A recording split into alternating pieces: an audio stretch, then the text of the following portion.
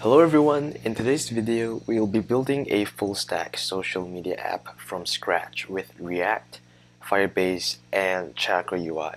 Our app will have all of the most robust features of a full stack application like form validation and client-side routing.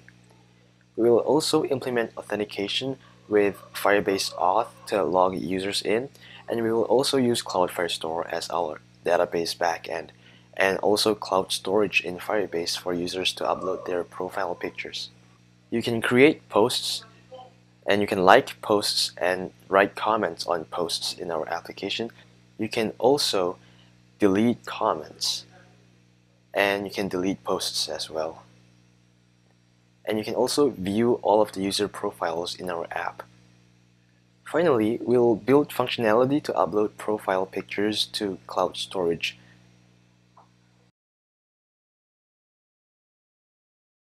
And once we're done, we can also choose to log out from our application. So this is how our backend Firebase console looks like. We're going to have authentication, which is managed by Firebase, and we have all of our user profiles here.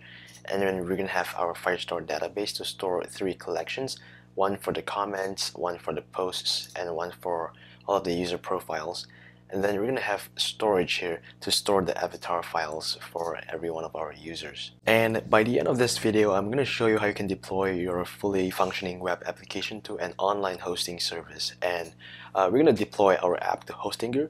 Hostinger has very kindly offered to sponsor this video and I've been using Hostinger for quite a while now and I have to say that I'm really impressed with Hostinger's hPanel. So hPanel is basically Hostinger's hosting control panel and that's what you're seeing here. And in case you haven't realized, my demo app that I was showing you earlier is hosted completely in Hostinger's hPanel. Hostinger's premium web hosting package also comes with a free domain name which I'm using right here to deploy my demo app. Oh, and have you noticed that sweet small little lock there in the top corner that indicates we have an HTTPS connection to my demo site?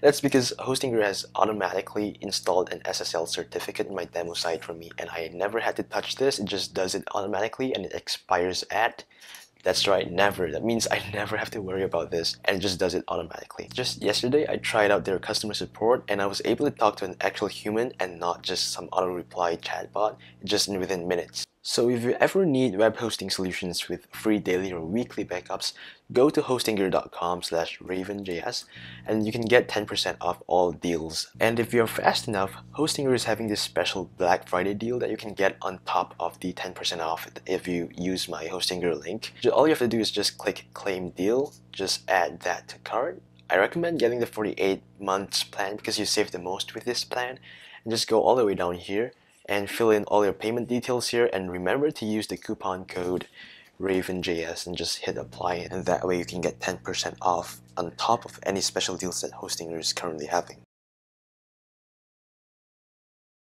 So to start building our application, I'm going to make a new folder called social media app. And I'm going to take that and drag it to terminal so I can run yarn create react app and then dot. So dot basically just means create a React application in this current directory. And I'm going to hit enter and let that run for a bit here. With our app now created, I can just drag the folder to VS Code to open it in VS Code. And let's get rid of some of the files in the source directory here. So I always go and get rid of all of these um, files here that I don't need and just delete that. And then we have to go to our app, get rid of that, uh, and all of this. I'll just return an empty string for now. And I like I like to always make this in one line. So export default function app. Uh, right, and then in index we're gonna get rid of um, basically all of this except for app. And so that and report web vitals. Alright, and now before I start the server with yarn start, I always go and make a .env.local file and set browser equals to none. The reason for that is because I have to do yarn start every time I make a big change, like every time I install a new package, and I have to keep restarting the server and just keeps opening a new browser tab in my browser, and I don't want that. So I just set browser equals to none, and I can just do yarn start, and it, it won't start a new browser tab every time I restart the server. Chakra UI is going to be the main component library that I'm going to be using for this project just because Chakra UI I find it to be uh, the easiest to set up and the least configuration required for the best looking components. So I'm just going to copy this line here to install Chakra from Chakra's get, Getting Started website and just go to terminal and paste that line in. And then at the same time, we have to go and add the Chakra provider to our root application in our React app. So I'm just going to import, see how they do it, import Chakra provider. So let's import Chakra provider from. Usually it has autocomplete to help me import this in VS Code, but because Chakra UI is installing right now, so I have to just do this manually for now. And then let's just Chakra provider here and just wrap the app component inside of Chakra provider. It's having issues resolving the package, so I'm just gonna fix that Alright, and that's done installing. So I'm just going to say right off the bat, you don't have to be very well versed in Chakra UI to be able to follow along with this tutorial.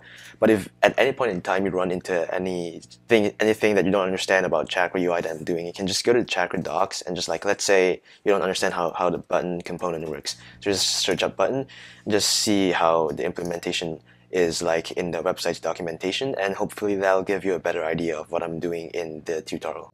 And with Chakra UI installed, there's just two more things we have to set up, and that is React Router. So if you look at our demo app here, you can see that we have different routes. I can go to all users, it will change to slash users. If I go to home, it's dashboard. And to do that, we have to handle all of the routes with this library called React Router. So I'm just gonna do yarn, add react-router-dom, and just let that install.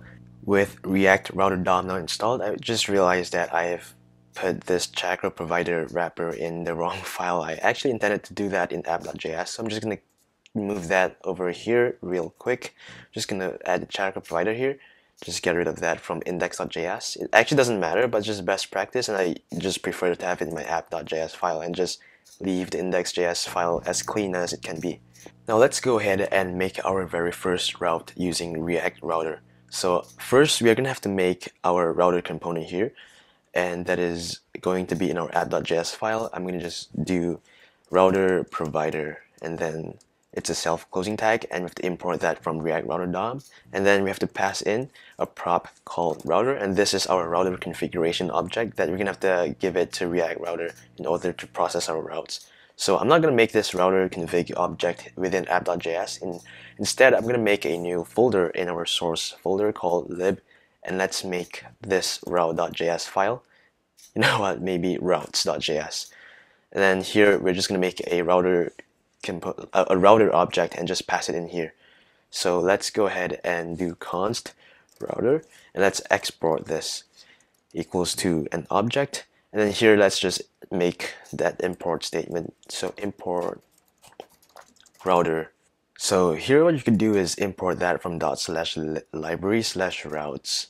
But I don't like the dot slash uh, conventions here and by the time we get more and more nested routes, we're going to be seeing stuff like dot dot slash dot slash dot slash and a bunch of that. So that's a problem with relative imports and that's why I'm going to just uh, just install absolute imports right from the get-go. So I'm just going to go to this Medium article here to install um, absolute imports. Then we can just do like import router from and then lib slash routes without the dot dot slash. So just copy that and go to our uh, J, uh, .js config file here and just paste this in here.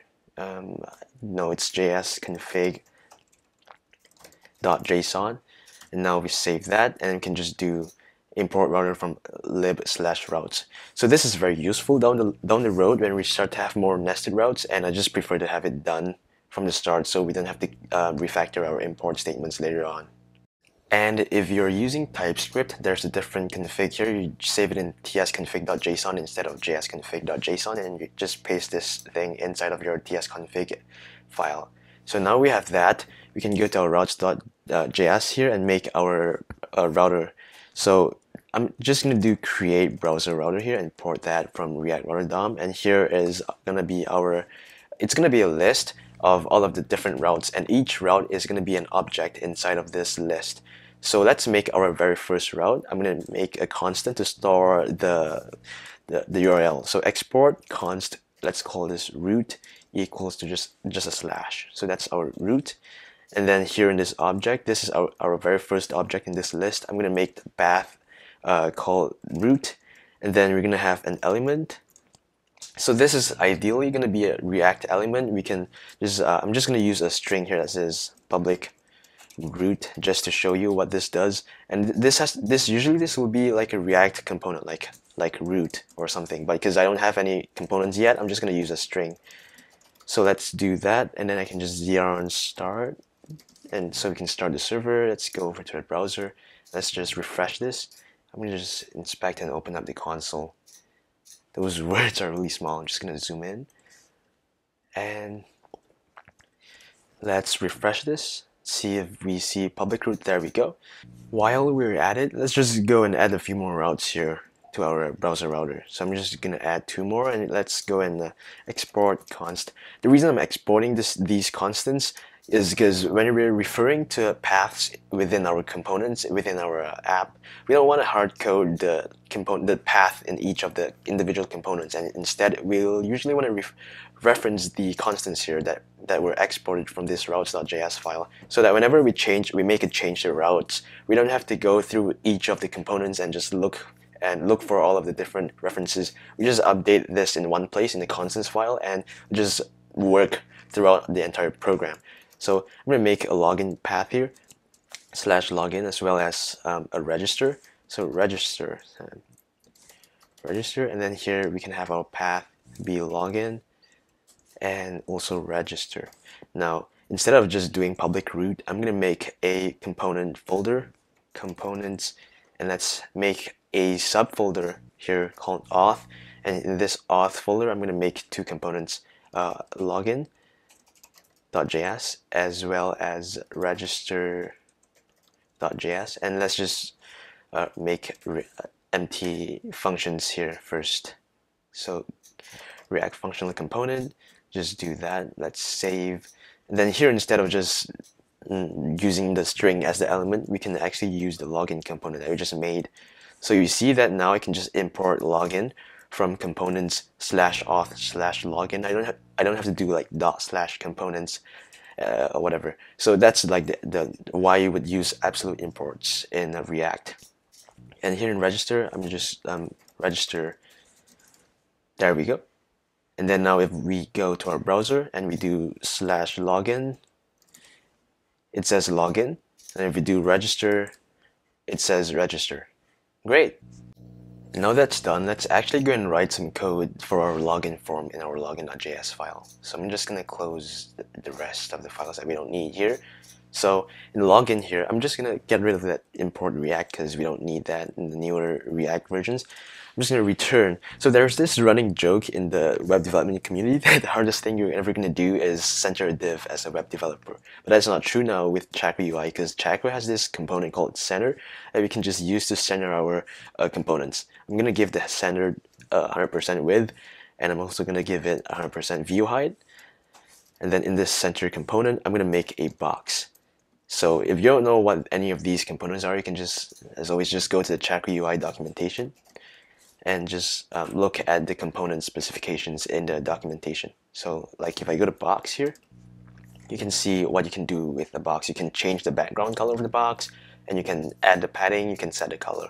So I'm just gonna go back to our code here and let's continue with our box. I'm gonna give our box a margin x of 1. I'm gonna give it a max width of MD so this this will kind of act as our container. It will not let the width go more than the medium breakpoint. So in Chakra UI, there are these things called called breakpoints, and there there's like XS, and then there's small, and then there's medium, large, and then extra large, and then there's the second level of extra large.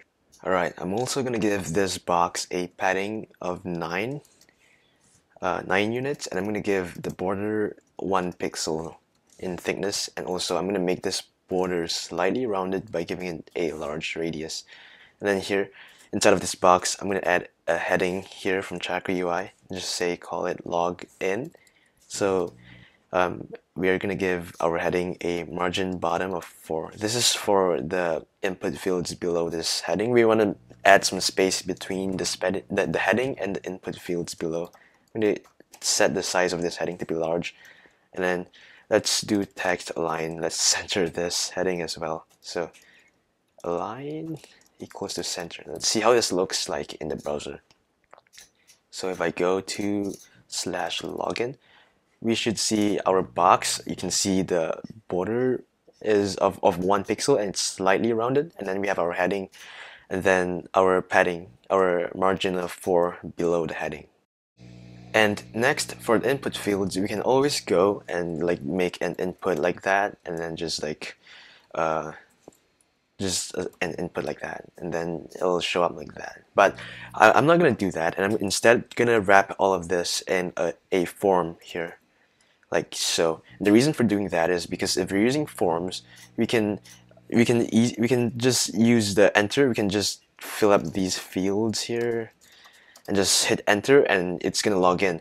Without the form component, you'll have to explicitly click on the login button and trigger the on-click the on-click listener in React to be able to submit the form. So hitting enter won't uh, submit the form, and that's why we have to use our uh, form element here instead of just using React controlled inputs. And also using, I'm going to use a library called React Hook Form, which will help us uh, write form validation. So like if I get rid of this back part and just hit enter now, you can see that we have like form validation. It tells you that email address is not valid. And just having React Hook Form simplifies that process. But before we install and implement React Hook Form, let's just go and build out the basic UI components first in the form. So I'm just gonna leave the onSubmit call here empty. I'm just gonna like onSubmit equals to like a blank function, a blank arrow function here. So it does nothing right now. The form doesn't submit. And then I'm gonna, so the way you make forms in Chakra UI is you can have form control components like form control. And this component we have like form label. And then we have our inputs here. Right, so I have GitHub Copilot installed and just it just prompts me the right thing to fill fill up in the code. So I have a type of email here and the placeholder is email. And then here in the form, the form control, I'm gonna just gonna demonstrate how to use form validation. So there's a prop in Chakra UI's form control component called is invalid. And I'm just gonna hard code this to be true, just to show you how it looks like if there is there is indeed an error. I'm gonna give uh, I'm gonna add some spacing. I'm just gonna add two two units of padding in the y direction, which means top and bottom. The form label, you can just make this email. And here we have our placeholder. We can have like email like user at email.com and then here I'm going to just add a form.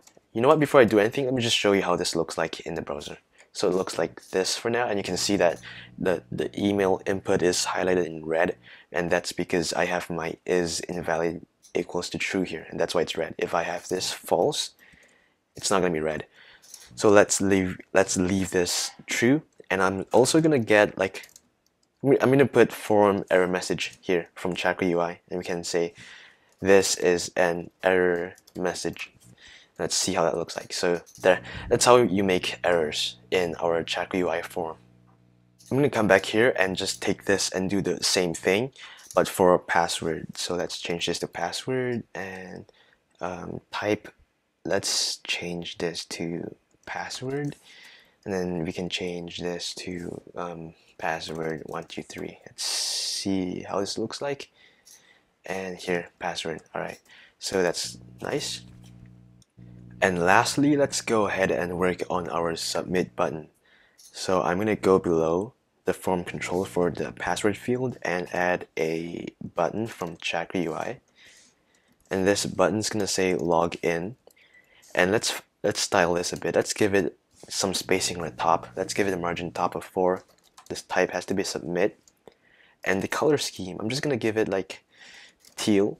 Maybe I'll just change the entire project's color scheme to teal instead of the purple in our example. We can give this size of medium and then the width. So I'm just I'm just gonna see how that looks like. So you can see it's like on the left. So we can give it a width of full and it'll just take up the entire uh, space. And uh, in the the Chakra UI button has a few useful props like is loading, and we can just set this to true just to see what it looks like, and then you can see it's it's spinning and loading, and we can also give it a loading text, logging in, that and that looks good. If we add three dots, it'll look nah, without the three dots. All right. What we can do next is add that register link. Don't have an account, register instead link here down at the bottom. So if I go back to login, and you can see that line of text, don't have an account, register instead. So let's add that. So how how we're gonna do it is we're gonna use this component from React Router called called link. So the link from React Router DOM, and we can just go and add that under our form component link, and just uh, register. So link register and then that's a clickable link and we can add the prop for two and we can always just like to do two slash register but as I mentioned previously we don't we don't want to hard code the routes in our components because sometimes you want to change change the routes a bit and we don't want to have to go through and go through every single one of the nested files to look for the links so instead I'm just going to import this register constant uh, so to register and here it's going to import from library. So you can see the benefits of using absolute imports very clearly now. Instead of using dot dot slash um, dot slash library routes, we can just do library slash routes because the absolute uh, location would be in the source directory, so we don't have to do any dot slashes and relative imports. So now I'm going to link to register. If I save that, I can just click on register. It's going to bring us to the slash register page. But one thing you're going to notice is that um, we can't style this very well. Like we could always style it with the React's style uh, prop using style, just like text uh, or font, weight, make it bold, and we can style it like that. But we already have Chakra UI in our UI components. So instead of just using the style props in, from React, I'm going to import the link component from Chakra UI. Here you can see we have our link component that has some of the styles that we can use. And of course, we can pass in more styles of our own into the Chakra UI's component, like, um, like color. Because if you do color here on the link component that's provided to us by React Router, you, you can't do just color equals to blue it doesn't work, see? So now let's go and import the link component from Chakra UI. And now it's going to clash because we have two different link imports. So let's just change the link from React Router to router link. So link as router link. And here this link component is going to be the Chakra UI's link component. And now if I add color equals to teal, you can see that actually works. I can change the weight. I can change the color weight to 800 and then make it darker. And then we can also go and do font weight to medium. Then we can add our, our underline. So let's do text decor equals to underline. And they'll make it underlined. And then so now the thing I'm going to do next is make it so that there's a highlight so we can see it highlights the background when I have hover so I'm going to do hover this is a Chakra UI thing. I can change the, the background to purple, uh, not purple, teal 100. So hover, it gets highlighted. Alright, that's nice. I'm also going to just add a some margin on the top. Margin top equals to 6 so it doesn't stick to the button. Um, you know what? No, let's add the margin to a parent component called text which we're going to import from Chakra UI because I want to be able to type other, other things that aren't the link here. For instance, I want to write like don't have an account space and then here we can have font size of extra large align this to be center and give it a margin top here in the te text instead so here we have our don't have an account prompt. Register instead. Let's write instead here. Instead, there we go. And there's it's gonna be stuck together, so we have to add um, some space like that. There we go. But now one thing you're gonna notice is that clicking this register link doesn't do anything anymore because um, it's just we have to use the, the router link component from React Router DOM to be able to actually make a functional link.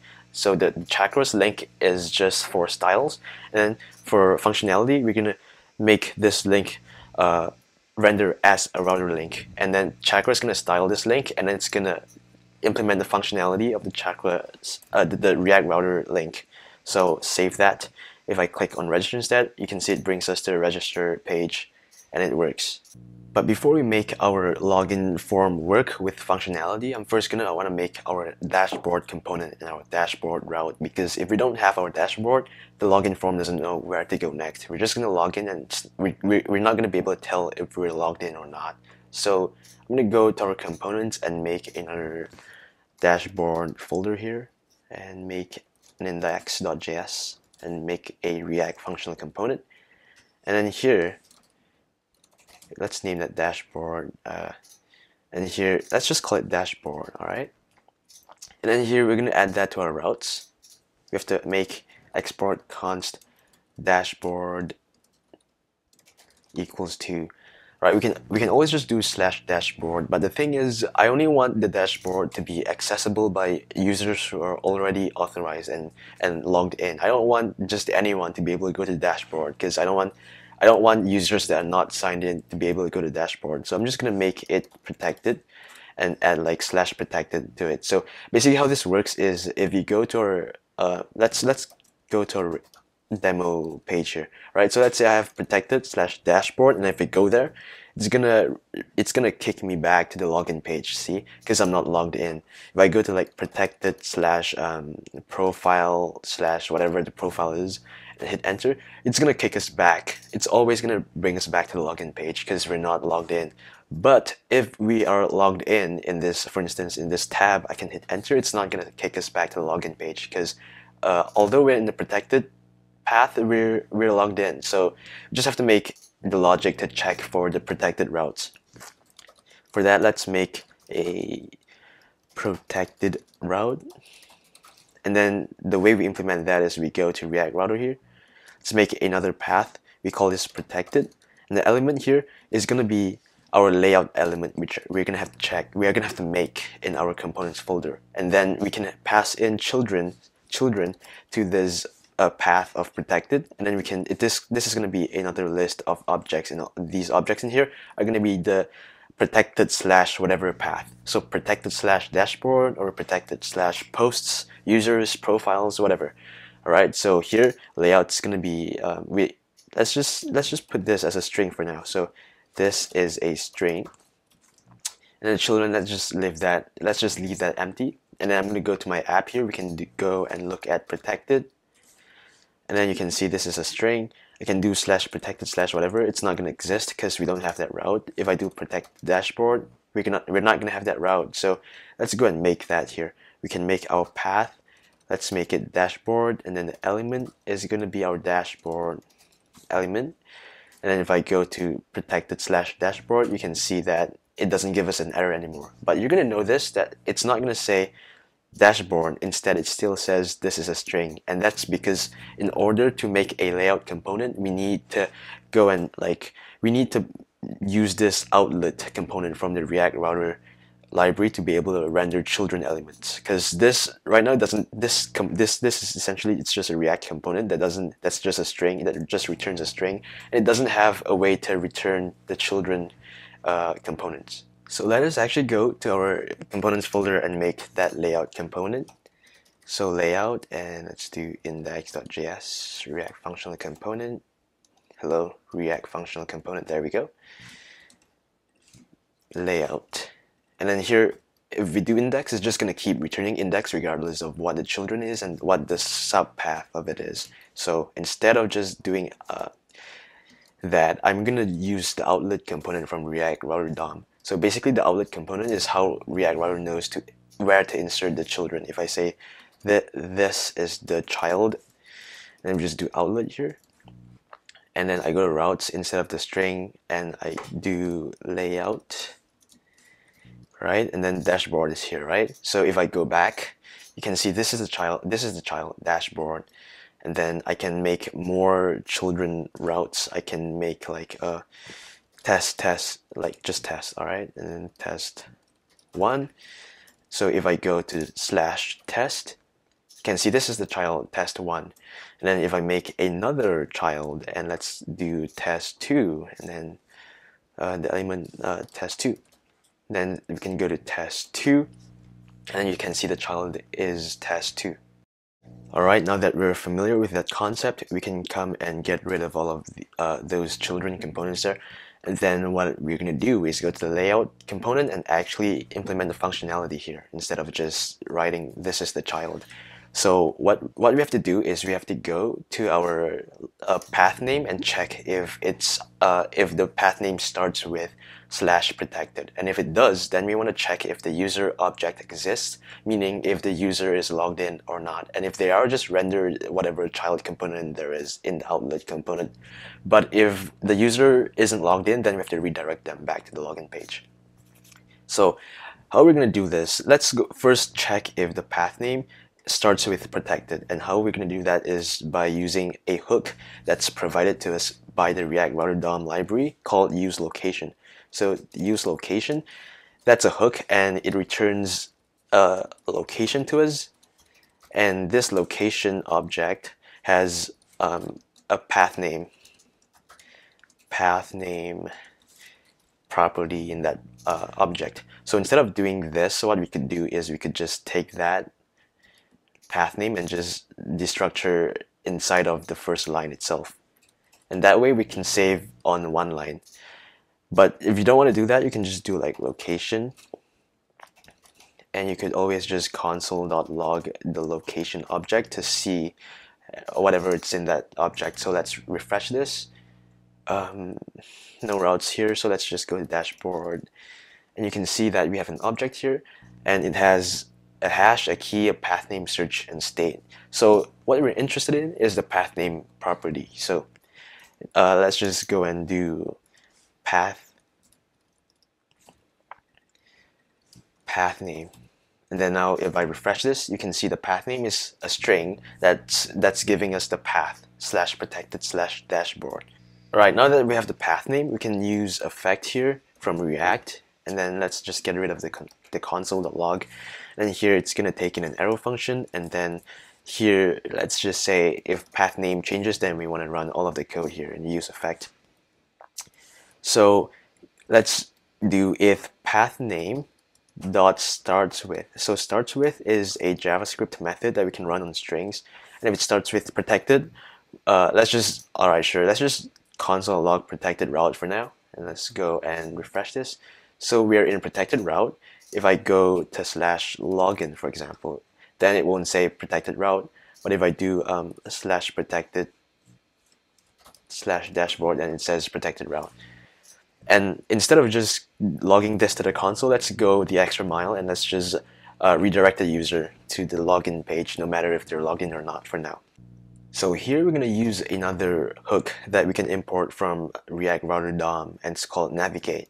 So I'm going to do const navigate equals to use navigate. And using this navigate function here, we can navigate the user to our whatever the, the desired route is. So here it's going to be login and we have to import that from our library, our constants. So library slash routes and login is a constant and we're just going to navigate the user back there. So let's see if this works. So I can already see that it works because I'm back in the login page despite me leaving this on the protected dash dashboard route. So let's go back to dashboard and you can see it just kicks us back to the login page. Let's try let's try it again, right? Protected slash dashboard. Okay, look, it just doesn't let us go to the dashboard, just kicks us back to the login. So everything's working as intended. To check if the user is actually logged in or not, we have to get our hands dirty now with some actual Firebase stuff. So to do that, we have to go and create our Firebase project in console.firebase.google.com. So I'm going to go and add a new project and we can call this whatever we want to. I'm going to just make it social media app. We can hit continue. We don't need Google Analytics. Let's just give it some time to buffer. And now that it's done, we can hit continue and it's going to bring us to our dashboard. And the first thing we want to do is make a web application by clicking on web. And then we can call this React app. And then we don't need Firebase hosting. We can just register the app. And it's going to make our very first web app connection. And then we have to add the Firebase SDK to our React application here. So it's going to tell us to install, install Firebase, which I am going to do. let's go to our console and just stop the server yarn add firebase so hit enter and then while while that's installing I'm just gonna come here and copy all of the code here and we're gonna go to our library folder and add a new file called Firebase and just paste everything here. So ideally, you don't want to have all of your API keys and your project ID and whatever in your source code. So usually what you want to do is go to your env.local file and just put all of your things like react underscore app underscore firebase uh, underscore app ID whatever and equals to your app ID. But for simplicity's sake, I'm not going to do that in this video. If you want to do that, you can just just do what I showed you in the, the env file and then just do like app ID and just uh, process.env.react underscore app underscore whatever the name of your environment variable is. And now that my Firebase package is done installing, I can restart the server. And then here I'm just going to get rid of all of the comments and then we're going to import the SDKs for the Firebase products that we want to use in this project. So there are three products that we're going to use. One is the Firestore database we're going to use for our um, posts and our users, our user profile information and our comments and everything like that. And I'm going to use authentication for user authentication and storage for the files, the avatar files that users are going to upload to our app. So we can import get Firestore like that and we also have to import get auth uh, from firebase slash auth and then import get storage and then once we have all of those SDKs imported we can go and make our handles here. So I'm going to export this because we might have to use all of our handles uh, for our Firestore auth and storage um, SDKs so I'm going to do that three times. This is just going to be um, const db and then instead of initialize app here I'm going to do um, get Firestore app. That's right. And then here, let's do auth, and then here just get auth app. We also need one more. I'm just gonna clone that, and we need one more for the storage bucket. So let's do storage, and then equals to get storage app. And now I'm to go to our Firebase console back here and let's go to build and then authentication here we have to initialize, we have to get started here and go and activate our email and password sign-in provider. So let's go and click on this and then you have to just enable that, just toggle that and then just hit save and now we have that enabled and I'm going to go back to our layout component here. So in the layout component we want the path name to start with protected and also and if the user object is not defined then we want to navigate the user back to login. So the user object we have to get from our own hook. Ideally, what we want to do is we want to make a hook here. And the hook is going to be like use auth, right? It doesn't exist yet, our hook. I'm just going to write this here so you get an idea of what we, can, we want to achieve here. So this use auth hook is going to be our custom React hook that we're going to write that's going to return us a user object and also and is loading prop that tells us if the user is being fetched because uh, fetching the user object from Firebase is a is an asynchronous task which means that there's going to be a loading state. And while this is loading we want to return early. We want to just like if it's loading we just want to return loading. And we don't we don't want to render the outlet we don't want to render the children component.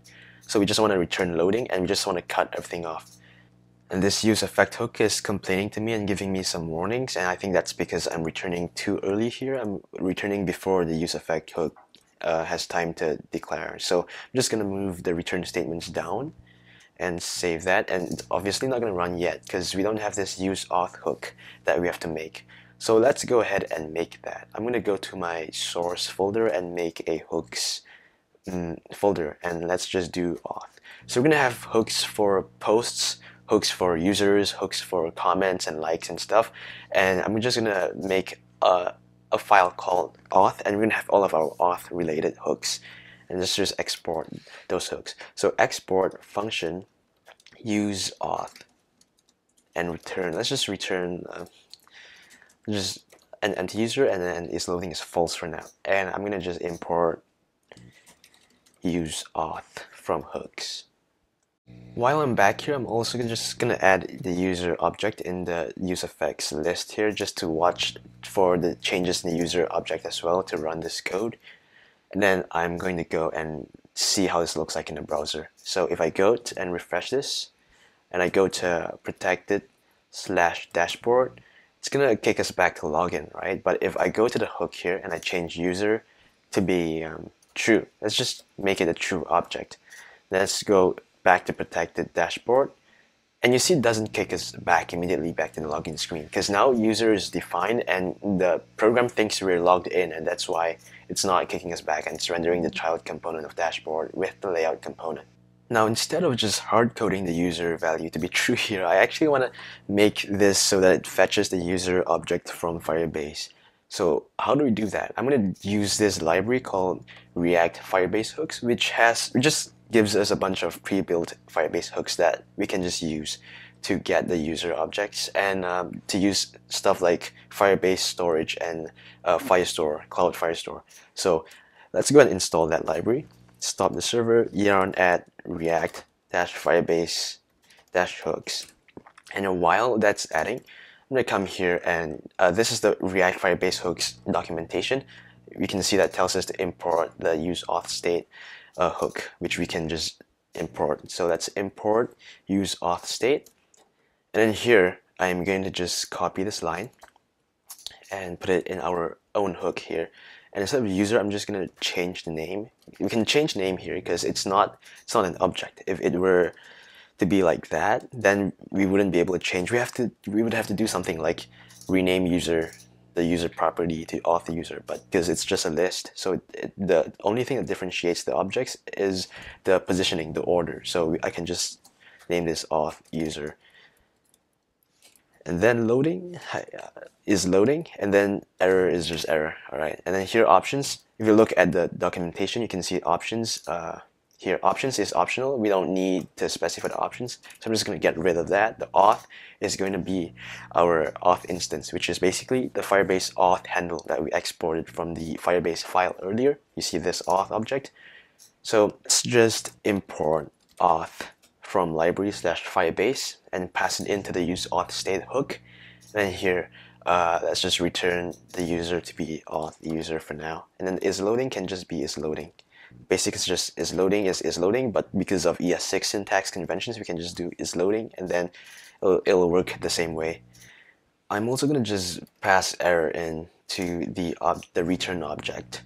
And now if I save this, go to our React app, we go to our dashboard, and we oh we first have to start our server. So yarn start and just wait for that to compile. And now that's running, I can go back to our website and let's try going to protected dashboard again and it's gonna kick us out again. So that's great. And now let us actually go and write the functionality for the login form. So ideally, let's go to the form. Uh, let's just close everything. and in the components in our auth and login form here.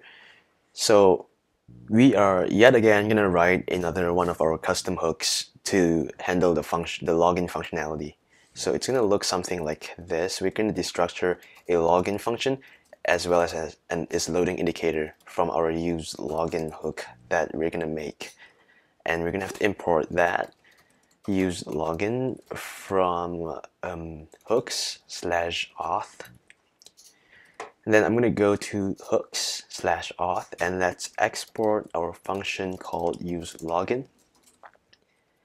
So it's to return, it's, it's to have a loading stage for one because we have to return, remember we have to return, we're expecting a login function as well as an is loading state. So let's go and make is loading, set loading and we're to use state for that. False and then we have to import use state. Can I just use auto import here? Yes I can. And here I'm gonna make a function it's gonna be asynchronous function login and so here let's take in some props we're gonna take in an email a password and then the third one is just going to be redirect to. Redirect to is going to be a prop that we can specify where to redirect the user to after the user is successfully logged in. And I'm just going to give it a default value of dashboard. So if we don't provide a redirect to property, it's still going to work. It's not going to crash. It's just going to do the default uh, behavior, which is just to redirect to the dashboard. And then here, let's just start by setting the loading state to true. And at the end, we're going to just set loading to false after we're done with everything. And then Firebase has this function called await. It's called sign in with email and password. We can import, so sign in with email and password. Uh, takes in auth, the auth handle, which we import from li library slash Firebase, and then the email, which is from here, and the password, and you have to import that. So I guess we have to import sign in with email and password from Firebase slash auth. This is an API call, which means we have to await that. And then um, that's sometimes we're gonna run into errors because what if the user tried signing in with a, a, password that's wrong or a user tried signing in and he hasn't he doesn't have an account yet so we have to use try catch to catch all of the errors so we're gonna try that right and then we are going to catch an error and then here, if there is if there's any errors, we're going to notify the user. And if we succeed in our login, we're also going to go and uh, notify the user. So how we're going to do that is by using Chakra UI's Toast. So I'm going to go to Chakra UI's documentation here and just to show you the Toast component. So the Toast component, if I hit show Toast, you can see that the, we have these alerts that we can just open up with Chakra UI.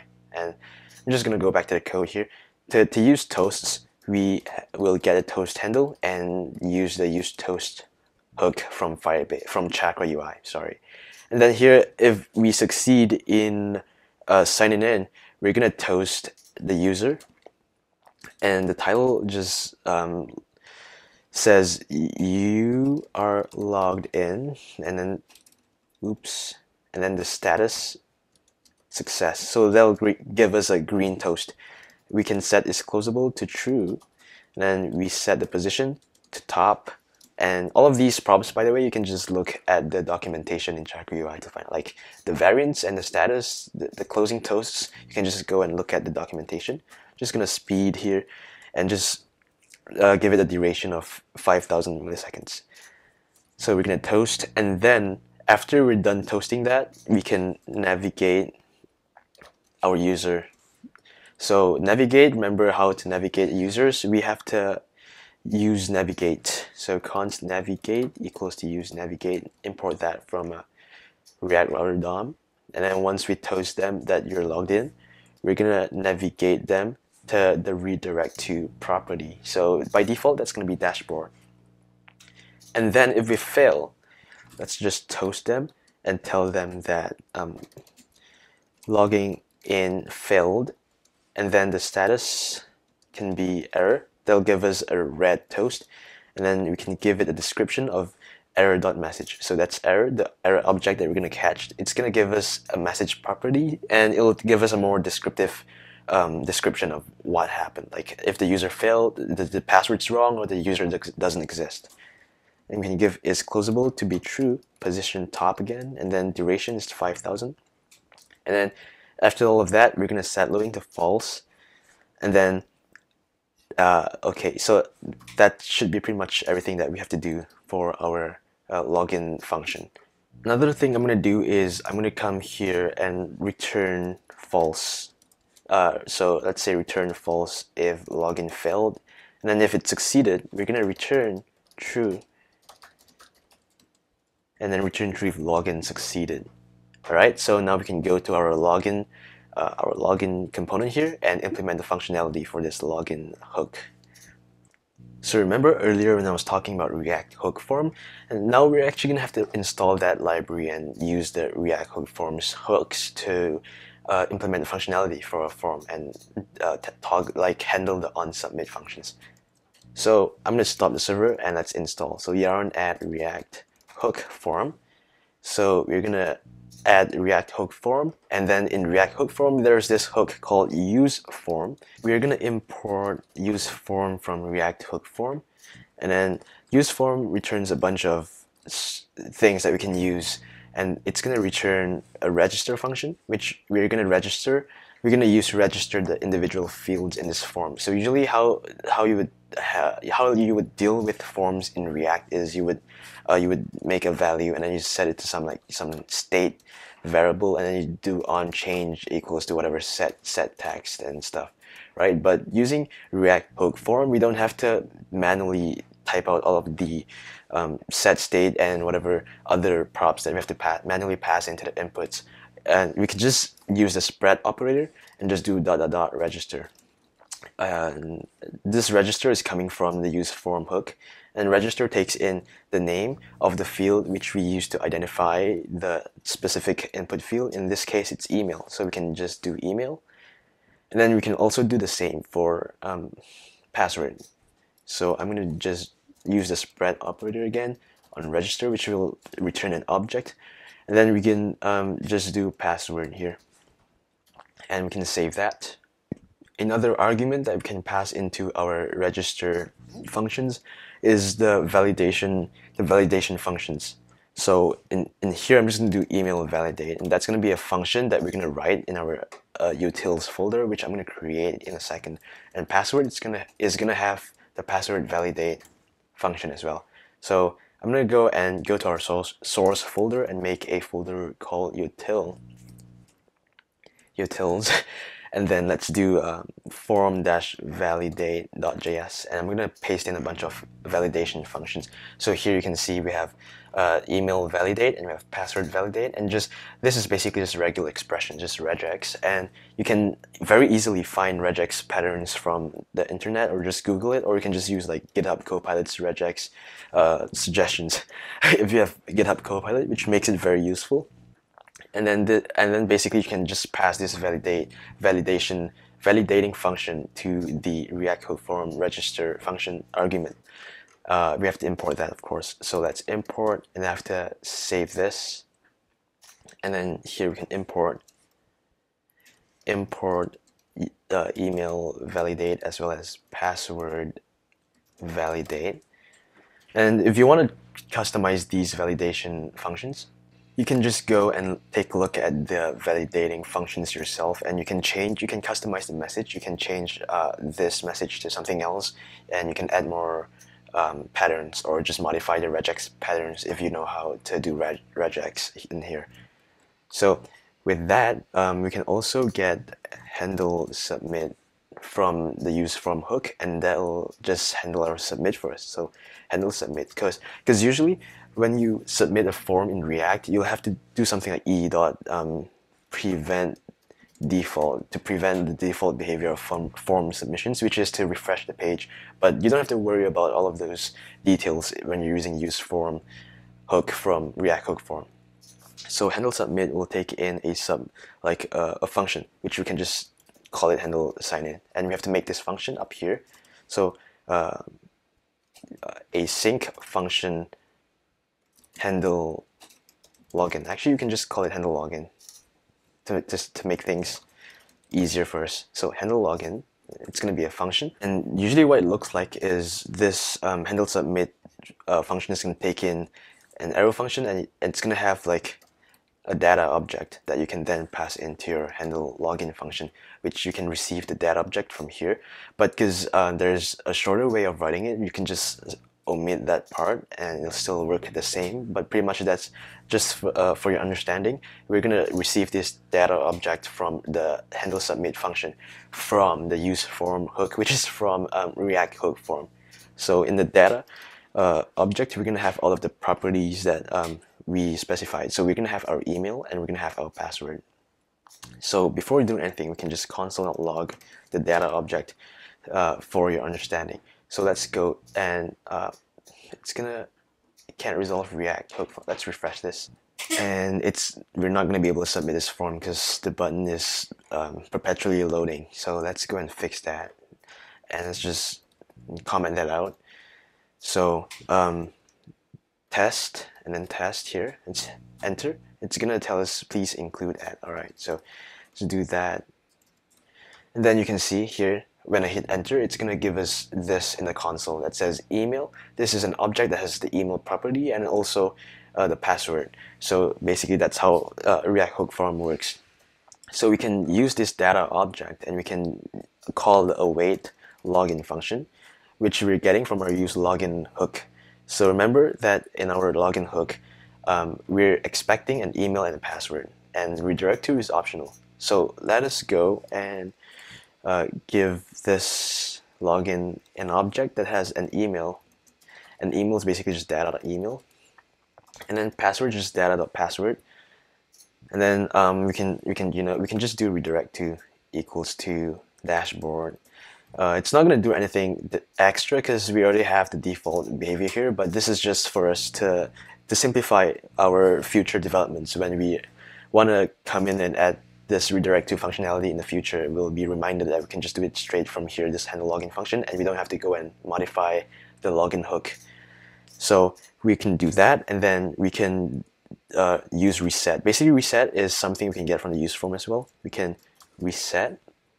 Uh, no, it's just it's just a function. We can call the reset function here, which will reset the entire form. Basically, it'll clear the form's uh, input fields. So if I come here and type that,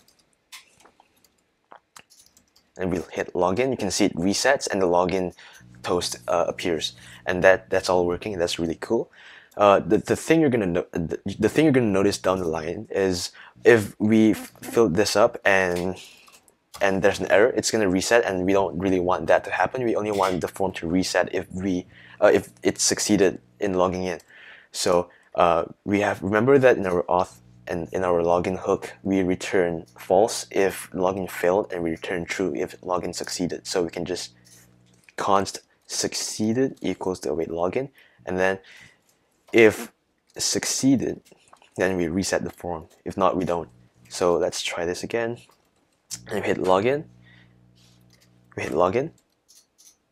Um, the dot is, we use the dot two times. All right. Uh, it's add, whatever. Okay, hit enter, and you can see there's an error and it doesn't uh, reset the form. The next thing I'm going to fix is this perpetual error state that the form is in right now and um, that's because I have um, the is invalid here hard coded to be true in the form. So how are we going to get the errors from the use form hook?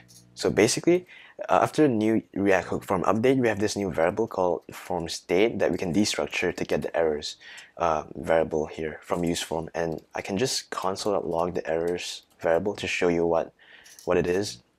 So if I come here, you can see right now the errors uh, variable is an empty object because we haven't submitted the form yet. But if I, I give it an invalid email address, so this is an invalid email address because I don't have the dot, right? And if I, I give a password that's too short, I click login, you can see that it prints out an object that has the property of email and password. So email, and email says email address is not valid, and password must at least be six characters long. So the, e the email object is basically referring to the email field, and the password is referring referring to the password field. And how we how do we different how do we differentiate and set the names of these properties? And that's uh, that's why we had our register our register function and the, the argument name there email. So if we change this to like uh, a mail a mail, and I refresh that, you can see that it's gonna be I have to refresh this page and let's give it an invalid email an invalid password you can say you can see it changes to email. so basically the you, how you know the names of the properties of the objects is by looking at the register functions that you have in your form. I'm going to change this back to email and I realized that the email address is not valid message has spelled has the word address spelled wrong. So I'm going to go to our form validate function here and fix that and change this to email address with with two D's and we can refresh this and if I give it an invalid email and invalid password, you can see that the email address is not valid, it's fixed. And if we fix this, you can see that now the email property is gone from the error object and we just have the password that's left. And fix the password by giving it more than six characters. You can now see that the object is now empty because we don't have any errors left. So let's go and change our error messages here. So instead of giving this just error, we'll do errors dot um, email and then here this is errors dot um, password and then the, we'll do the same for is invalid so I'm going to take this and put it here I'm gonna take this and put it here. Uh, Alright, so if I go back to my browser, I should be able to refresh this and see that there's no errors right now. If I give it a, a wrong email and wrong password, I hit login, uh, it's gonna give me this error, which is the reason it's giving me this error is because if I if we look at the email object here, you can see that this this message is under the property with the name of message, and basically what I'm doing is I'm doing errors.password and errors.password is an entire object in and of itself. So this entire thing this is the error.password object. So I don't want to be putting that into my children uh, my uh, like this position here as a react object because that's not a react object. That's uh, an actual JavaScript object. So I can make it a string by referencing the dot message property and let's go and do the same for email and that should fix it. So if I refresh this, so um, the message property is undefined, and that's because um, we don't. The message property isn't defined from the start. It's only defined if there if we submit the form and there are errors. So we can fix that by saying if errors.email, if that exists, um, then we're gonna render out the message. If not, it's just gonna not render anything. So errors.password and then let's refresh this and fingers crossed it's gonna work this time. So let's do that. Let's hit login and it works. Alright so our login form should be fully functional at this point. If I do test user at gmail.com and give it a random password and try to log in it's gonna load for a bit and it should give me an error here that says uh, error auth slash user not found and we realize that the login button keeps loading and that's um, we have to fix that because we wouldn't be able to try again if that happens.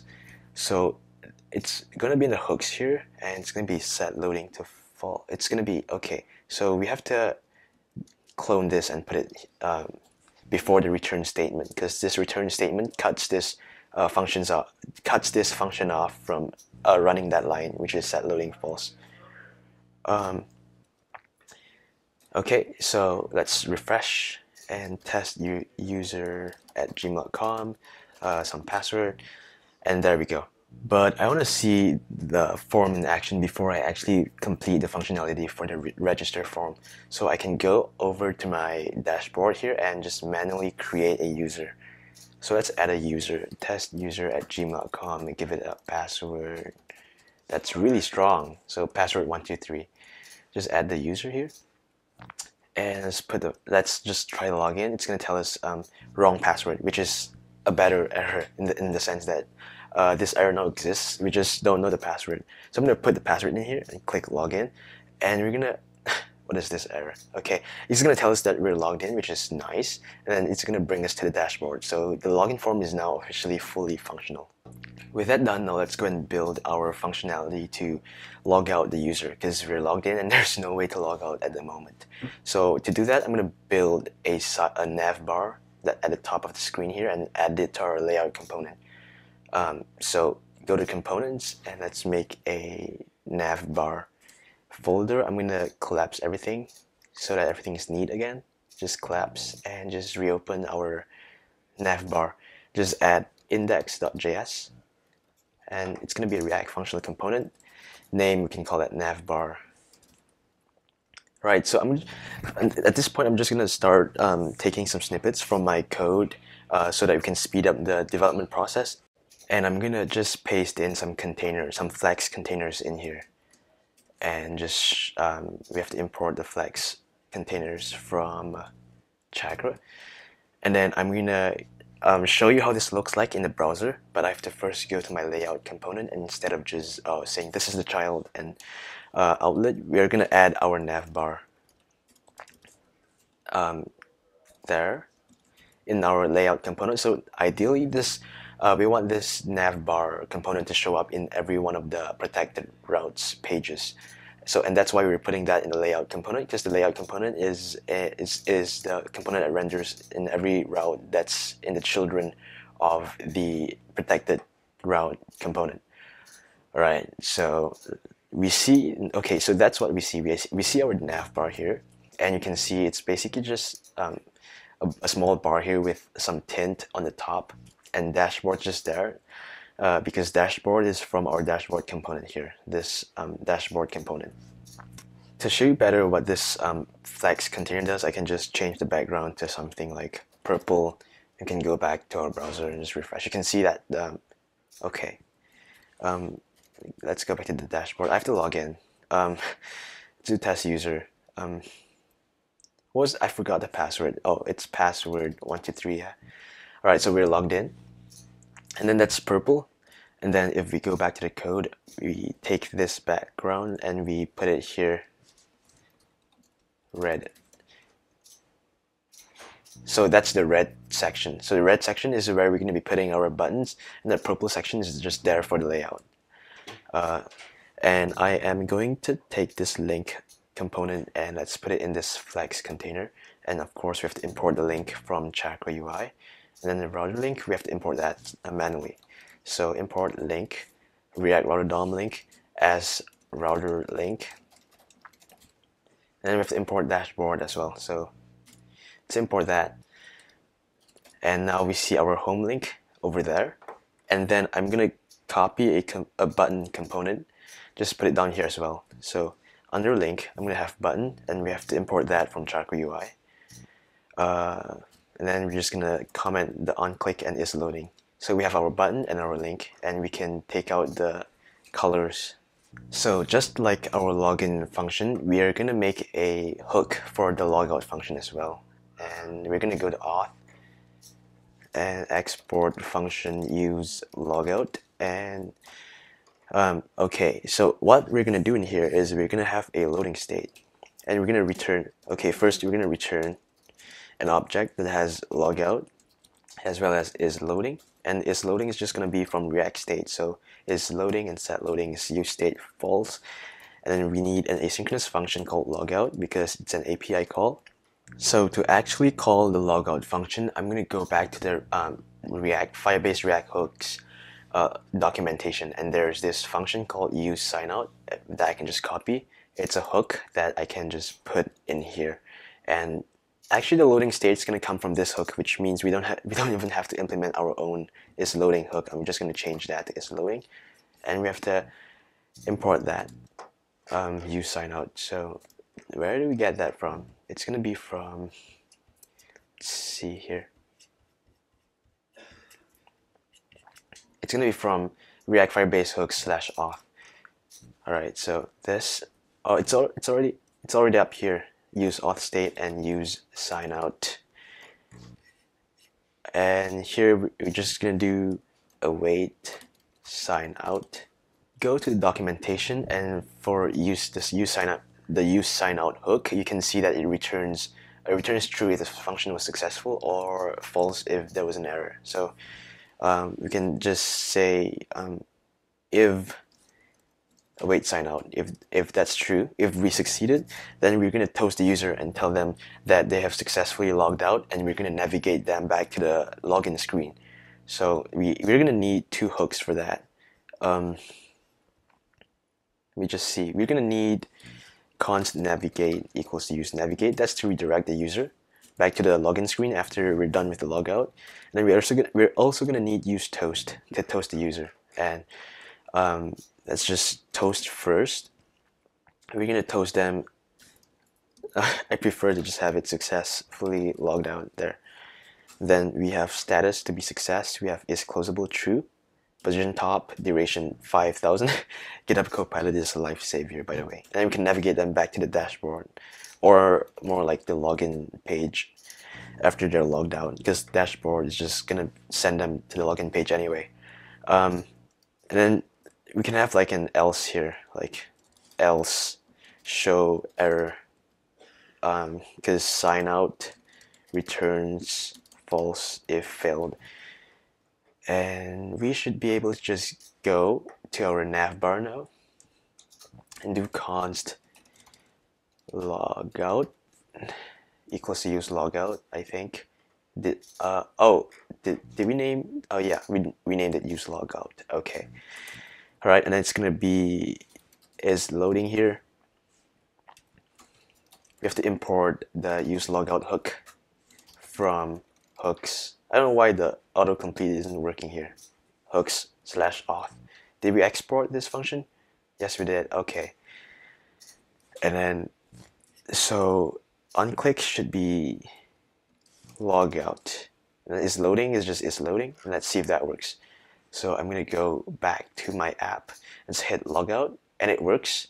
And then uh, we can log back in at test user at gmail.com. There we go. Log out again just to make sure it works, and it does work. Sweet. So now we're finally gonna work on the register form, and then we're gonna move on to the actual posts and the users and user profiles and the comments and stuff. So I'm gonna go to my auth um, hooks file here. It's hooks auth, and then under um, use login, I'm gonna make a function here, a, a hook called um, use register. And I'm gonna write all of the functionality for this use register hook before I uh, go and actually do the UI for the register component, which is here. It's right now it's just an empty component. Let's finish up the functionality first.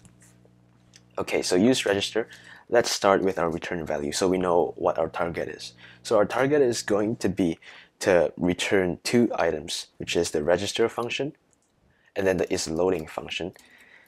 All right, so is loading variable, sorry, is loading state variable. So let's make the register function first. That's um that's gonna be an asynchronous function, so async function register. So the register function is gonna take in a username, an email, password, and uh, redirect to again to redirect to um, the, the page that um, to basically this is just the page to redirect to after the registration is successful. I'm going to give it a default value of dashboard. And then uh, let's close this tag here. So basically the way we're going to deal with user profiles in this project is if I show you my um, existing sample project here, we can see that we have our authentication tab in the console, in Firebase console, and basically this is managed by Firebase. Uh, we don't we don't have access to we don't really change the table here because this is basically managed by Firebase, and we just tell Firebase to create a user, and just the user just shows up in this table. But we're gonna make another table inside of our Firestore database, and and we're gonna make a collection called users, and here we're gonna store all of the user profile information for our users. And uh, I'm gonna uh, what I did was I basically just made the ID and here the ID field and the document ID the same as the ID in this users table. So if you look at Hostinger, you can see 6 uh, something to for VCN. If you go to Fire, Fire, Firestore database, you can see that um, the ID is pretty much is basically the same, and that's how I match the ID, the users from this table and the users in the authentication table. And then here we can store, we can basically store whatever values we want to store about this user. We can store their avatar URL. We can store the date that the user is created, the ID of the user, and the user's username. So um, basically, when we call this register function here, we're gonna have to do two two things. We're gonna have to add the user to the Firebase's authentication table, and we have we have to also make our own user profile entry in our Firestore database. So let's go and make our loading state here. And um, so is loading and set loading, we start with false, and we're gonna set loading to true when we start our register function. The next thing we're gonna do is we're gonna add the user to the databases. But before we do that, we wanna check if the username that the user enter which is from this variable here. And we, we want to check if the username already exists because we don't want two users with the same usernames. Uh, if now if we we tried if we tried um, to put the email like the same email and the email is already registered, Firebase has a built-in uh, error handler to tell us that oh this is an error the email already exists. But because because the username is our own value, our own property that we have in our Cloud Firestore database. It's not in the authentication tab. You don't see a username here. You just see user ID, you see the, their email, but you don't see a username here. So we have to manually handle handle our username, our user uh, to prevent duplicate values in our usernames. So I'm gonna uh, call an arbitrary function called is username exists here. This is um, a function that we're gonna have to add ourselves later, but I'm just gonna ignore that and just treat it as a treat it as a black box for now, and just uh, say if um, const username exists equals to is username exist and we're gonna pass we're gonna pass in the username here. And it's gonna be an API call because um, is username exists has to go and check in the Firebase uh, Firestore database to see if the username already exists. So we have to be careful and remember to add await in here. And we say if username exists then we're gonna, we're gonna toast them that username already exists and uh, tell them that uh, that's an error. And then we're gonna set loading to false. And it's very good that GitHub Copilot has already uh, written all of that for me so that saves some time. But I've, I still have to I still have to make the toast handle here. And then then we can just do an else here. And then we can return um, you know actually I don't think we should return false here at all because then set loading false will, will never run because the return statement cuts this function off before we can we can reach that point. So I'm gonna do a try catch block here because um, the user might try to be the user might be trying to register with a username that uh, register with an email that already exists and Firebase will throw us an error. So we, we have to catch the error here. We, will do try catch so try you do const res equals to await. Create user with email and password so this is something we have to import from uh, Firebase as well. So up here we import create user with email and password. Just go all the way back down and look for that line and we do that. So basically this function expects an auth handle which remember we're, we're importing from the library slash firebase uh, auth handle object there. So we're gonna we're gonna pass that as a first argument and then it's gonna take in an email and password so once this is uh, done, basically we already have our user created in the Firebase authentication table, but we have to now uh, go and manually add this user to our profile user profiles table in Firestore. So I'm going to do await set doc, and now this is the this is actually the first operation that we're going to be doing with Firestore. So I have to go to our Firestore, uh, go to build, go to Firestore. Uh, okay, no, actually I have to change back to my our current Firebase project. And because this is the first time we're using Firestore, we have to go and create the database for the first time or it's going to fail. So I'm going to start in test mode and let's see. I'm going to just enable this and it's going to take a while to enable. I'm going to come back here. Let's just import set doc. So import set doc from Firebase slash Firestore. And then uh, let's come down here. So we're gonna set the document, and then we're gonna have to get a document reference here. So um, I don't know why it's not. We have to manually import that. let's import the document, and then we have to also import the database handle because now we're working with a database and not just the authentication uh, feature. So here I'm going to just do uh, make a document reference. The first uh, argument of the document reference is going to be the database handle, which is DB. And now this is going to be the, the name of the collection that we want to set this document to, which is just users. And then um, here I'm just going to put the, the ID of the document. And what the ID of the document is going to be is just res.user.uid. So we're getting the ID from the response uh, from the response here. The response is just giving us uh, giving us back the user object that has been created by Firebase, and then it's going to generate an ID, and it's going to be in the response. So we can just do .uid, and then here we're going to have to pass in the data object here, the actual document. So the document is going to have an ID, the document ID, which is already here. But uh, the reason I'm going to make an ID here and just pass in an ID here anyway is because uh, fire, the way Firestore works is that it doesn't return you the ID when you try to get the doc later on and you have to manually parse the ID which is why I'm just going to skip through all of the hassle of doing that and just manually passing in the ID field here as well. Um, usually you don't have to do this, you can just get the document's ID to know what the ID of the document is but I'm just uh, taking a small short shortcut here.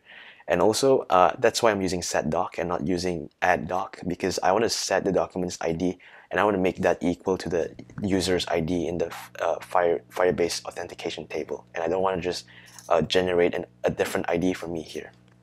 and I hope that was all understand uh, easily understand understood. And if you have any questions about it, you can just ask in the comments. I'll do my best to explain in, in detail.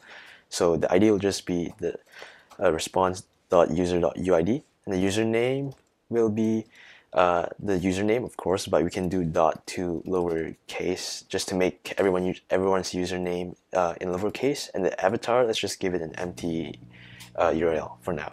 Until the user updates their profile, their avatar is just going to be the default avatar. And the date, basically just the date of uh, creation when this user joined the platform. So we can do date.now. That's going to return a timestamp and basically what this, the, the recap of what this entire line does is that we're calling setDoc, which setDoc is typically used to update documents in Firestore, but if the document doesn't already exist, Firestore won't throw an, won't throw you an error, it'll just automatically create the document.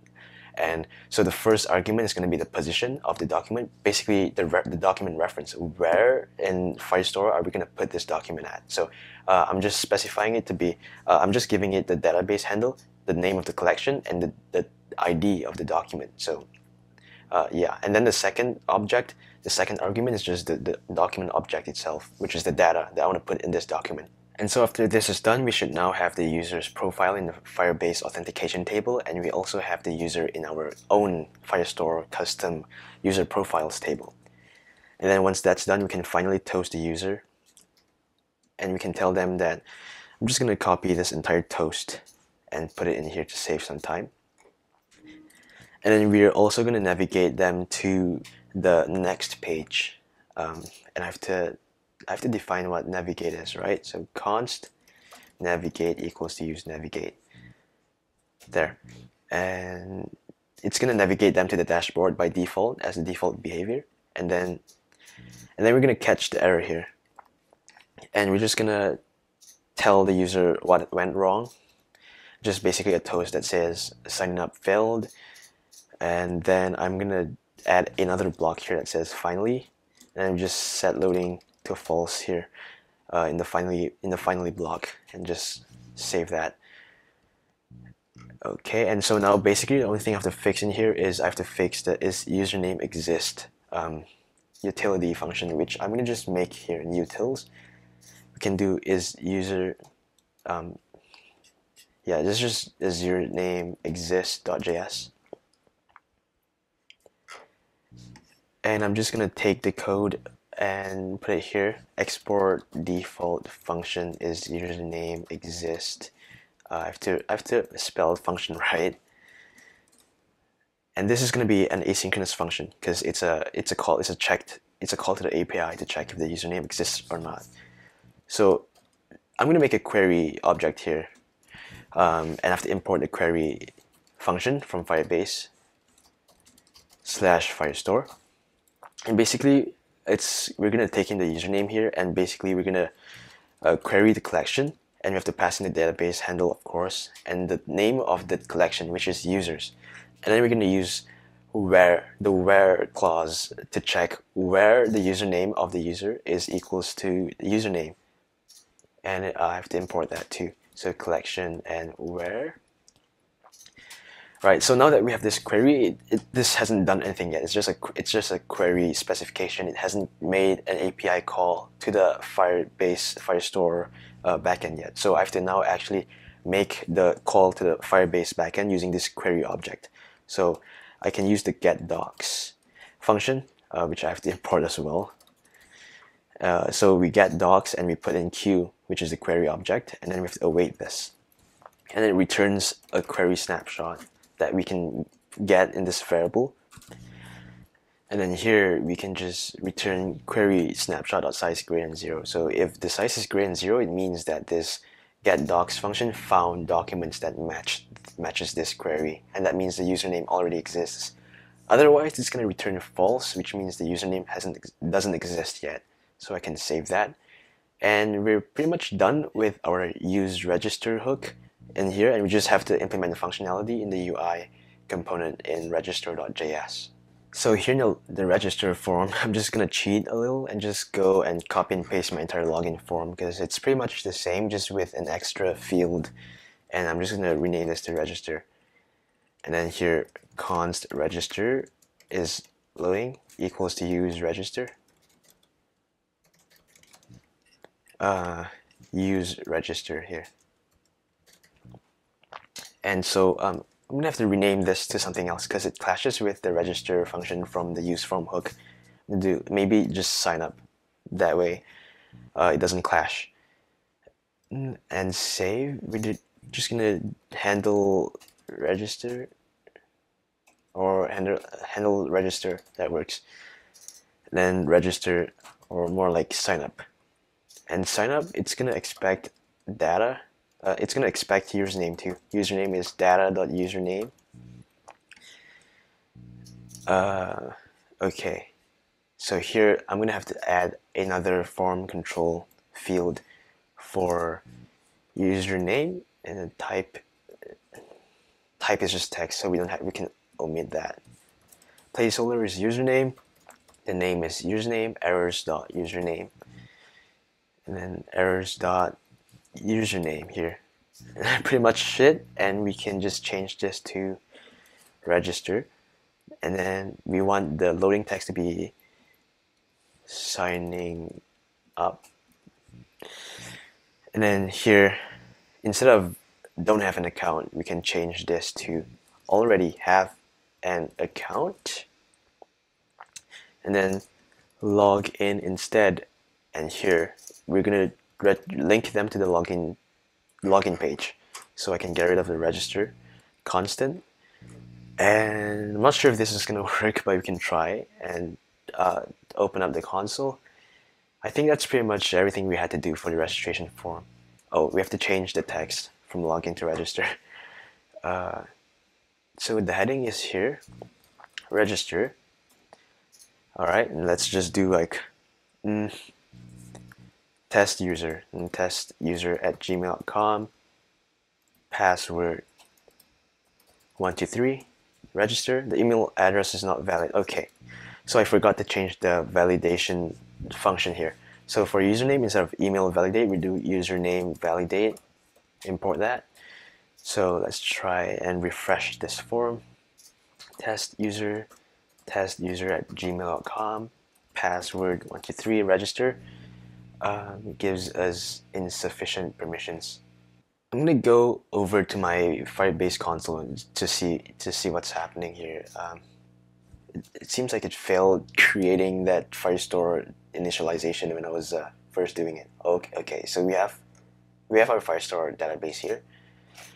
Um, I'm gonna try refreshing this page and doing it doing it again. So test user, test user at gmail.com, password one two three um, again.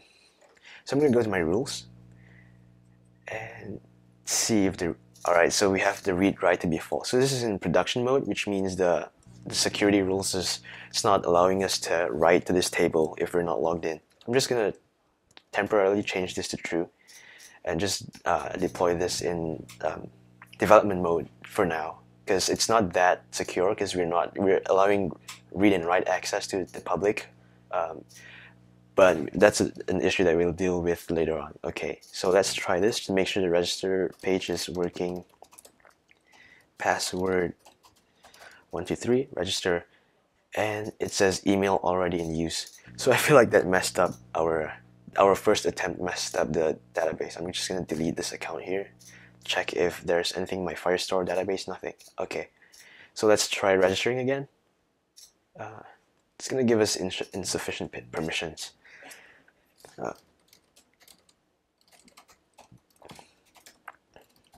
One, two, three, setting up. Okay. All right, so it worked in the end. So that was just a weird Firebase glitch, I think. And if I go to my Firestore and console and just refresh it, I should see a user uh, here in my Firebase authentication table and also in my users collection. And we see the details here. Now before I move on and make any of these elements here in the main dashboard page, like the posts and the profile and stuff, uh, I'm gonna go back to our code one last time here in the auth section and fix uh, fix up this use auth hook.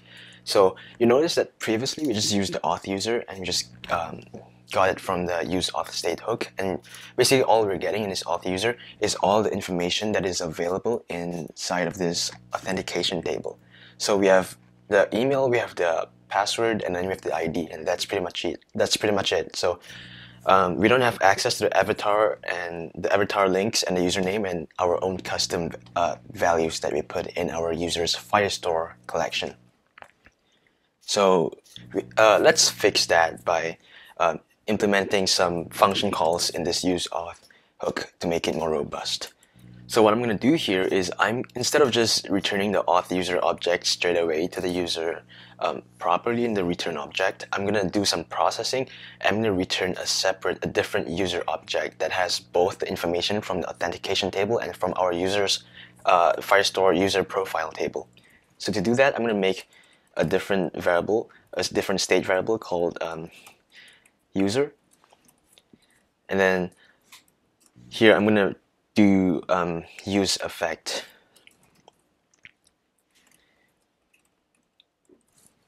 So each time our, um, I'm to change this as loading to a different name because we're to have two different loading states. Um, I'm to change this to auth loading. So every time auth loading changes, every time auth loading changes, I want to run the code inside of this use effect uh, hook.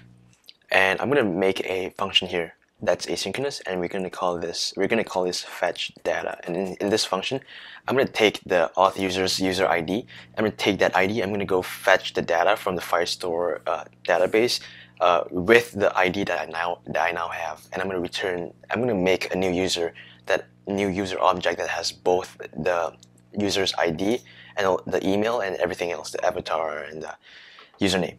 So here the first thing I'm going to do is set loading to true and I'm gonna have my own loading state to fetch the for to handle the loading state for fetching the data from uh, Firestore. So is loading and set loading use state. So here I'm to set the loading state to begin at true because every time we use this use auth this use auth hook, we're to assume that we want to reach to reach a point where we can either determine the user's uh, user profile or the user isn't signed in yet. So it'll always be true. We'll never start use auth with false. Unlike other hooks like the use login hook where the loading state begins with false, because in the login page, nothing's loading in the beginning. So it's just, um, it starts to load when you click the button to, to log in. But here in use auth, there, uh, it, it always loads on the page load. So we start uh, use state in true and use login is false. So here, after we set the loading to true, we're going to get a reference from the document reference um, of DB users and an auth user UID. So basically, we're passing in the database handle as the first argument to this document reference, and then we're going to reference the user's collection, and then and then this is the ID of the document. And in this case, the ID of the document is equal to the user's ID, the user's UID. And now that we have our uh, reference, this doesn't do anything yet. This is just a reference to a document in uh, a potential document in the Firestore database. We haven't uh, sent out an API call to fetch the data yet. So now we can use the actual function to, to call the API. It's called getDoc. And then getDoc takes in the reference. So I have to import this too. So let's import let's import getDoc. And then because this is an API call, we have to await that and then we can get a snapshot back uh, in the response. And then once we're done with all of that, we can now go ahead and set loading to be false. The problem with this is we're just uh, we're just putting the document snapshot into this constant. We're not doing anything with it. Uh, so what we have to do is we have to take the user, and then we have to set it into the state variable user, and then we're going to return the state variable user instead of just auth user. So um, we're just to do const um, const user. No, actually, let's just do set user and just set the doc snap.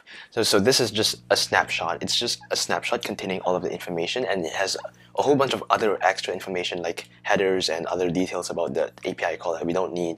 So we, we need to call the dot data method on this doc snap this document snapshot to get the data, and that data is the data of the document. And then we're going to take that data and set it into the user state variable and then we're going to return that user state variable.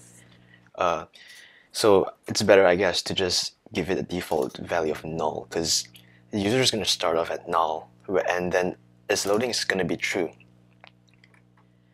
Alright, so what I'm going to do next is, because right now we just have a, an asynchronous function here inside this use effect hook called fetch data. It's not actually doing anything because it's just a function definition. It's not, the function is not being called. So we have to call this function, but only, only if auth user is not null and when auth loading is false. Because if auth, auth loading is still true, that means the auth user is still being fetched. It's still in the process of being fetched. So we don't want to, we don't want to run this function yet. So if not auth loading, mean, meaning if auth loading is done, and if auth loading is done, we're going to check if there's a user. Because if there's a user, it means we're signed in. Uh, have to spell it right. And then if there's no user, that means that um, we're signed out, we're not logged in. So we just set loading to false and we do nothing here. We just say it's we're not signed in. If auth user is true, uh, that means the auth loading is completed, it's done fetching the user, and there is a user. Then we will run fetch data. Let's go to the browser and try it out. So I'm going to try logging in with testuser at gmail.com.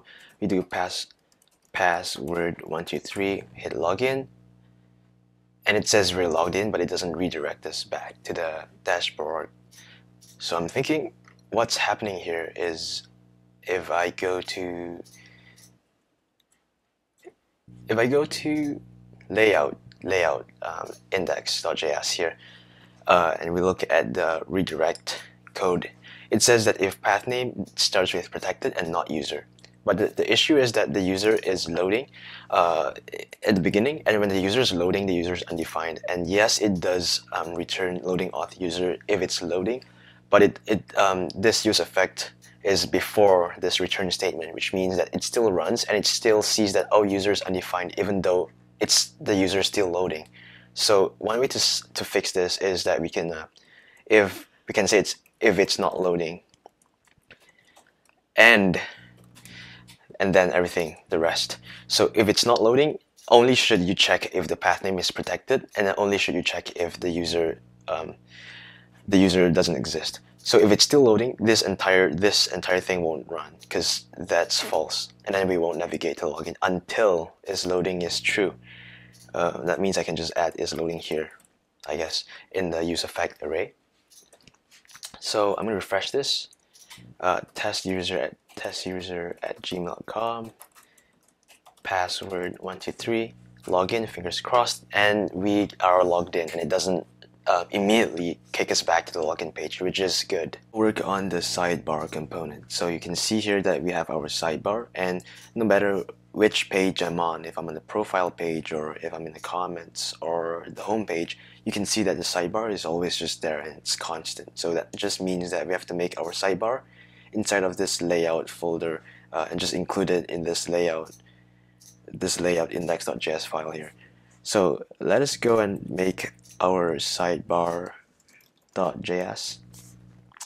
And just looking at the structure of our folders and files, I'm just gonna, I think I'm just gonna take the navbar, just move it, just move it into our layout folder, just to ease uh, ease organization.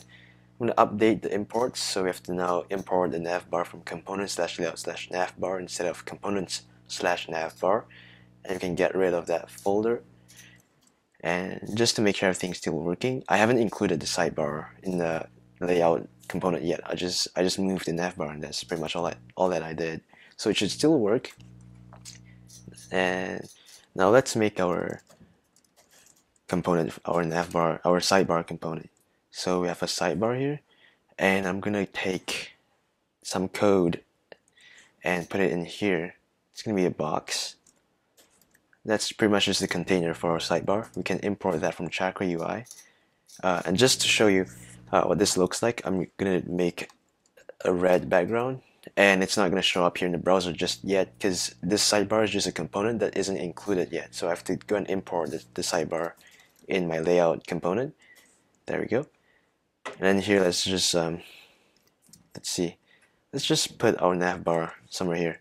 Just sidebar slash. Alright, so that's our sidebars. Uh, it's on the left side, which is on the wrong side, and we can fix that with a few styling options here. We can just make a flex, uh, a flex container, and we're gonna put our outlet in this flex container, and our sidebar in our flex container as well. And I'm gonna wrap our outlet in a box that has a width of 900 pixels. And let's move the outlet inside of this box. Have to import the box as well. And then we can uh, style the flex. We can give that like a padding top of 16, padding bottom, we can give that 12, margin X auto. I give it a full width and then a max width of 1200 pixels. Right, so sweet. So that's how our uh, sidebar looks like. And I'm just going to take out the red because we don't need that anymore. And now I'm going to go back to my sidebar component and let us go and add some components in here. So in here, I'm first I'm going to have an active user component.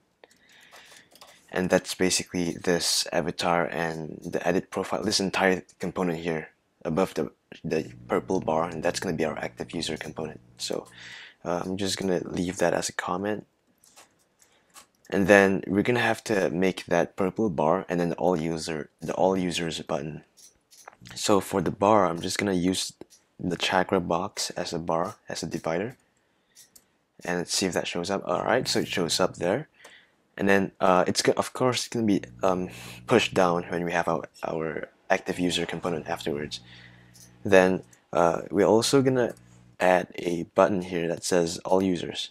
So I'm to put the button here. So the button just has like an outline, a variant of outline. There are different uh, button types if you look at Chakra UI. So there's um, the variants. We have uh, we have button, outline, uh, solid out, outline, ghost, and link. So I'm just using the outline variant. Let's comment that out first. And yeah, so we have all users. Um, I just want to find a way to center this. If I do a line equals to center, see if that works.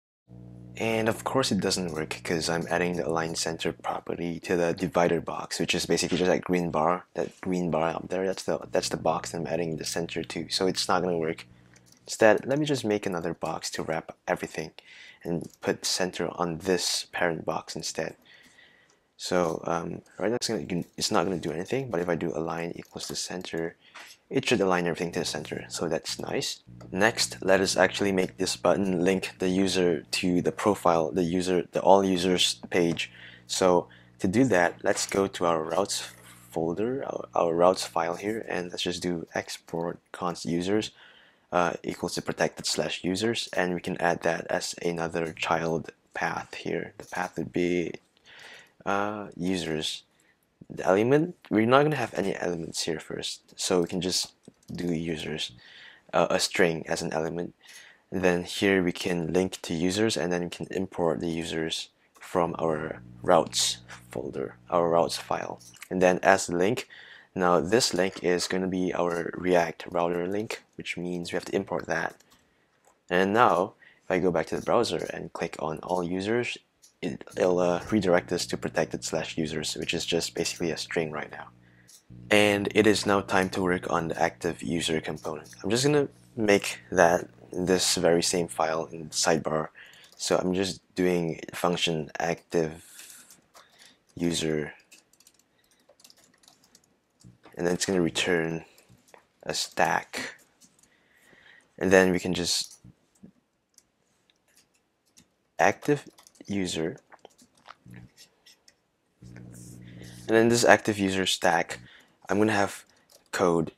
Code is just um, a way to format our username. So you see this let's go to the browser here. Um, so that that's basically just Chakra UI's code component. Uh, it's basically to, for you to write code and show code in your website, but I'm just using that component to display the username in a cooler way, you know. So we can just simply just type at username for now, and you can see that shows up. And another thing I want to do is I just I just I just want to give align equals to center here into the stack so that's centered. And we can give spacing equals to 5 as well as margin y equals to 8. So it has like uh, space above and below the stack as well as a spacing of 5 between each elements in the stack. So like if I had multiple code elements here, you can see that it has that spacing. If without spacing 5, it's just all stuck together. So let's add, reintroduce the spacing. And then here I'm going to add a button, edit profile, uh, color scheme, let's make it teal. And then, um, alright, so we have, oh, pro profile. So we have our button there and then I want to make the button have a full width. So you see how this is like a long button and this is short. So we can always just add width is full and then makes it long. And then we can also um, make add the functionality so that it brings um, our user to the actual edit profile page. And as usual, to make this button function as a button that will link us to the user's profile page, we can do what we, we have always done, which is to add the as equals to link prop. So we're rendering this button uh, with the Chakra UI button styles, but the actual functional component behind this button is the link that we're getting from React Router. And then we also need this to prop uh, to know where to go. The thing is, so the way our URL is going to work is we're going to have something like slash protected slash, um, no, all right let me just do it in a string so it doesn't autocomplete. So it's gonna be it's gonna be in slash something slash protected slash users uh, or more like protected slash profile slash um, the user the user ID so uh, if I go to my demo site if I do edit profile you can see protected slash profile slash whatever that user ID is. So this is dynamic. This is like a dynamic link and we have to go and add that to our router here. Um, so I'm going to make a profile profile path export const profile equals to slash protected slash user uh, slash profile. And then here it's going to be an ID so that that's basically how you tell React router that this last part of the path here is a dynamic uh, a dynamic a dynamic parameter which we have to get. So that's the ID and then here we'll do um, profile and then here the element just user profile for a specific ID and then um, let's do 2 equals 2 and then we're gonna use a, a formatted string and we can do protected the protected route slash profile um, slash and then here we have to add the user's ID and we don't know what it is right? So we have to get the current user's ID and as well as the current user's username to be able to make this update and not just hard code it. So how do we do that? Now remember the hook that we made in our hooks and auth? Here we have our use auth right here. Use auth it will return us a user object and the is loading state so here within the active user component, I can do user and is loading equals to use auth. And then here, instead of just uh, hard coding username in, we can do user.id. And the problem with this is when users when the user is loading, user is going to be undefined, and undefined doesn't have a property of ID. Doesn't have dot ID. So I'm going to do like if um, is loading, then we we return loading just loading I guess. And then here we can do user dot ID, and then we have to add a question mark behind the user variable because uh, just in case the user doesn't have the user still undefined, it's gonna throw an error. Like if I just ignore omit that and let's just see if it gives us an error. I'm gonna go back to our app here and refresh this. So it's uh, I miss I mistyped that. It should be user dot username, not user ID and it should be test user. So it works, and if I click edit profile, it's going to bring us to uh, slash protected slash profile slash whatever the user ID is. So I was wrong. I don't. We don't need the question mark there. Then this works because this this early return statement will stop us uh, from rendering this component that doesn't when the user isn't defined yet. And now finally, let's add the avatar above the username here. I'm going to use the avatar component from Chakra UI. And the good thing about the avatar component is that if I if I add, um, so usually you, you would have to do a source and then give it like slash give it like slash images slash um, png or whatever the source is, right? But for Chakra UI, for Chakra UI's avatar component, if you just provide it with, like right now, if I don't provide provide it with anything, it's gonna just fall back to that default avatar picture. If I give it a name of like mm, TL, you'll see T show up. The initials will will show up. Like, I believe if I do TL spa space A, it's gonna do TA. Let's do like C. Does it show three characters? No. So I guess two characters is the limit, the max limit, because one for the first name and one for for the last name. So if I did like uh, Donald Duck, it should it should do DD. All right. So instead of just giving it hard coding the name to be Donald Duck, we can change the name to do user.username, and then if our user is it has if our user is test user, and then it should be a T that shows up here. And I'm going to increase the size of this avatar to make it something like XL so it makes it bigger. And also the one more thing I want to do is instead of just using the letters as the I just want the letters to show up as a fallback like just in case the user doesn't have a profile picture. But if the user does have a profile picture and if I go to my Firebase here and I just add a profile picture this to this avatar field I want it to be I want it to show show up. So I can just go and go for a user profile picture image. And that's just, we're gonna we're gonna implement Firebase storage to enable users to upload their own images uh, by the end of the tutorial. But for now for demonstration purposes I'm just gonna just Google just like right click copy image address. Just put it in here in our avatar. Let's put it let's update that. And then right now you still you don't see the avatar show up. So I'm gonna make the source here equal to the user dot avatar. And it should show up and it gives us that updated avatar one final touch up I want to do to this avatar is that look when I hover it doesn't doesn't do anything to my mouse and I can't click it and when I click it nothing happens. But if you look at the app here in my demo I can click on the avatar it'll bring me to the profile. So if I just click on it you can see it brings me to the profile. So I'm gonna just add a few styles here. You can use the hover the, the on hover target in Chakra UI to specify styles to add when the mouse is hovering over the object. So I'm going to make the cursor a pointer. That basically just means the cursor becomes like a clickable cursor.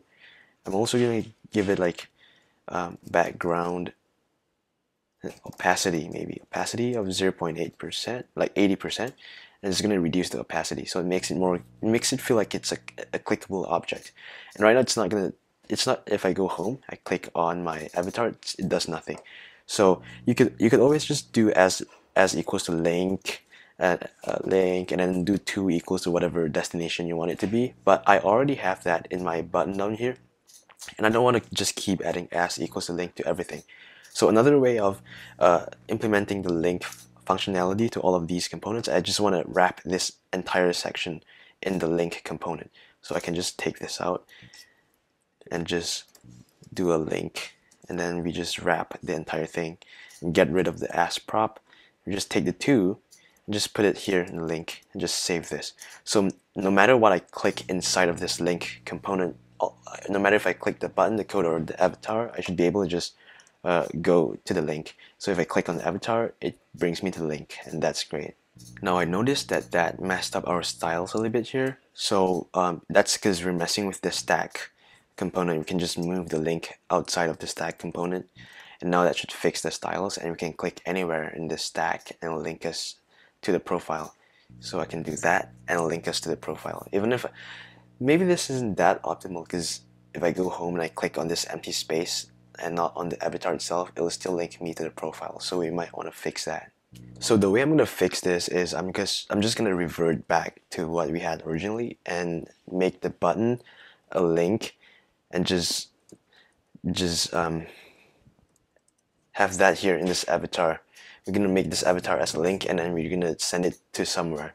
And I'm gonna take the avatar and put it out in its own separate component. Because if you look at our demo project here we have avatars in a lot of places in our project. We have avatars here in the sidebar we have avatars in our posts and we have avatars here in our all users page and in our uh, let's see in our comments here as well. So we have avatars in a lot of different places And just to have our one avatar component in a different file, we can just reuse that avatar component in multiple places.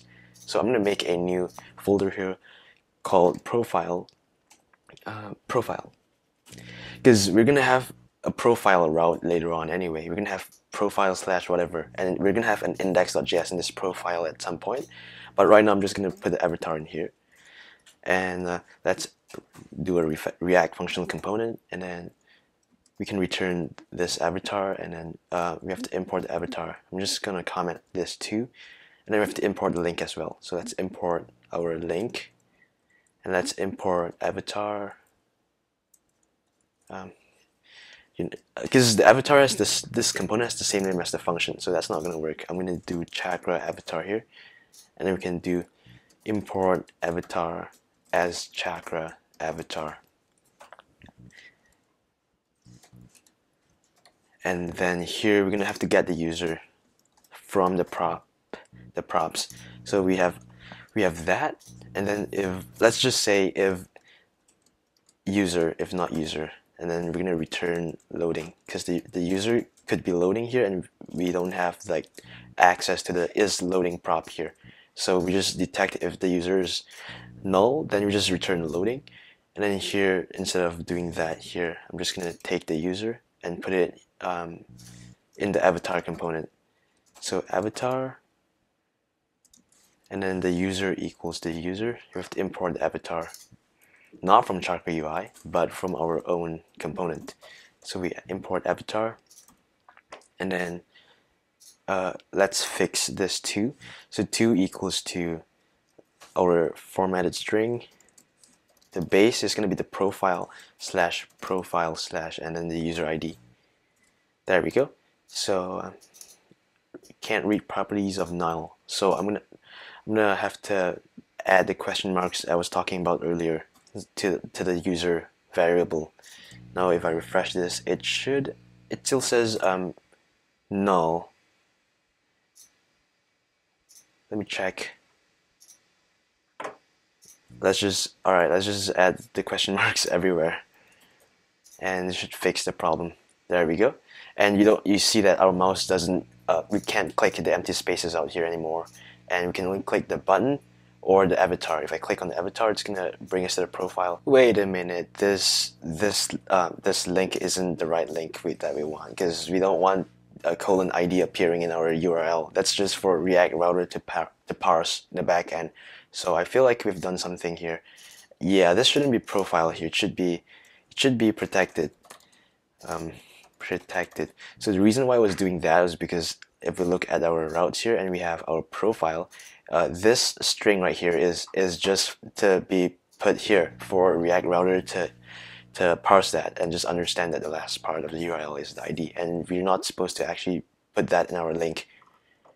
So I'm going to save this and if we go back and just click on the avatar it brings us the profile. And another thing I want to do is I want to get rid of all of these um, question marks.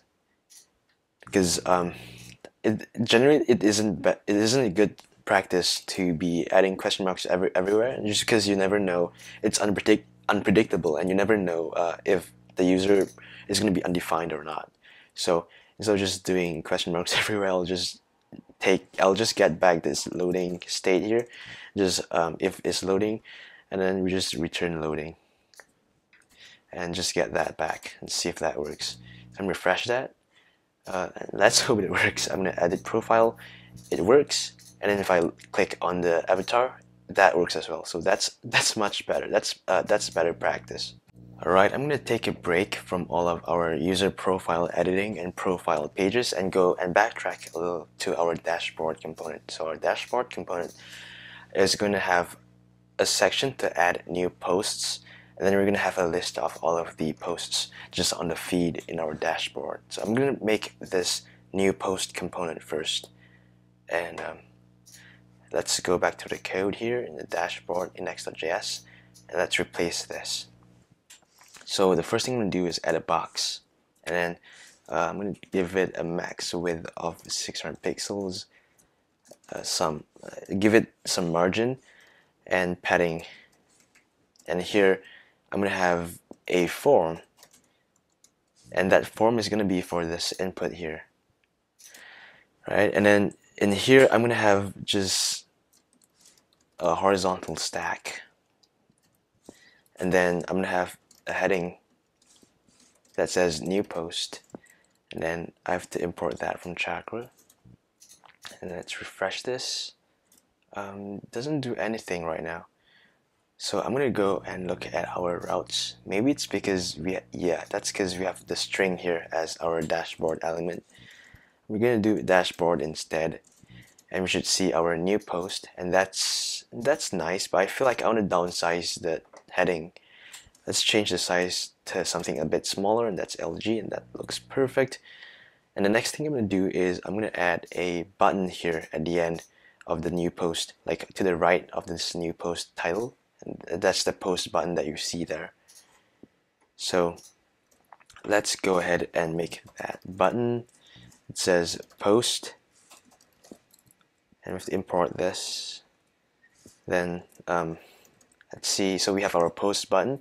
I'm gonna have to make it all the way to the right though. So I'm just gonna give this h stack uh, justify space between and that should make it all the way to the right. And let's give this button a color scheme teal. And we're gonna do a size of medium margin top. Let's you know what before we do all of that let's see if that looks no. Yeah it looks pretty much the same. So I don't have to add any of the other props but one very important thing I forgot uh, to add here is the type of a submit to this button. Because I'm going to be using React hook form again to deal with the form here and to run the handle submit function and stuff like that. And we, if we don't put this type of submit here to this button uh, React hook form doesn't know that this button is the submit button and it, it won't probably won't handle submit if we click on this button.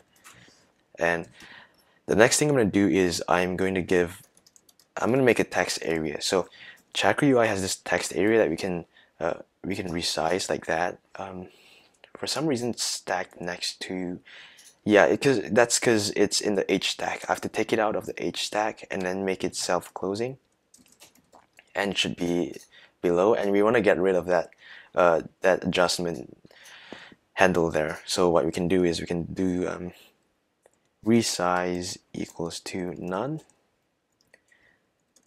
then what I'm going to do is give it margin top. Let's give it margin top of 5.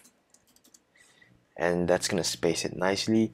And I'm going to just refre refresh this. So what you're going to notice is that when I when I go down, it's going to it's going to scroll. And that's not what we want because like if you, if you look at our demo app here, you can see that it automatically resizes and that looks aesthetically much more better and it's, it looks much better. Uh, so we're going to use this package from npm called react text area auto size which uses jQuery to automatically resize our text area input. And it's just some it's just a fancy little detail that we can just add with yarn. And then while that's running I'm just gonna add some I'm gonna add a placeholder here uh, create a new post a, a new post there. And mm, then let's restart the server. And then to, to use that component in here I'm just gonna use the as prop again. So as text area auto size and you have to import this. So let's import there. And then if I refresh this now if we type stuff it automatically resizes which is perfect. Another prop that you can pass to Chakra UI's text area is the min rows, uh, the min rows prop. We'll just make the, the minimum number of rows um, larger. So if I do 10, you can see the minimum rows is it's going to be 10, but I'm just going to leave it at 3. The next thing we're going to do is just implement the React hook form hook called use form like we have done for the previous forms. So we're going to do const an object equals to use form and then we can get register from here and we're going to register this text area as an input so use the spread operator on the register and here we can just do um, text and then here we can have some validation uh, which is pretty much let's just do required equals to true and that's all of the validation that we're going to do for our text in our post. We're not going to make another validation function for this one. And um, let's import use form. So let's see if the auto import works. It does. We can also get handle submit as well as reset from our use form hook. And here on the form can do on submit equals to handle submit. Um, let's say handle post.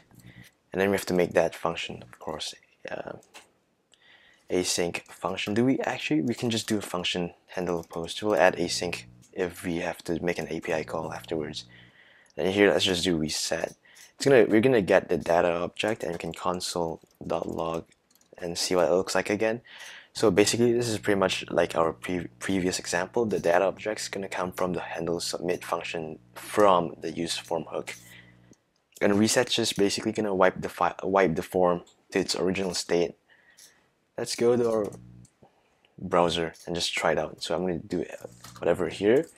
Let's hit um, post. And here you can see the data object that's console uh, that's logged to the console. And uh, basically we have a text prop that has the text. Um, yeah, so instead of just logging that to the console, we have to actually post this and upload this to the database. And for that, I'm going to use our use another one of our custom hooks and I'm going to make a new file in our hooks directory called posts.js and here we can finally make our first React hook that isn't that does that doesn't have anything to do with authentication uh, unlike use auth, uh, use login or use register. Now this is going to be called use use post use add post. So export default export function use add post and we're going to return a function here to add post as well as the is loading state. And then we have to make our async function add post. And this function is going to take in a post object. And uh, so we're going to set loading to true here when we first start to add the post and that means we're going to have to make our state variables. So we have to import use state. And then we're gonna just set loading to true then we're gonna um, we're gonna make our post inside of this add post. And just like our register use register hook where we are making we're adding new documents to our users profile table in uh, Firestore we're going to use set doc instead of add doc because I don't want to rely on Firebase to create uh, random document IDs for me. And I want to be able to make my own IDs and have more control over it. That way I can create documents and add the ID field into the documents themselves so I don't have to worry about getting the document ID later on. So uh, set doc is an asynchronous function, so I have to await that. So it takes in a doc reference here in the first argument and it takes in the document object as the second argument. So document reference I'm going to make using the doc function. Uh, this is basically version 9 syntax uh, for Firestore Firebase and the first argument for the document reference is going to be our database handle, so db. And the next is going to be our collection name. I'm going to name it posts just like our sample database if I go to the test social media app test down here so that's the name of our collection. It's called posts and it's going to have all of the different documents and here you can see we have the ID field in our document. So usually if you use add doc, it'll just generate a random document ID and you won't have access to the ID field inside of the document itself and you have to use you have to use like snapshot.id or something to get the ID and you can't just um, there's more there's extra steps involved so I just prefer to add ID into the document itself. So I'm going to do ID here. Um, and then the ID I'm going to make using this library called UIDv4 um, from I guess we can just try the Firebase util UIDv4 function to see if it works because usually we have to install this other library to make our UIDs for us and if this works then we don't have to install that um, so in this object, I'm gonna use the spread operator on the posts on the post object there, and then I'm gonna just inject the ID there. I'm gonna inject the date, which is the date created as well.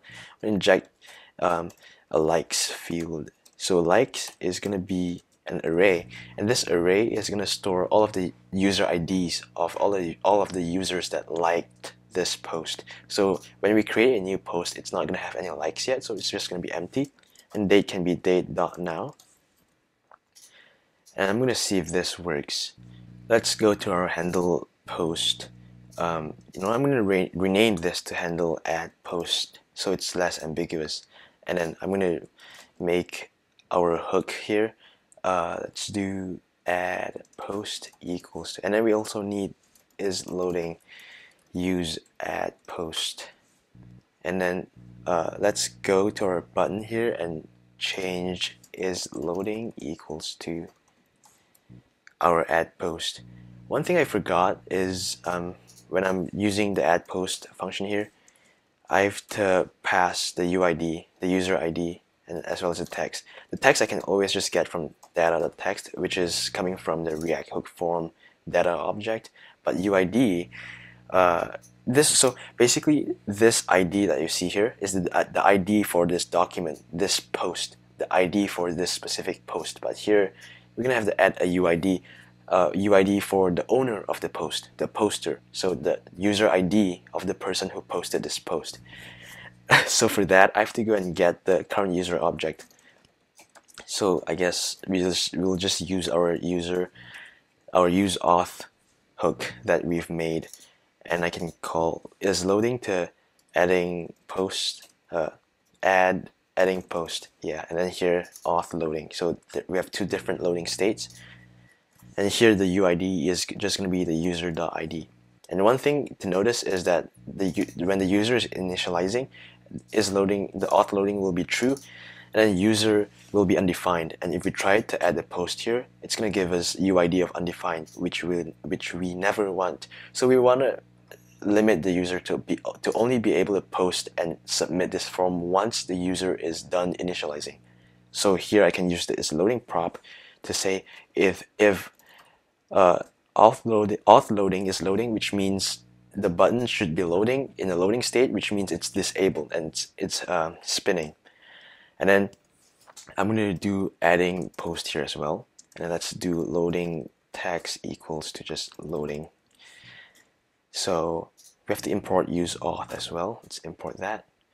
And yeah, so technically this should work if I go over to our React application and try to add a post. It's not going to show up here in the space below just yet because we haven't made the component for the post list, but we should be able to go to our Firebase console and uh, see the collection here appear. So if like collections don't exist in Firestore, like the posts collection doesn't exist yet, and you try to add a document to that collection, Firestore will automatically create that collection and add the document inside of that collection. So let's make new post. And hit post, it's gonna be loading, and then um, I'm gonna go, go and see if it updates the Firebase console. So we do see our posts collection appear, and we do see a new document here and uh, the, the form field is reset and that's how we know that the reset uh, function has ran uh, it ran but the button is still in the loading state and that's because if I go to my posts hook you can see that I set loading to true but I never set loading to false which means I'm gonna have to set loading to false here. And then uh, I'm just gonna add a toast. Uh, I'm gonna go and grab a toast and just put it here just put the toast here and then just just to notify the user that they added the post successfully and I'm going to const toast equals to use toast there. And if we refresh this and we do this is another post and I hit post. And there we go. The post added successfully and then the field is reset and we can go to our console and we can see another post showed up so now let's go and make our post list so we can actually see the posts that we've added to the Firestore database. Um, I'm going to go to our files here and just make a new folder here called posts or just post. And then in this post, I'm going to make index.js and this is going to be one post. It's going to be the component of a single post. And then we're going to have another component for the post lists. So I'm going to make that posts list.js. So this is one post and this is all of the posts. I'm first going to make one post. and um, me import React. We can do post. So I'm gonna have a box and the padding let's have padding of 2 I'm gonna have max width of 600 pixels and then um, in this I'm have to import this box from Chakra UI as well. And then here I'm gonna have I'm just gonna find a way to render this post to the browser first. We're gonna make our, our React functional component this post list. A post list is gonna take in all of the posts and then we're gonna return posts.map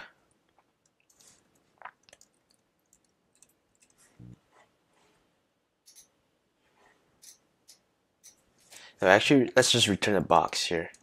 Um, and then I'm going to give this box padding x of 4 units, and then we're going to do posts dot length equals to 0. So if the post length is 0, then um, we're just gonna we're just gonna print something out here. Just say like no posts or something. And if the post length is not 0, which means there it's greater than 0, then we're gonna do posts dot map. And we're gonna map for every post we're gonna return a post. And then of course we have to give it a key value here or, or else React is gonna complain because we need every time we use map we have to add a key to each uh, individual post.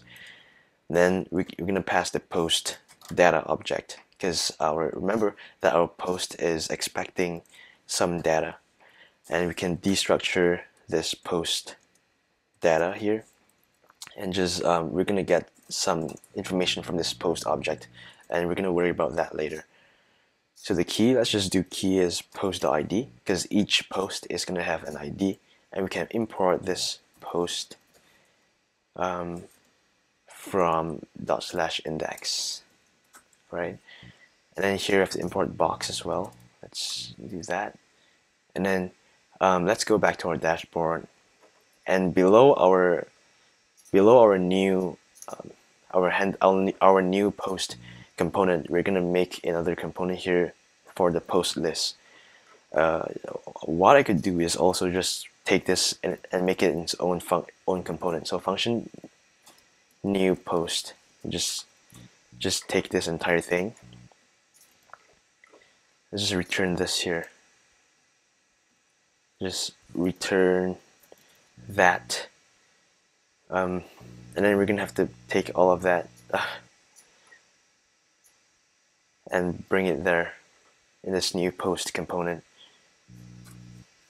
And then I'm also just gonna just do new post. And then here uh, post list so right now it's not gonna show us anything yet even though we have this um, if posts length equals to zero show no posts and that's because posts itself is undefined and undefined is not equal to zero.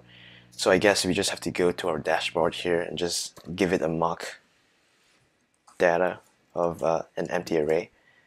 Now we should see no posts. I'm gonna make this a little bit more aesthetic by giving this by making this a text component from Chakra UI just no posts yet dot dot. Feeling a little lonely here. And we are gonna give the font a size XL looks better. And then we're gonna we're just gonna do text align center. So now I'm gonna go back to the code and just go to the post component. And let's um, add something into this box. I'm gonna add this um, I'm just gonna paste this code in and basically what I've done is I've added a header a box section and actions. So I'm just gonna comment out the header and the actions. We don't have to worry about that yet. Basically what that's gonna be is uh, this upper part here that's gonna be the header. We're gonna have like the date the time posted and the user who posted this post. And then the actions is just bottom bar with the like button and the comment. And if you make a new post it's gonna also have that delete button if you are the owner if you're the original poster so I'm gonna import the text from Chakra UI uh, and just see how this looks. So basically what this is is it's basically just breakpoints and we can just we can just set the font size to medium for now.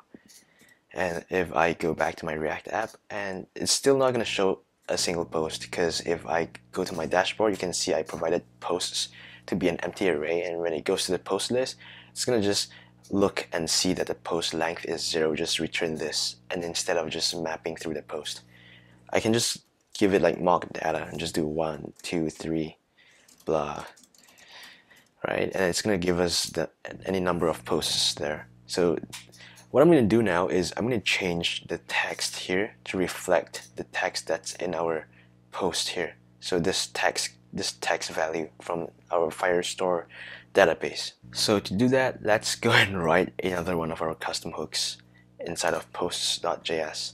So just under add post, just under use add post here, I'm going to export another function called use posts. And here I am going to just make a query to the database to find all of the posts and just list them out. So as usual, I'm going to make a constant uh, queue, which is the query for our posts and the collection. I have to import the query, don't I? I have to import this from Firestore there, from Firestore. Then we're going to query in the first, the first argument is always the database handle. And then the next is going to be our actually I'm just gonna just do collection here and then database handle inside of a collection and the name of the collection is gonna be posts and then uh, I'm gonna use React Firebase hooks again for this. I'm gonna go and look for the top use. Okay this is not the right this is um, this is for auth. I have to go look for uh, Cloud Firestore hooks. And just look for use collection data and just copy so we, we can we can just use collection data. So const it take we get values loading error snapshot so posts is loading and then equals to use collection data and we have to import that from we have to import use collection data from React Firebase hooks slash Firestore. And then here we're gonna have to pass the query in. So I'm gonna put Q.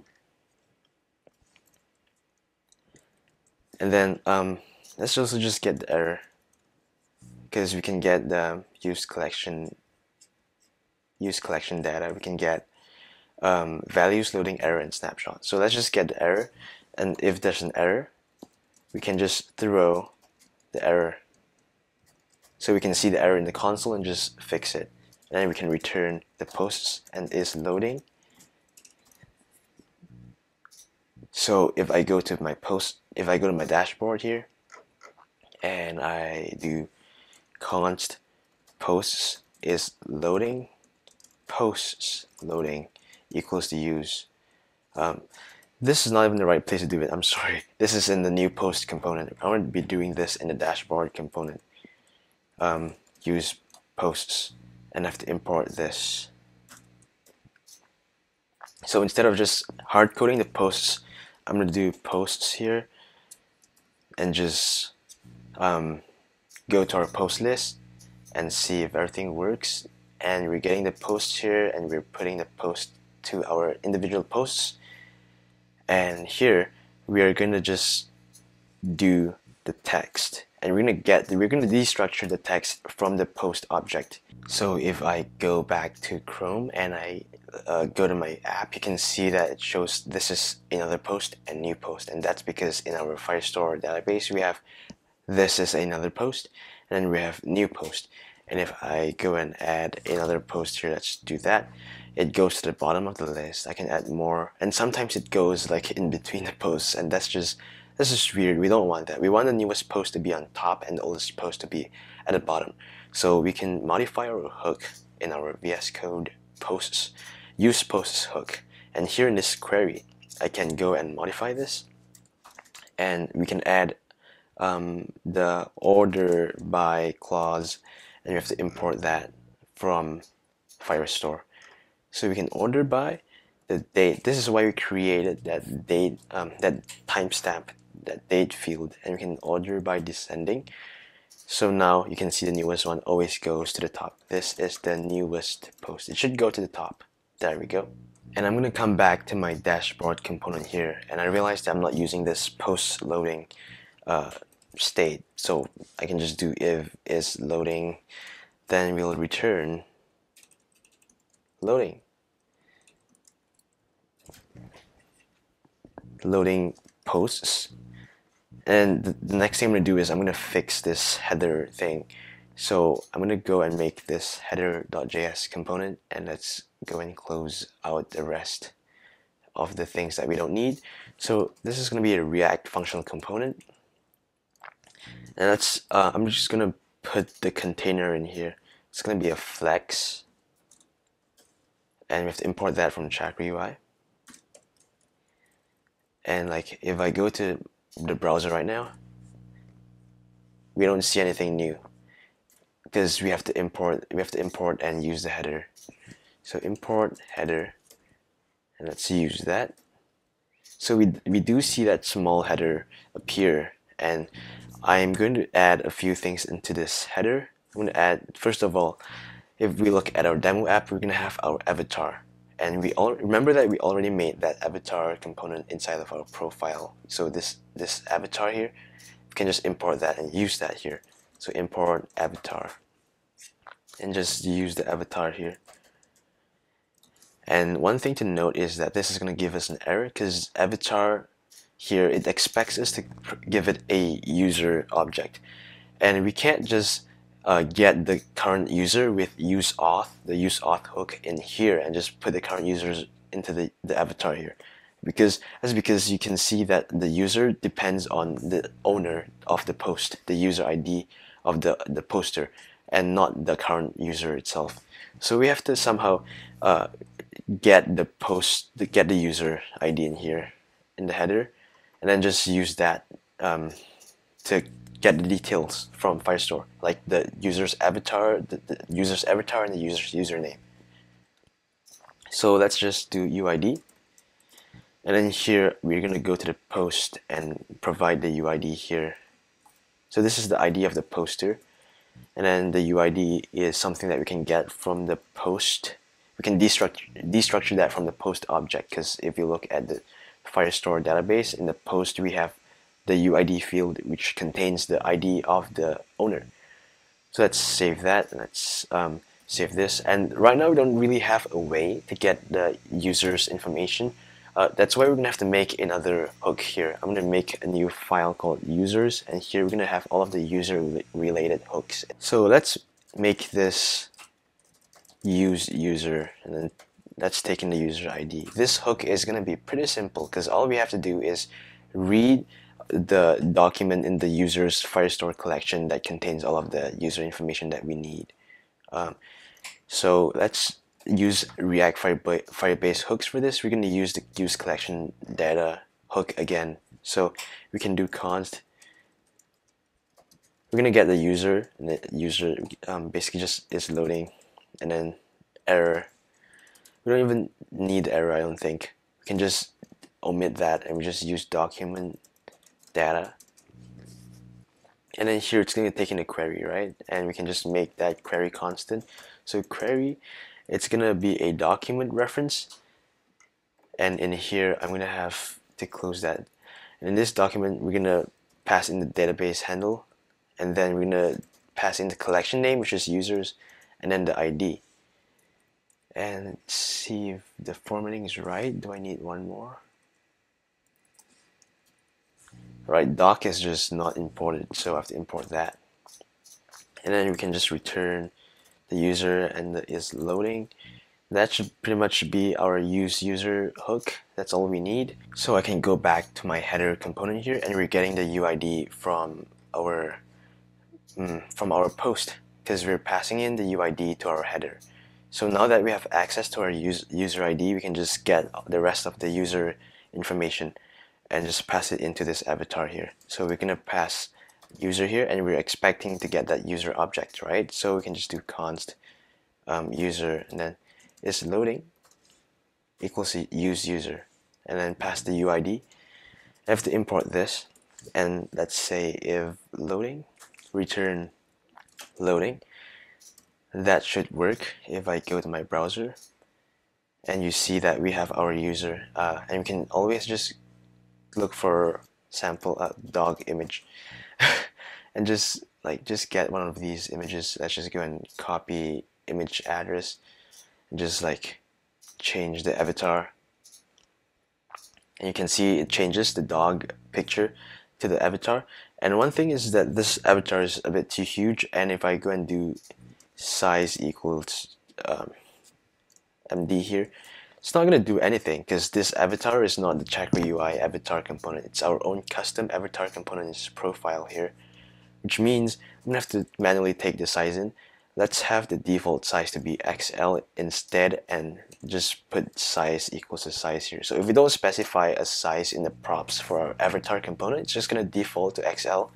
But if we do so choose to re to override the size with our own custom size, then that that will work. You can still see that this is XL and this is uh, this is SM, I believe.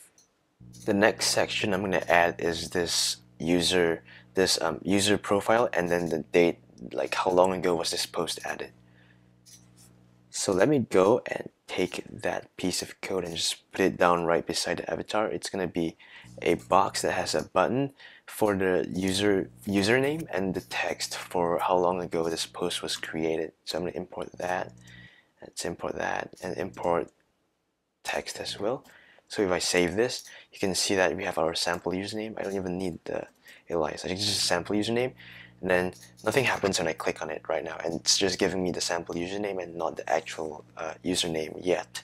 So let's go ahead and make this print out the actual username. So remember we have access to this user object. I can just do user.username. So there we go, we have our test user and two hours ago is just hard coded right now. Uh, so what I what I'm gonna do is I'm gonna get the date from the post so here, instead of just passing just the UID, I'm going to be passing the date as well.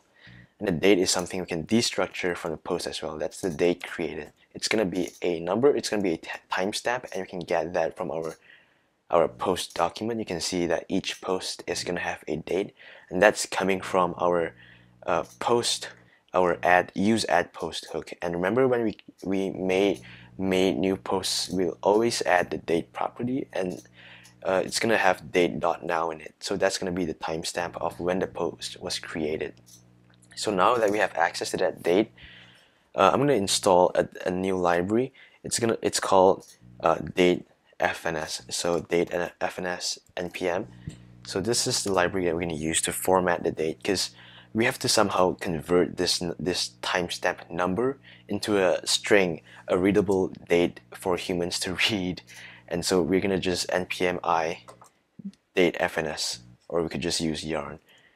So let's stop the server. Yarn add date dash fns and uh, once that's done installing I'm just gonna go here import format distance to now from date fns and just yarn start.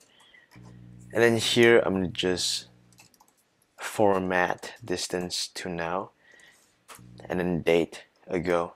And you can see that it's working it's 18 minutes ago 19 minutes ago 42 minutes ago. If I make a new post right away and I hit post you can see less than a minute ago.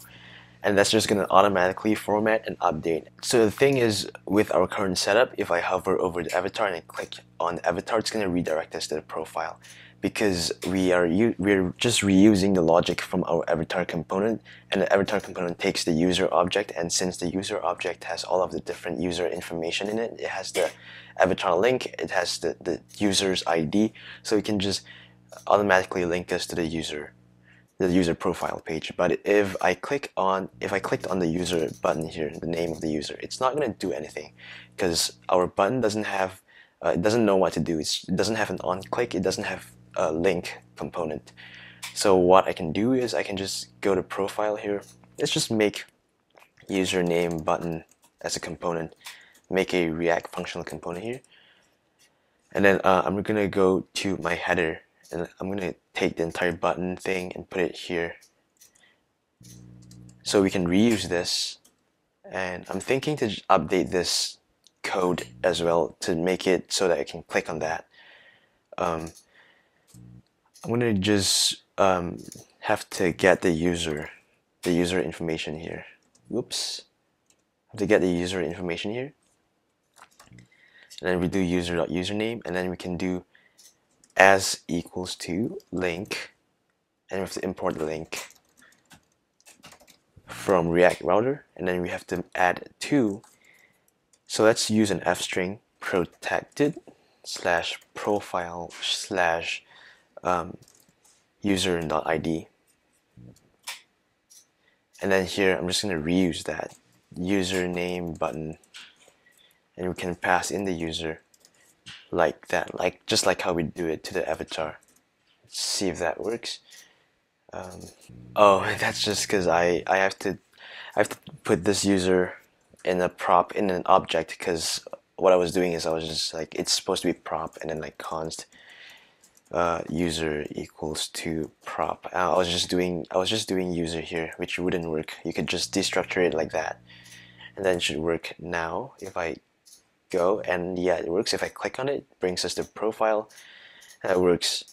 And so we can reuse that later on. And maybe I I'll get rid of this view profile here and just make the user's uh, username clickable that way you can save we can just reuse code. I just noticed that our post list is aligned slightly to the left and I want to make that centered so what I can do is I can fix that by going to posts list and let's just do align center.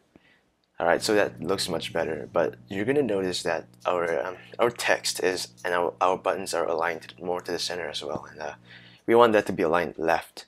So what I can do is I can go to the individual posts which is in the post index.js here. Let's just do text align. Let's center that and we should be able to did I spell that wrong? I did. Alright so let's refresh this. Mm. Oh yeah, it should be aligned to the left.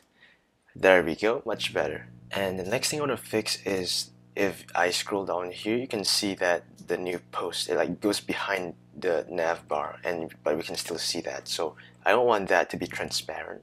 Can you go to our nav bar in our layout here, nav bar, just add a background of white and then that should cover it up. And the next thing I'm to do is work on the actions side, the actions section of the posts. So you can see this bar down at the bottom with the like, comment, and delete. That's the actions component that I'm going to include here in our post. So um, let's go ahead and make actions.js. Make it a React functional component. And let's just uncomment that. I have to import actions and then let's save that so in this actions component I'm first gonna make the container let's do flex and give it some paddings uh, I'm gonna give it a padding of 2 and I'm going to make an intersection here. Let's first make the like section. So the like button at the bottom left. I'm gonna wrap it in a nested flex container and then I'm gonna align items. I'm just gonna center it from the get-go. And here what I'm going to do is I'm going to use this component from Chakra UI called icon button. So icon button, it's a self-closing tag and you can see that's going to be our like button and let's make it slightly smaller. I'm going to make it MD and let's add the color scheme to be um, red because hearts are always red and if I save you can see that becomes red and then we can make the variant equals to ghost there we go. And then now we actually have to get the shape of the heart, like the like, the like icon. So when you do React icons, it's a package that has all of the popular icons that we can just uh, include in our project. If we look at like or like FA heart, so that's our heart that we can use. And then that's like if we clicked on the like and it's liked, then we'll use this icon. If it isn't liked, then we're gonna just use that regular heart that, that isn't filled so first I'm gonna start the server yarn add react dash icons. And that's how we install all of the icon packages. I'm just going to click that to co copy this to the clipboard. Import this as well as fa heart. We're, we're not going to use fa heart for the time being because we have to implement the functionality to detect if uh, the current user has liked this post or not but we're not going to do that yet. We're just going to focus on the UI and then I'm going to restart the server then let's add the icon here. So um, what I'm going to do is do icon equals to um, fa regular heart backslash. So if we go back we can see that there's our uh, no that's our demo app. If we go back to our uh, applications in the browser and refresh that there there our hard that's our hard right there and uh, I'm gonna make this rounded. Like if I, I click on this button you can see it's kind of rounded the highlight. Which means we can just do is round and that's rounded. And what I'm gonna do next is I'm gonna add a number here just below the icon button and this number is gonna represent the number of users who has liked this post. If I go to my browser you can see that number appears just beside the like button.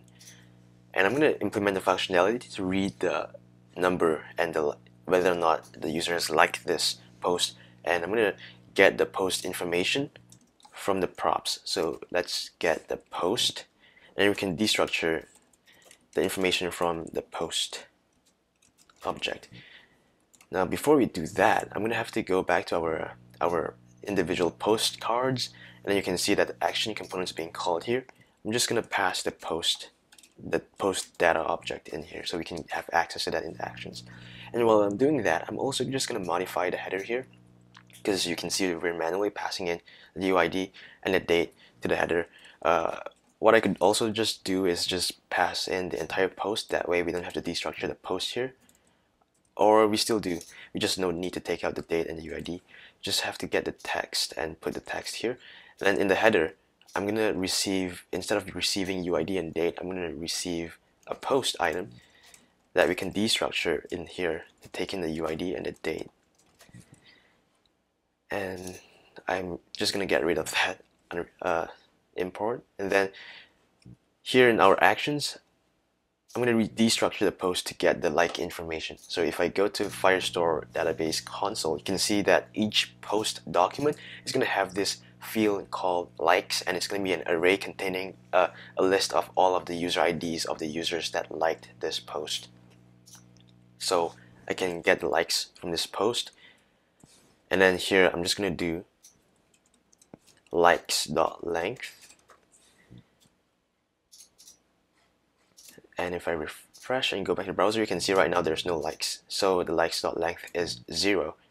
And then I'm also going to do is liked let's just set this to true for now and in the icon button if if uh, if is liked is true then we want to display this fa heart icon if not we're just going to display this regular heart so is like is liked I'm going to use this ternary operator to say if that's true we render the fa heart Otherwise, we render the regular heart. So you should see that it's liked right now. If I change this to false, that would be false. So instead of hard coding if the is liked variable is true or false, let's actually go and write functionality to detect if uh, the current user has liked this post or not.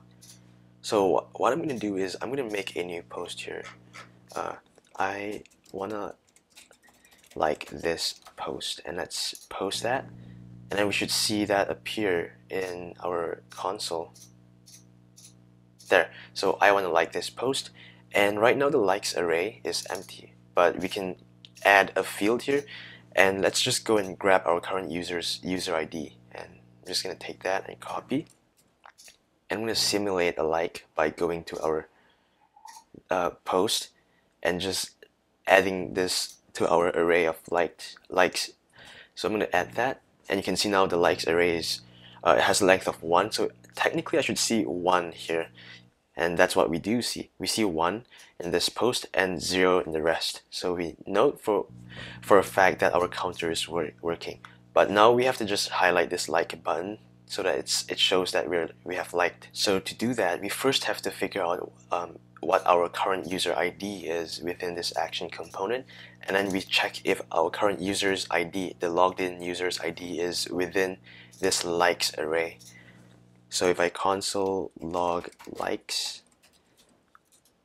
and refresh this, you should be able to see that we have like an array and it has the length of 1 and that's our current user's ID. But we need a way to check if our current user's ID is inside this likes array. So what I'm going to do is is liked is equal to so likes dot includes.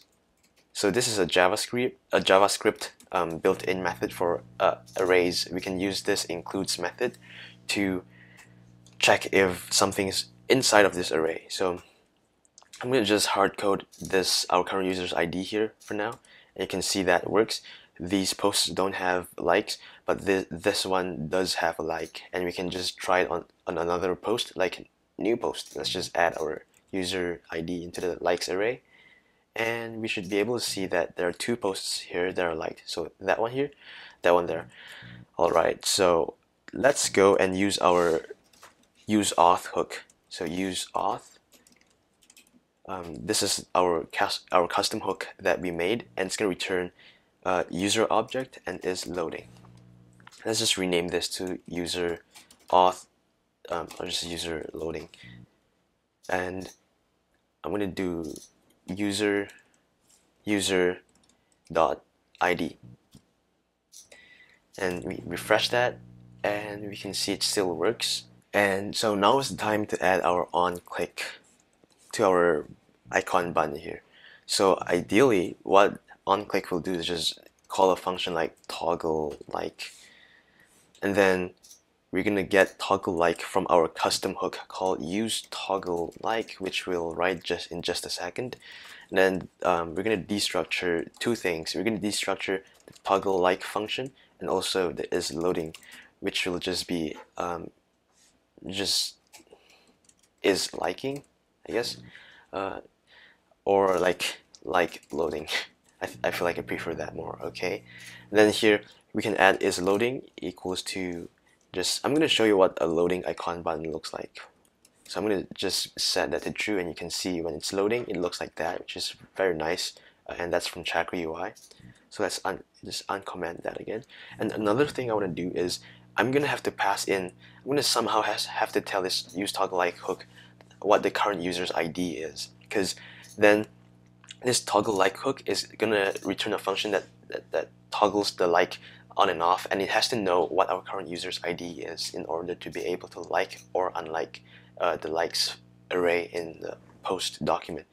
So let's just preemptively just give it um, the post I give it an object that has the, the ID which is basically what we're gonna get from the post and that's gonna be the post ID and it's gonna, we're gonna give it um, is liked we are also gonna give it the current user's uh, ID and that way we can um, I'm just gonna just change the name to user.id. Uh, it's gonna user is gonna be undefined when user is loading, so I have to add a question mark there. And, and another thing I want to do is I want to change this is loading to like loading. And I'm not gonna stop just there because I want to also make it loading if the user is loading because I don't want the user to be able to like the post if the user object isn't initialized yet and the use toggle like won't be able to know which uh, what the user's ID is. So I'm just gonna block the user if either one of the likes are if one of either one of the hooks are still loading. And is liked I has to go above like that. Alright. And then now let's go and define this function, this use toggle like hook. I'm to go and make that in posts. Of course, let's go and uh, close close out all of the other tabs here and just import use toggle like from hooks slash posts and we have to export that here so export function use toggle like and remember that use toggle like takes in uh, this entire object here, this configuration object, which um, just just UID here. And what it's gonna do is we're gonna have um, to return. So what what what did we promise to return again? if we look at our code, we can see that we promised to return a toggle like and, and is loading. So I'm going to have to return a toggle like function and then is loading state. So is loading state, I can just make that very easily. Um, use state false. And then we also have to do an asynchronous function called toggle like. And the first thing I'm going to do in this asynchronous function is just set loading to true. And the next thing I want to do is I want to get the document reference to the post document which I want to modify. So if I'm liking this post, then I want to get a reference to this post's document.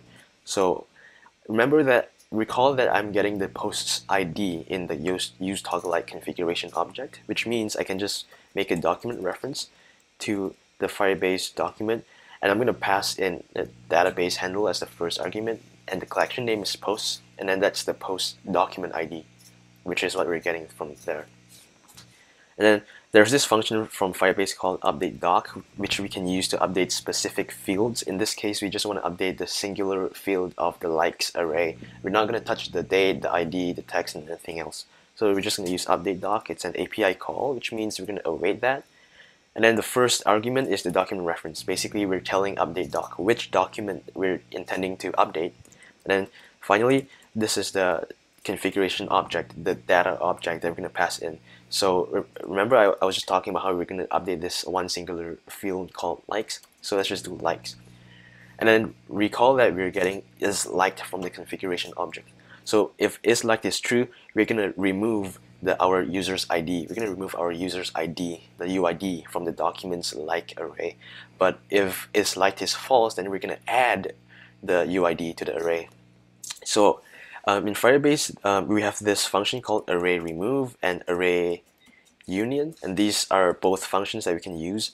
Remove is to remove stuff from the array, and union is to add stuff to the array. Basically, you can add arrays to an array just union the two arrays. But in this case, I'm going to just use a ternary operator again. If is liked is true, if that's true, then I'm going to remove. Otherwise, I'm going to add. So this is what it looks like. And then in the array remove, I'm going to pass in the user's ID. So the same goes for array union. And then once I'm done with updating the document, I'm going to set loading to false. So pretty much, we're pretty much done with the use toggle like hook. Um, if you don't like how this looks, you can always just take the object out and you can just do like const config object equals to that. And then we can just do config object or just name it config I guess. There um, and then I'm gonna come here and refresh this. Let's go ahead and see if this works. So if I like that it should become 0 and unlike. That works. And then if I like that it should be 1 it should be 1 then and it basically just works. And you can see that our uh, it automatically adds the likes and the likes to the um, likes array. So if I were to go and log out here and register with a different user, let's do user2 and then user2 at gmail.com, password. Uh, oh, it must be six characters long. Um, user2121. Alright, let's sign up and we're logged in. So what I'm going to do, you can see here that this like count is 1, but the like is not liked because that's liked by another user. So if I click on this, it's going to become 2 and that's going to like. So that looks very nice. And we can just go ahead and like, if I log out and just go back in with user test user at gmail.com, you can see the same um, yeah, you can see the same thing here. You can just unlike that, becomes a 1. So that's sweet. So next, I'm just to work on the comments button. And I'm just to take this and just steal the code for the like button and just change some things to make it the comment one. So first things first, let's see how this looks in the browser. And we see that that's the comment button. Uh, looks pretty pretty similar, and we just have to change the color and the icon to make it match. Um, which is what I'm gonna do. I'm gonna change the color scheme to teal, and I'm gonna give this comment flex a, some margins so let's give it margin left equals to 2. That way it's further away from the like button. And I'm going to change this. I'm going to just comment out the is loading and on click functionality. and the icon instead of doing is liked we want to show um, two different types of comment um, comment icons so if there's no comment it's going to be that empty comment if there are comments it's going to be the failed comments so I'm just going to um, just import some icons here so fa comment and fa regular comment so you can see it's pretty much just like the format of how we import the hearts icons. And here uh, let's let's just hard code this for now. So just do like um, fa comment. And I'm going to change the text here so we don't want to do likes.length anymore. We're gonna uh, some, do something like comment com, comments.length um, but right now we don't have access to this comments object so I'm just gonna hard code this for the time being just add like five now let's make it so that the button when you click on it it brings you to the comments page so I'm gonna do on click here and instead of doing on click I'm just gonna do as equals to the link from React Router.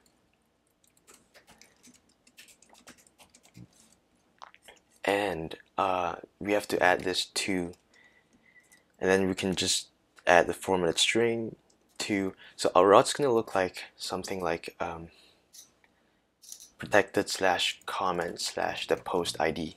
So that's gonna be the post ID, uh, which means we can just do protected here slash comment slash and then this is going to be the post ID if I save that and I click on this you can see it brings us to comments and the post ID and this route doesn't exist so let's go and create that I'm gonna make uh, I'm gonna go to library routes.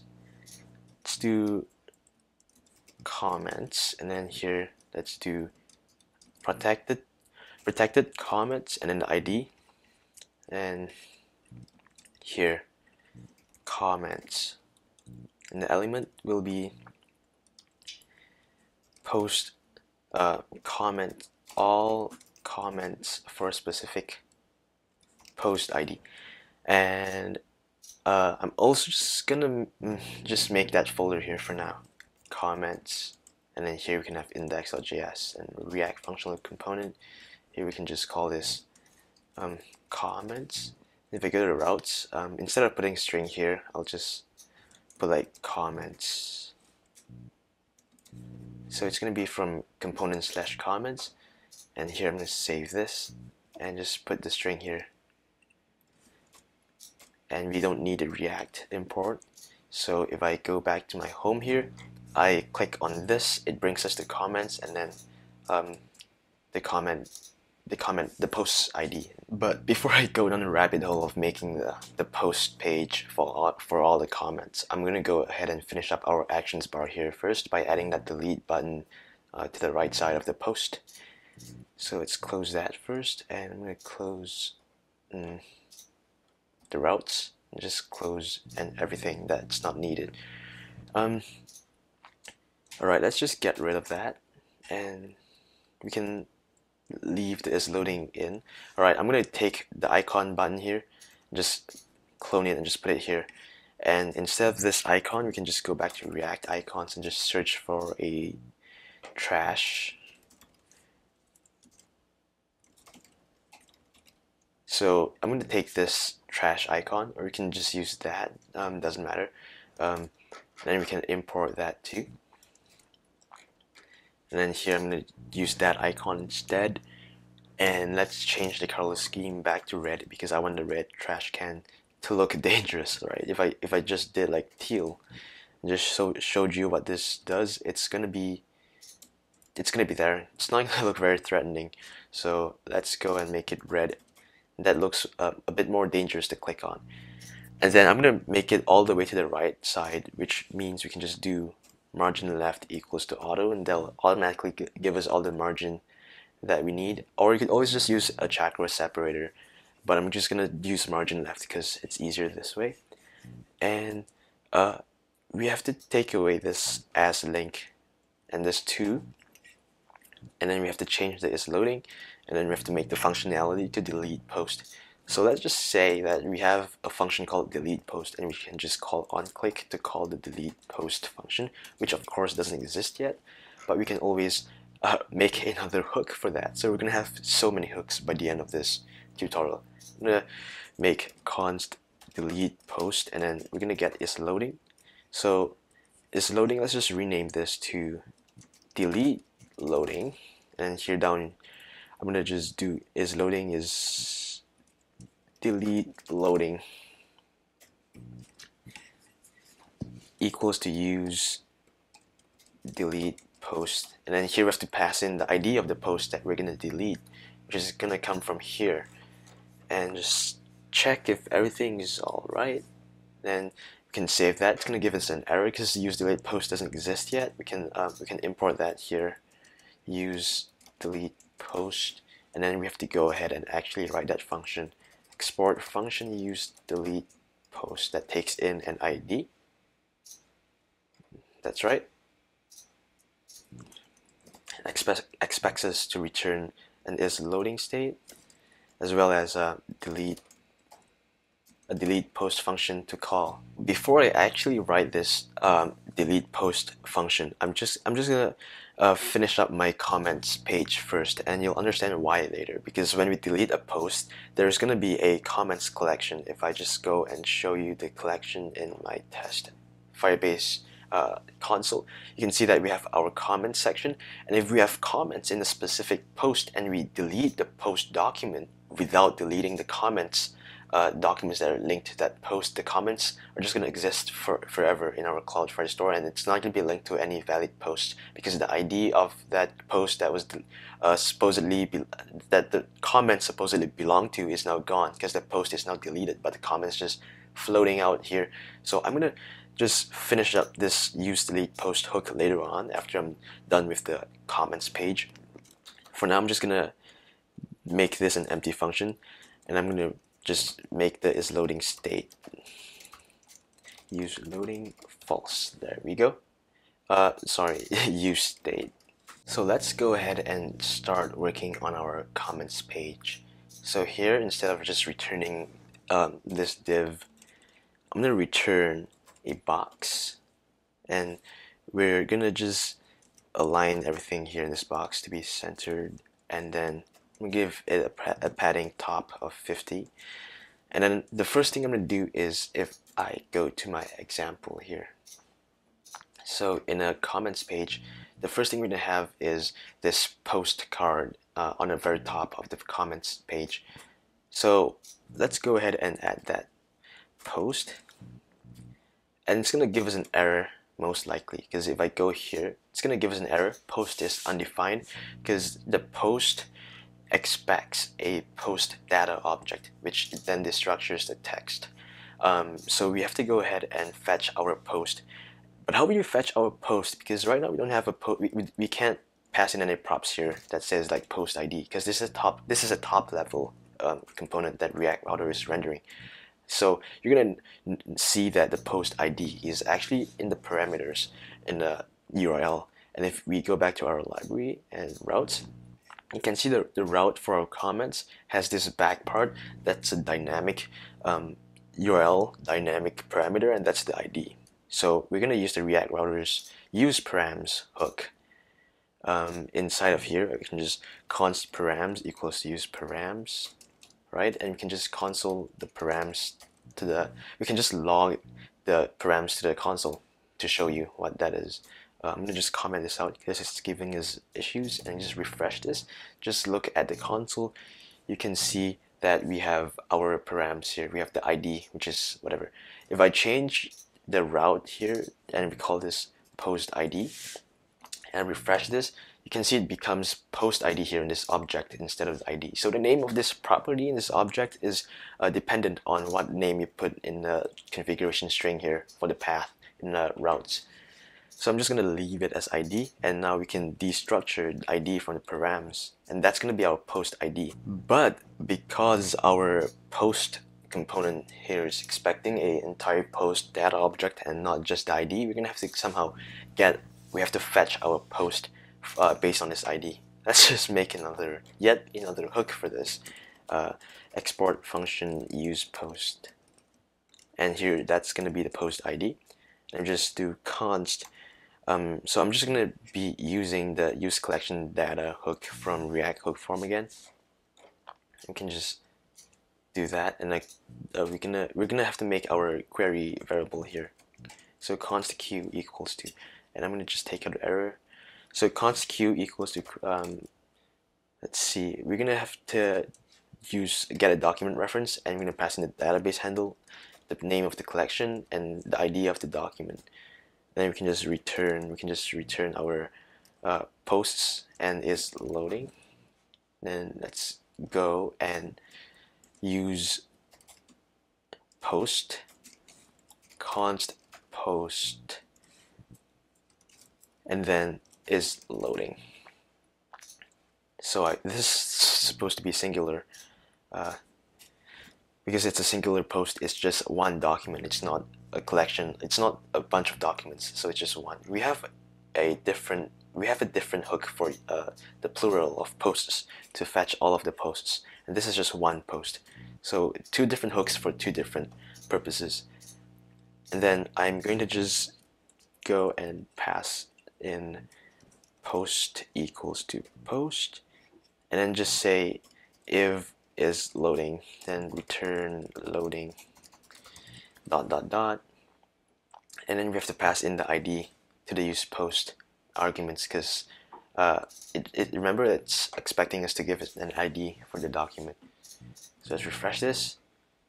Um, it's gonna load for quite a bit and we'll see if it works. Whoa whoa whoa we're getting an infinite loop here. Alright so this this this counter was going crazy and I um I think we're having an infinite loop somewhere in our code which means something's not quite right. Just gonna do a quick check here and there we go. This is the issue. So we're using the use collection data hook inside of use post, but remember we're just trying to get a singular document from a singular document reference. So we should be using use document data and not use collection data. So that should fix it.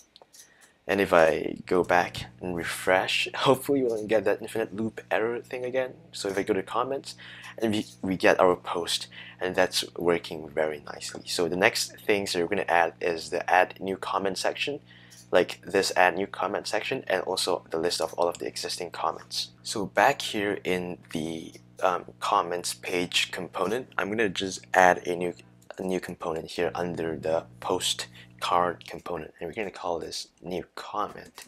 And of course we have to make that new comment.js file. Um, so here I have to import new comment. And because the tutorial is already going it's been going on for quite a while I'm just gonna paste uh, all of the UI code here so I don't have to go through step by step on how to make the UI um, but the functionality is not here yet so I can just save this. We have like a box and we have just like containers inside of containers to style them and we have a form that doesn't have an onSubmit. We have an input here uh, and a button and that's all that we have. If I go back to the browser and refresh you see that we now have that additional comment section. Um, it doesn't do anything though. If I just hit enter it's gonna do the default form action and it's gonna refresh the page and then add that question mark uh, in the back of this uh, URL path. And so that's, that's just the default form behavior in HTML. So what I'm going to do is I'm first going to add an avatar. So if you see, um, if you look at our demo here, we have an avatar here that we can click on and goes to the profile. And that's we have to add that to the left side of our comment bar. And recall that in our profile folder, we have that avatar component that we can just reuse here. So avatar, then we can save that. It's going to give us an error because avatar expects you to give it a, a user at the very least. You can omit giving it the size, but it'll just default in XL. We might just uh, make it uh, small or extra S.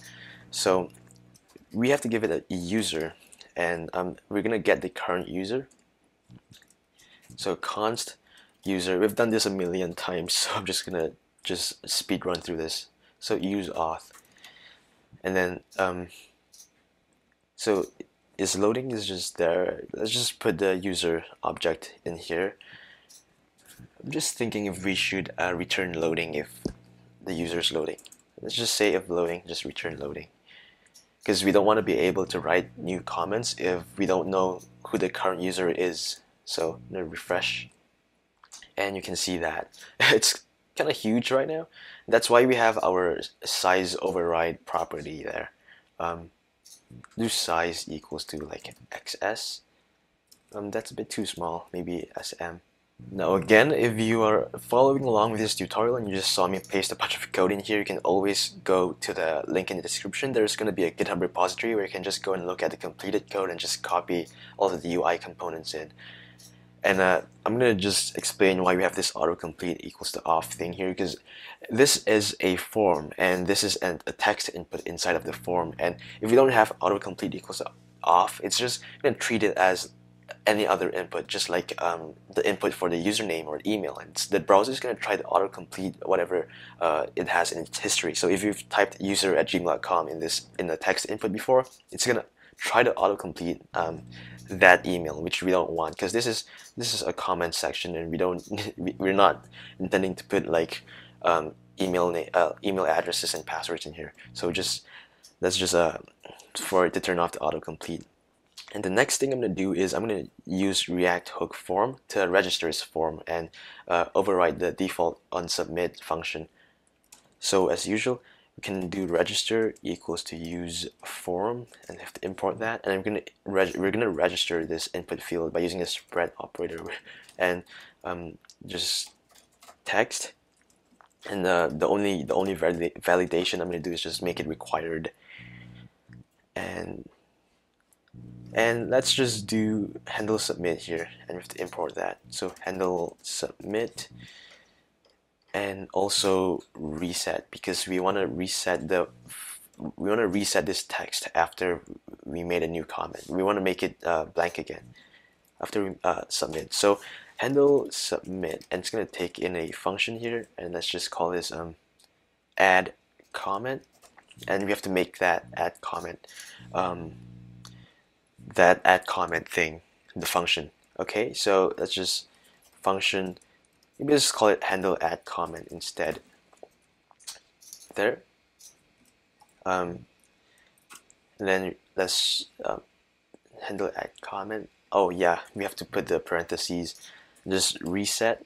So to add a comment, we're gonna have to call a, something like um, use add post, but it's for comments. So it's gonna be something like add comment like that and then it's going to come from a function uh, from a hook. So we have to make our own custom hook to add comments.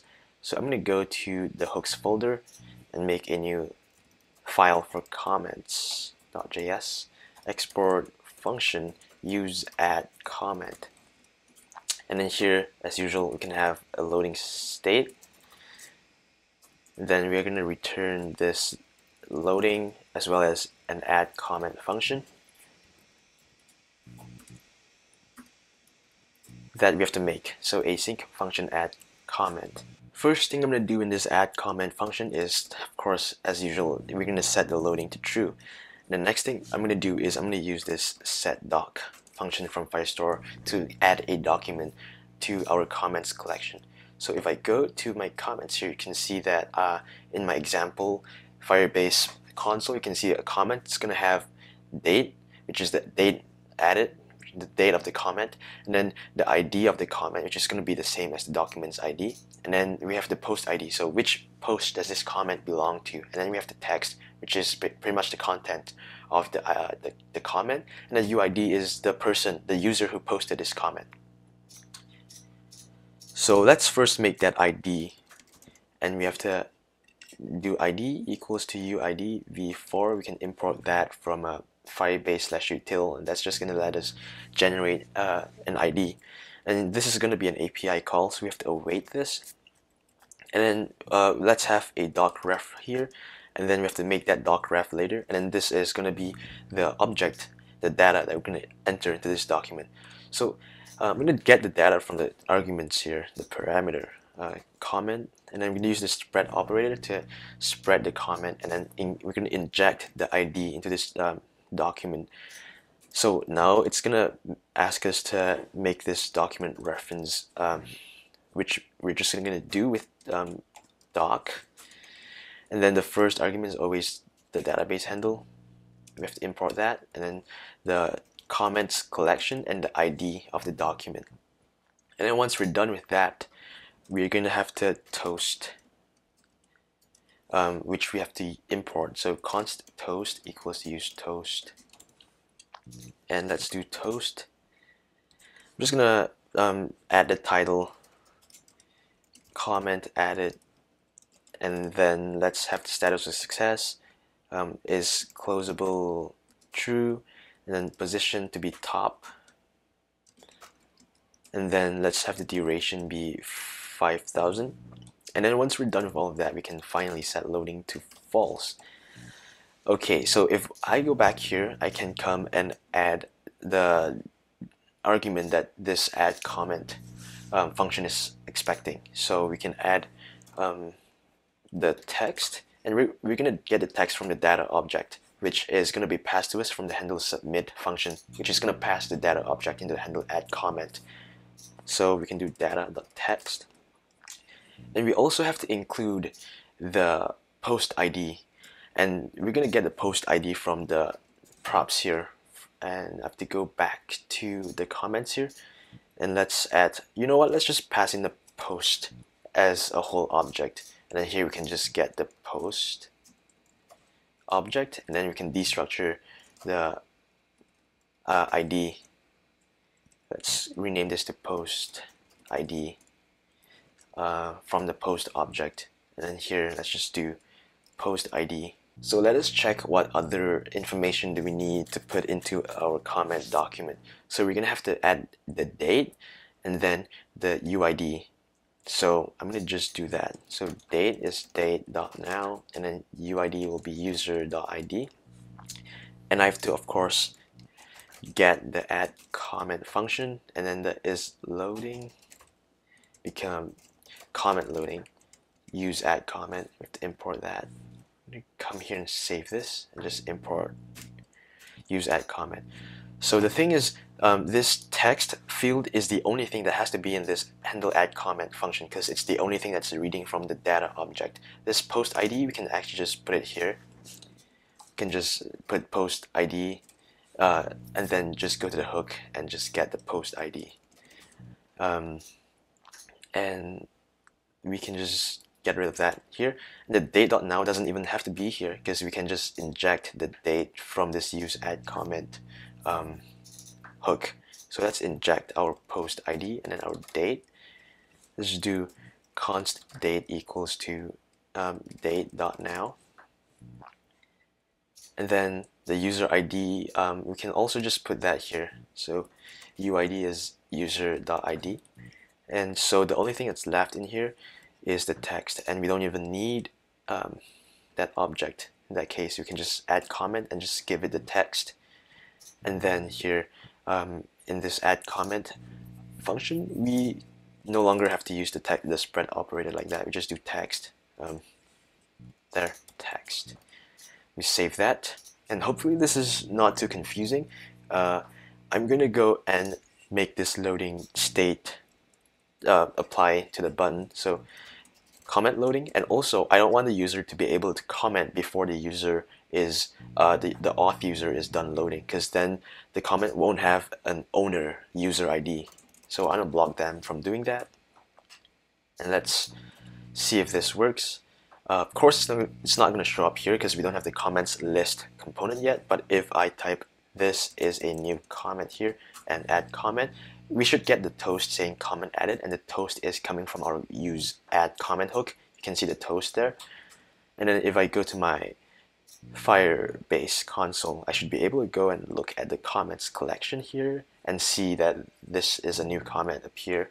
If I have another comment and hit enter, you should see another comment appear. And so our add comment functionality is now completed. Alright, next we're gonna go and write code to fetch the actual comments from the Firestore database and make it show up here right, un right underneath our add new comment component. So to do that, I'm gonna make this comment list .js and it's going to be a React functional component and then we're going to include this comment list here inside just right below our new comment component uh, it's we don't need to include the post in there just yet. Alright, here and in this component, um, I'm just going to pull this up in the browser and see what it looks like. So here comment list and just in here we're going to just um, fetch all of the comments from our Firestore database and as usual we're going to make our own custom hook for this and we're going to use the use collection data hook from React hook form. In the comments.js file here I'm to export def uh, export function called use comments and then here, uh, we're going to fetch all of the comments, but first we have to know the ID of the post that we're fetching the comments for because we don't want to just get every single comment. And we just want to find comments that belong to this post, this specific post with this specific post ID. So we can construct our query variable here. And then the first, um, I have to import that, yeah. And the first um, argument it's, is going to be the collection reference and then we can pass it the, we can pass in the database handle the name of the collection which is going to be comments and then we can use the where clause as you can see um, the way GitHub Copilot has recommended me to do this is the right way. We're just going to use where and we're going to check where the post ID matches up. So we want to check where this post ID field matches the post ID that was provide, provided to us in the arguments of the use comments hook. And then I'm just going to save that and let's do const um, comments. I, am just going to check if there's another hook like that in here, posts maybe. I'm just going to take this line, just paste it, paste it in our comments hook. So let's paste it here.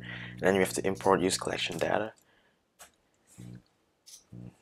So if you guys were, um, if you guys have been looking through the documentation and you see this use collection hook, um, I don't really use this hook. I use the use collection data hook more, and that's because um, use collection, the use collection hook just returns to you the snapshot, right? And then use collection data helps us convert that snapshot into a, into a data variable before uh, it returns the value to us. And using the use collection data hook, you can also, you still have access to snapshot um, variables just at the last position of the list. And you can also use collection once. Basically, use collection data will it, it's real time. So every time every time you update uh, you update the information in this database in uh, in the console, it will automatically show up in the front end, and we don't have to do anything to manually refresh the data. It's uh, in real time. So that's why I like to use this hook so much. And I'm going to change this just to comments. It's loading error. Um, I'm just going to take out the error variable because I never use that anyway. Um, if, you're, if you're building an app and you want the best practices, you have to, ideally you would take the error variable and like detect if there's an error and you want to warn the user if there's an error.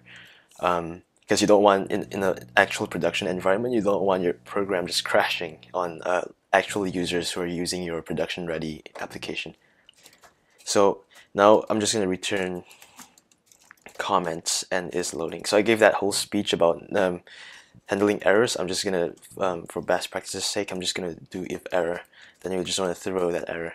So now that we have this use comments hook built, we can go back to comments list and we can just implement the hook here. So comments, comments is loading equals use comments and then we have to somehow pass in the ID here which we can just you can just get the post and then just destructure the ID from the, the props. So ID equals to post, and then we have to give the post to the comments list.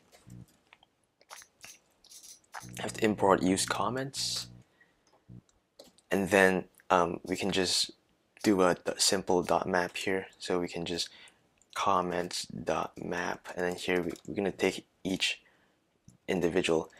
Um, I actually don't need the curly braces, just comments dot map. And we're going to take each individual comment and we will just return a string uh, and then we can just do the text. Or maybe I'll just, I'll just do comment dot text and, and then we have to just change this to ID and let's see how it looks like in our front end. So I'm to refresh this and it's going to do uh, undefined. So if it's loading, return loading, and let's refresh that.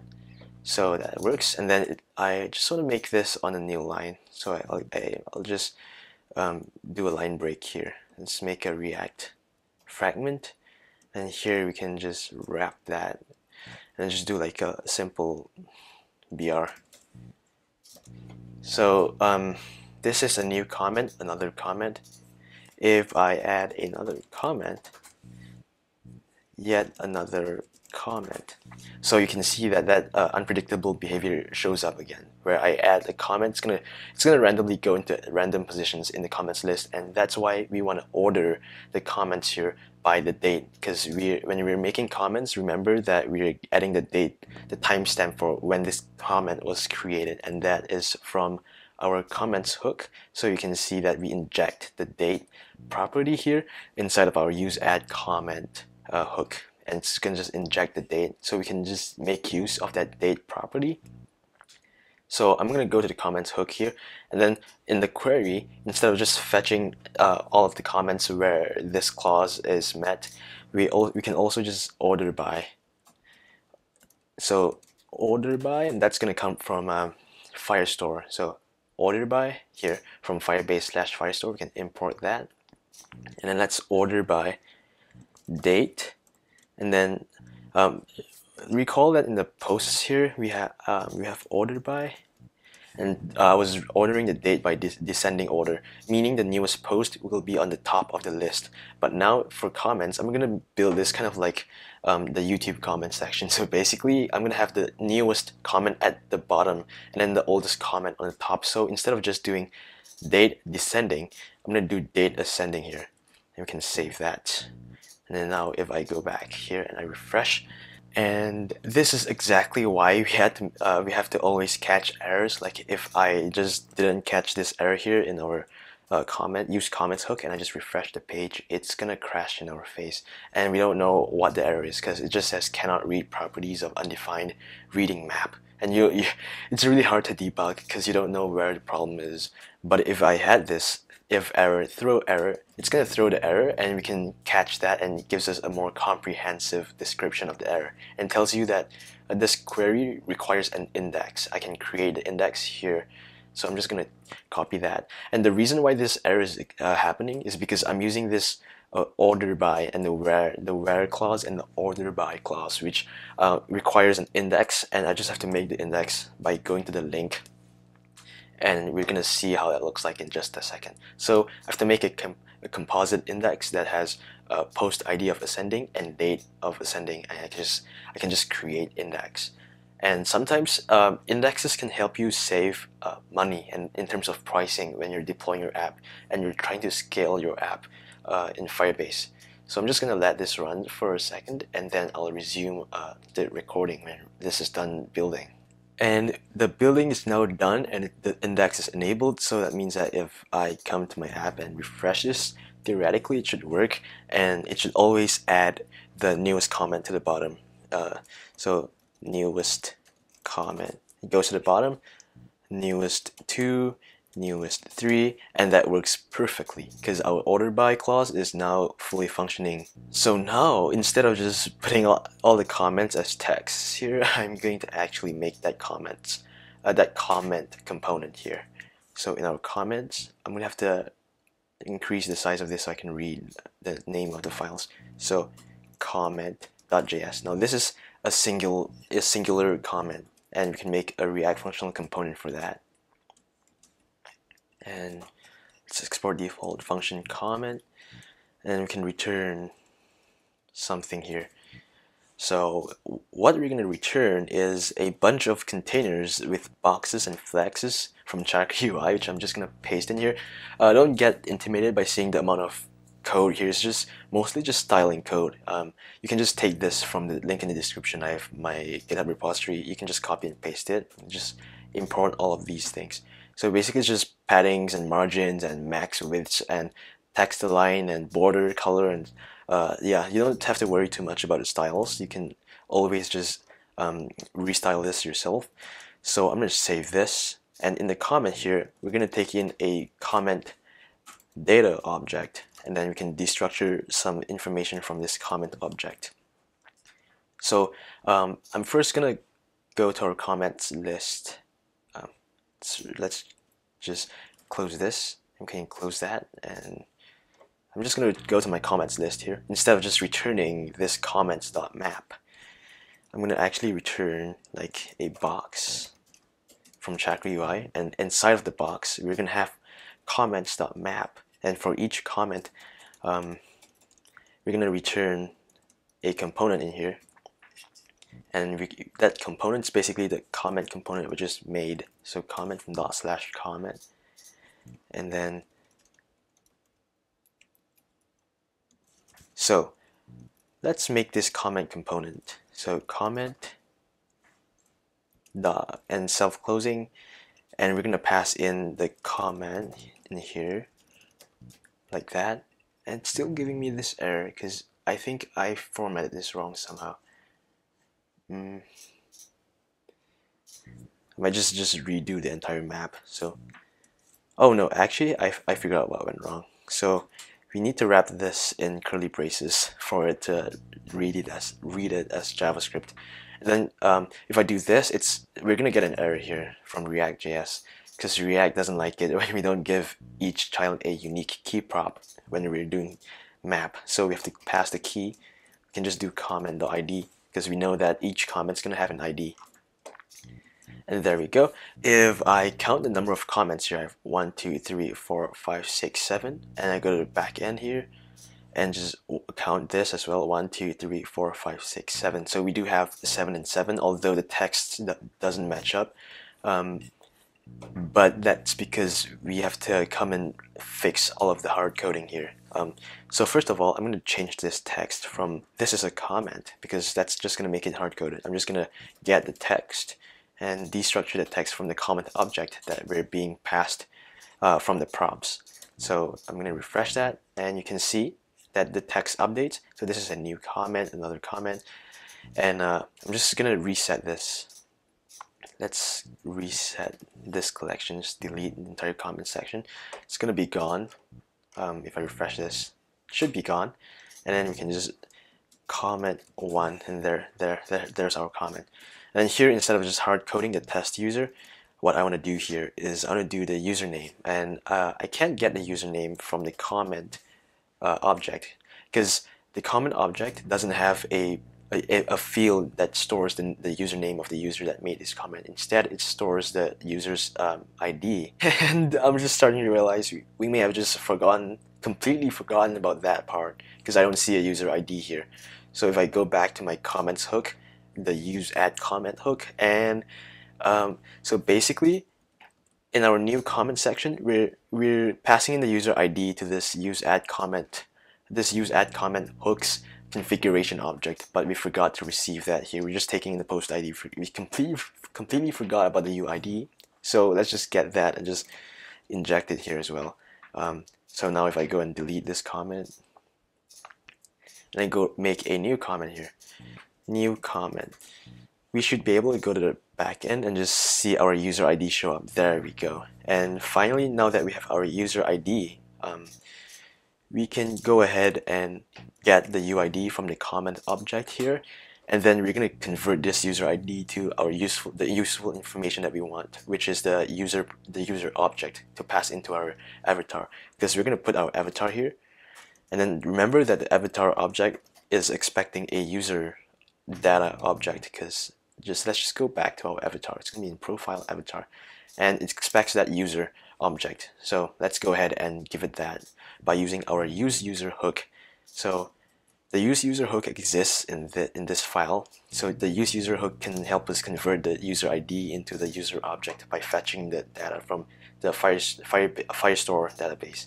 So const user is user uh, just is loading use user UID and then we're gonna we're gonna import this all right and then if is loading return loading. All right and then we're going to pass in the user object here. And here in this box uh, we can't forget to include the user dot username. So there we go. Our comment is now functioning. And what we can do is just use our avatar's size override prop to override the size. Let's make it something like SM um, there we go um, but if I I just want to try MD and see if that works. Alright maybe SM is better.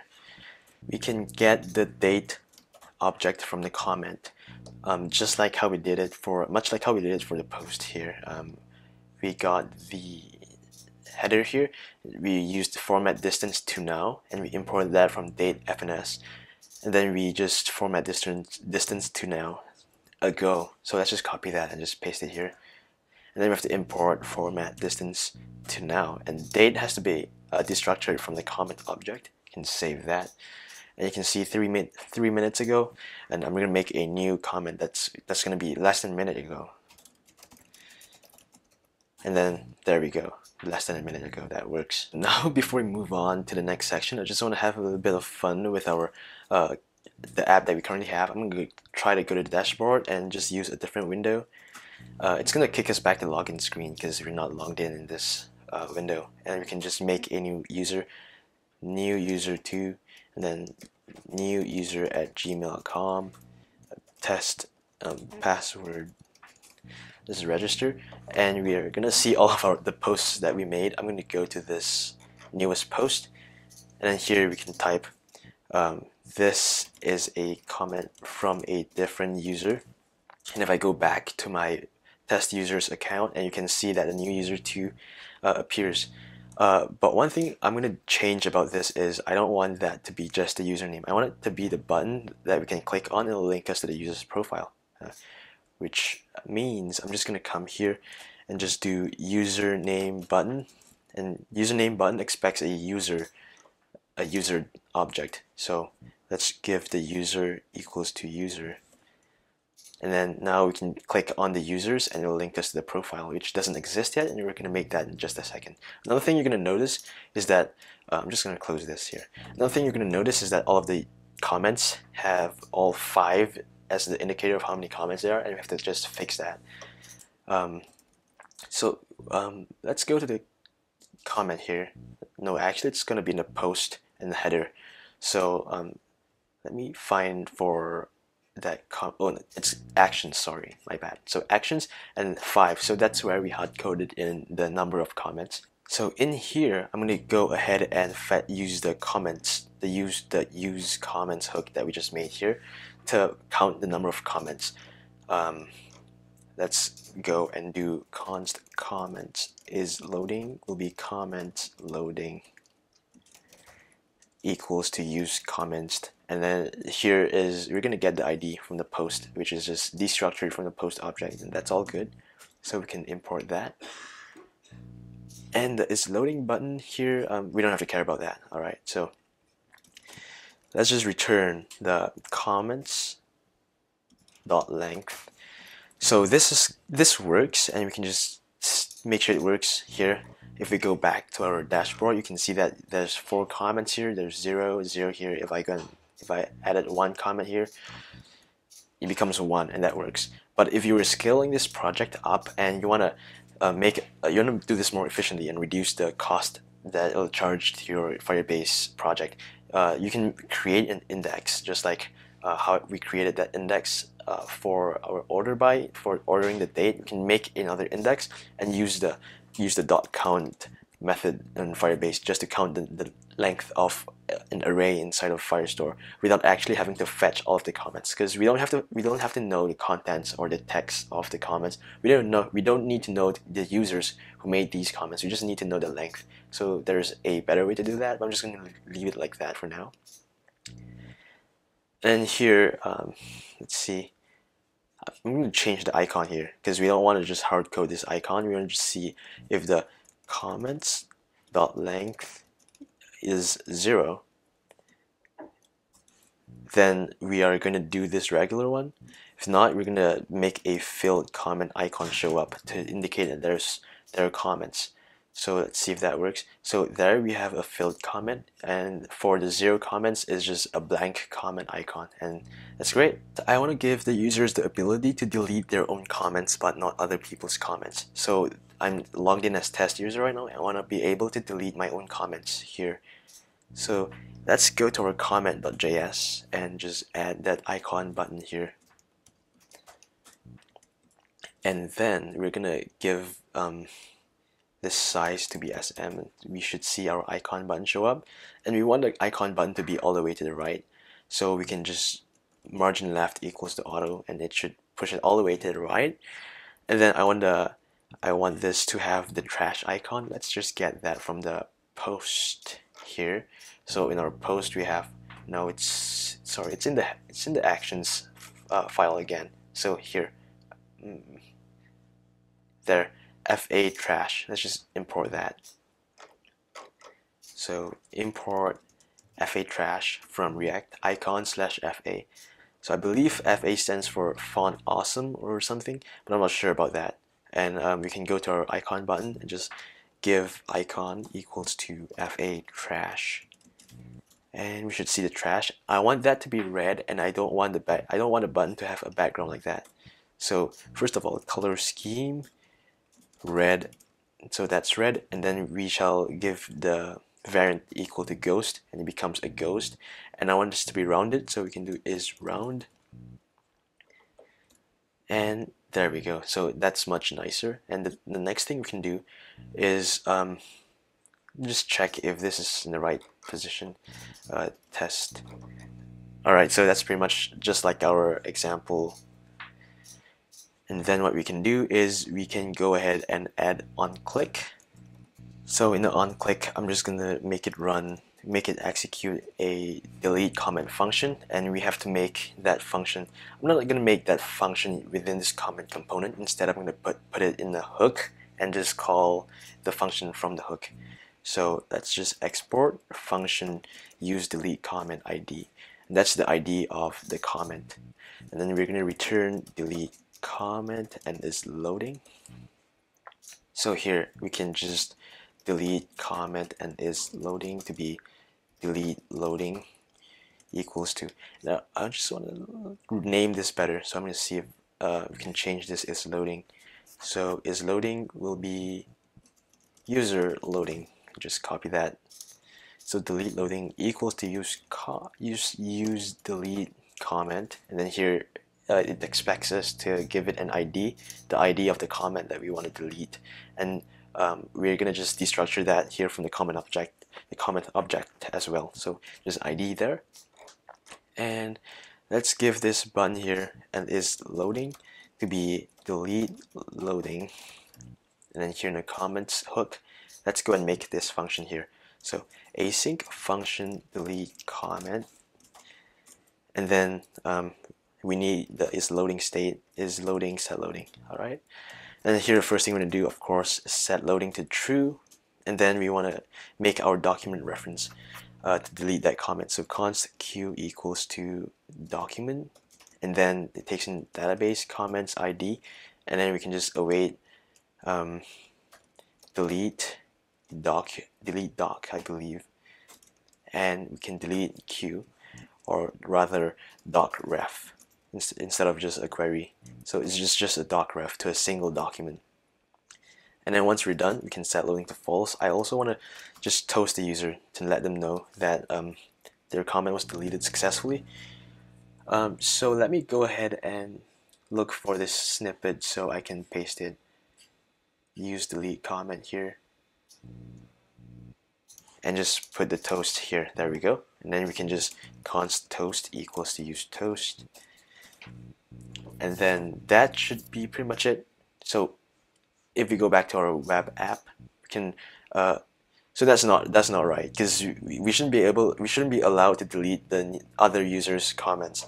So I'm just gonna make a check here. And we have to check for if the current user is the owner of this comment. So how do we get the current user? We have to go ahead and use the use auth hook. So const uh, user, let's call this auth user, is loading to be auth loading, and then equals to use auth. We have we have to import that, and then we uh, let's just say if user loading or auth loading, or we don't even have to do that. We can just do it down here.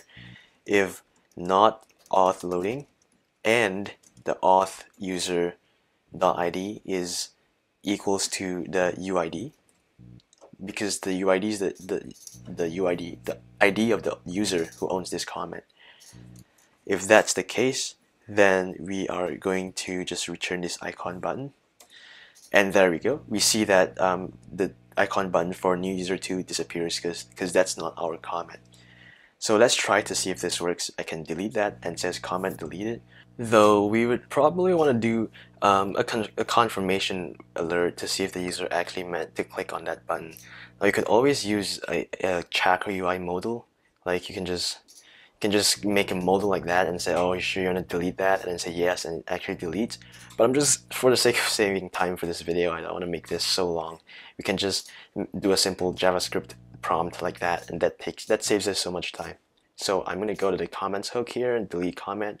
So um, here just right under delete comment and set loading to true what I'm going to do is um, just do const res equals to window dot confirm and we can confirm are you sure are you sure you want to delete this comment and then we'll just say if res is true if the response is true, then we, we do all of this. Otherwise, we just don't do anything.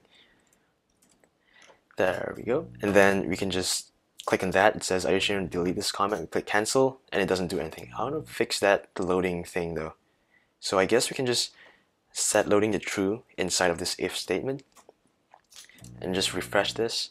So if I click on that, I say cancel, it doesn't go and delete the comment, but if I say okay, then they'll delete the comment. Now, before we move on to the very, very last section of this, uh, I don't know how many hour long tutorial, I just want to take a moment to thank all of you who are still with me here and stuck to the very end. And uh, it's been a long journey making all of these features, and I just I'm very excited to finish off this last part, and that is the user profile page. So if I go and edit my profile, you can see that it says user profile for a specific ID, and that's just because we have that hard coded here in our user profile route in the routes.js file. So let's go and make our index.js file in our profile component. And then we can make a React functional component. Uh, and then I'm just going to replace this with the profile component that we just made and we have to import that. So profile, and let's make this profile, and then we should see index and that's our index.js file here so I'm gonna take a bunch of code and just put it in here as well. It's just a bunch of containers. You can see stacks and flexes and uh, horizontal stacks and just text. And I'm just gonna save this and show you what this looks like. It's just a, it's just a basic skeleton of the UI it doesn't have any functionality yet. So we're gonna have to insert our avatar there.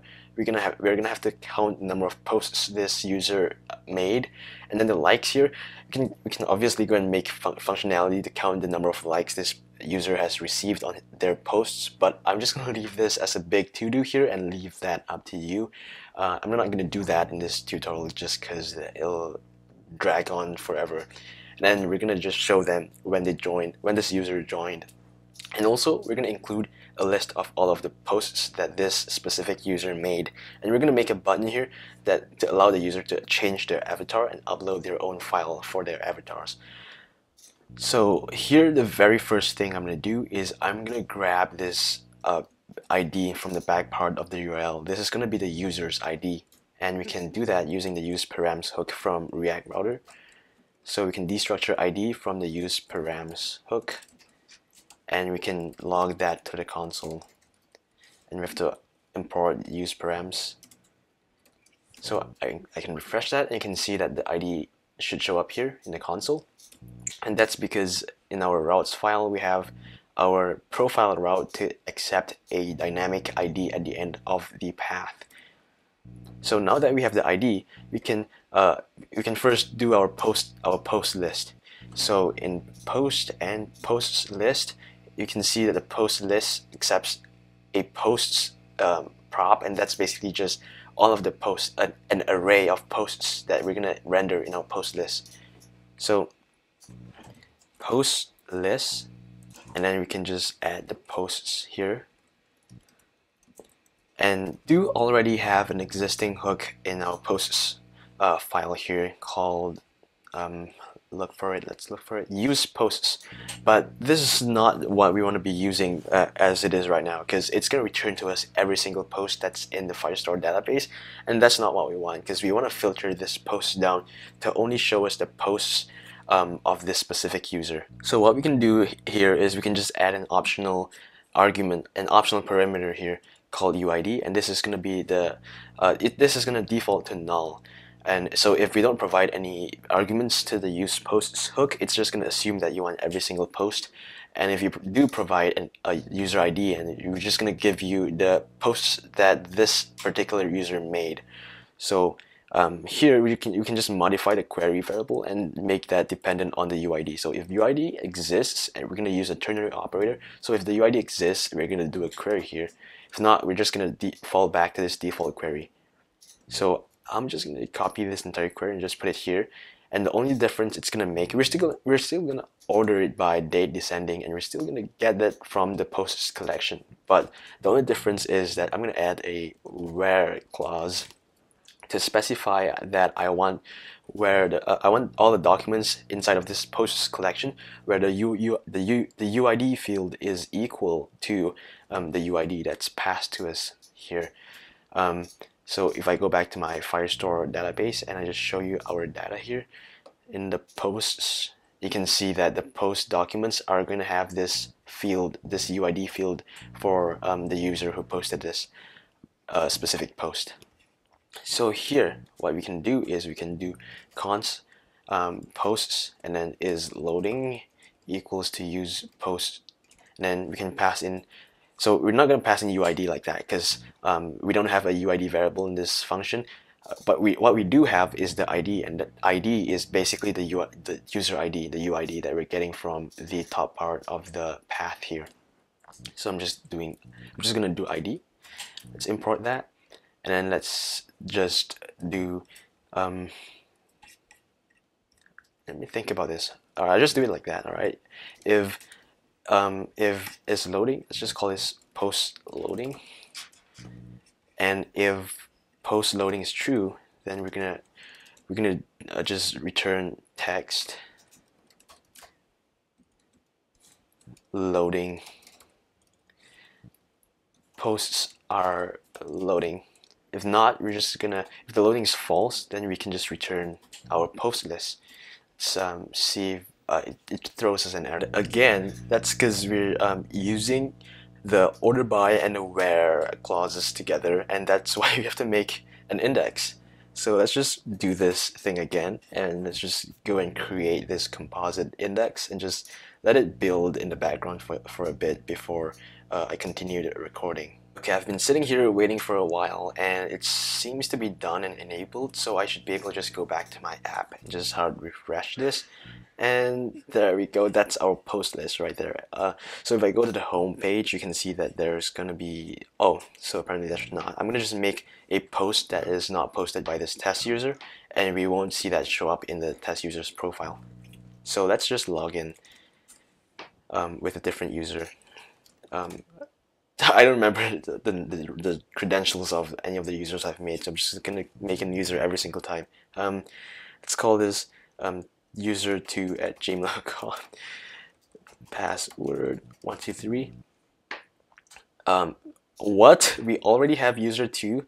Alright, I guess we can just log in. Password 123.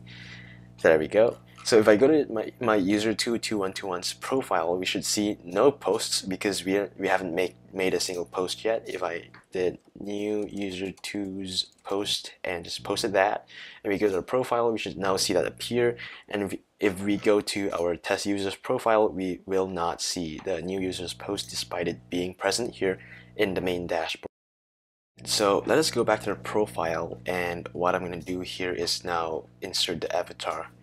Um, so the avatar doesn't exist yet, but if we just import and reuse our avatar component,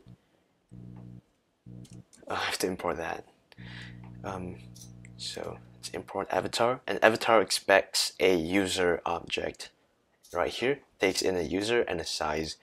So I'm gonna just make the size 2XL, and I'm gonna give it the user and we don't have we don't currently have that user object yet so we can always just get the user object with our use user hook very handy.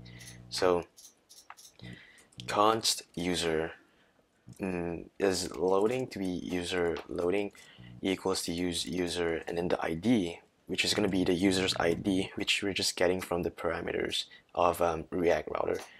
So let's import that and then we can just pass in the user like that and if the user is loading just let's just do like um, if user loading then just return loading. And there we have our avatar. And next up I'm gonna make that username show up right beside the avatar there by replacing this at username here text we can make our Chakra UI text component and just do username. So user.username and we can see how it looks like. Uh, so it looks pretty small. We can change the font size to 2XL and there we go. And finally let's work on the posts and the joined. So I am going to go over here and replace the 10 with um, posts.length and let's go ahead and refresh this. So we do see that we have six posts here and if I try to delete a post which I obviously can't because we completely forgot to implement the delete post function here we just made the hook and just left it and forgot about it. So uh, we'll do that before we end the tutorial. And then so we have six posts here. If I went and deleted another post I just want to make sure this post belongs to this user here. Um, uh, okay you know what? Let's just look for this new post and just delete that. It should be somewhere here. New post. Alright there it is. Let's go ahead and delete this document.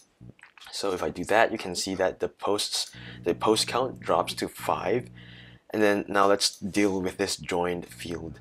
So um, it, instead of just hard coding when the user joined we can just do user dot date. And that's basically the date that we're getting from this user object and then um, it's gonna give us that timestamp which is not very useful to know because humans can't read that very well. So let's just uh, conveniently we have our date fns library that we've installed which provides us with a format function from date fns so we can just use the format function here.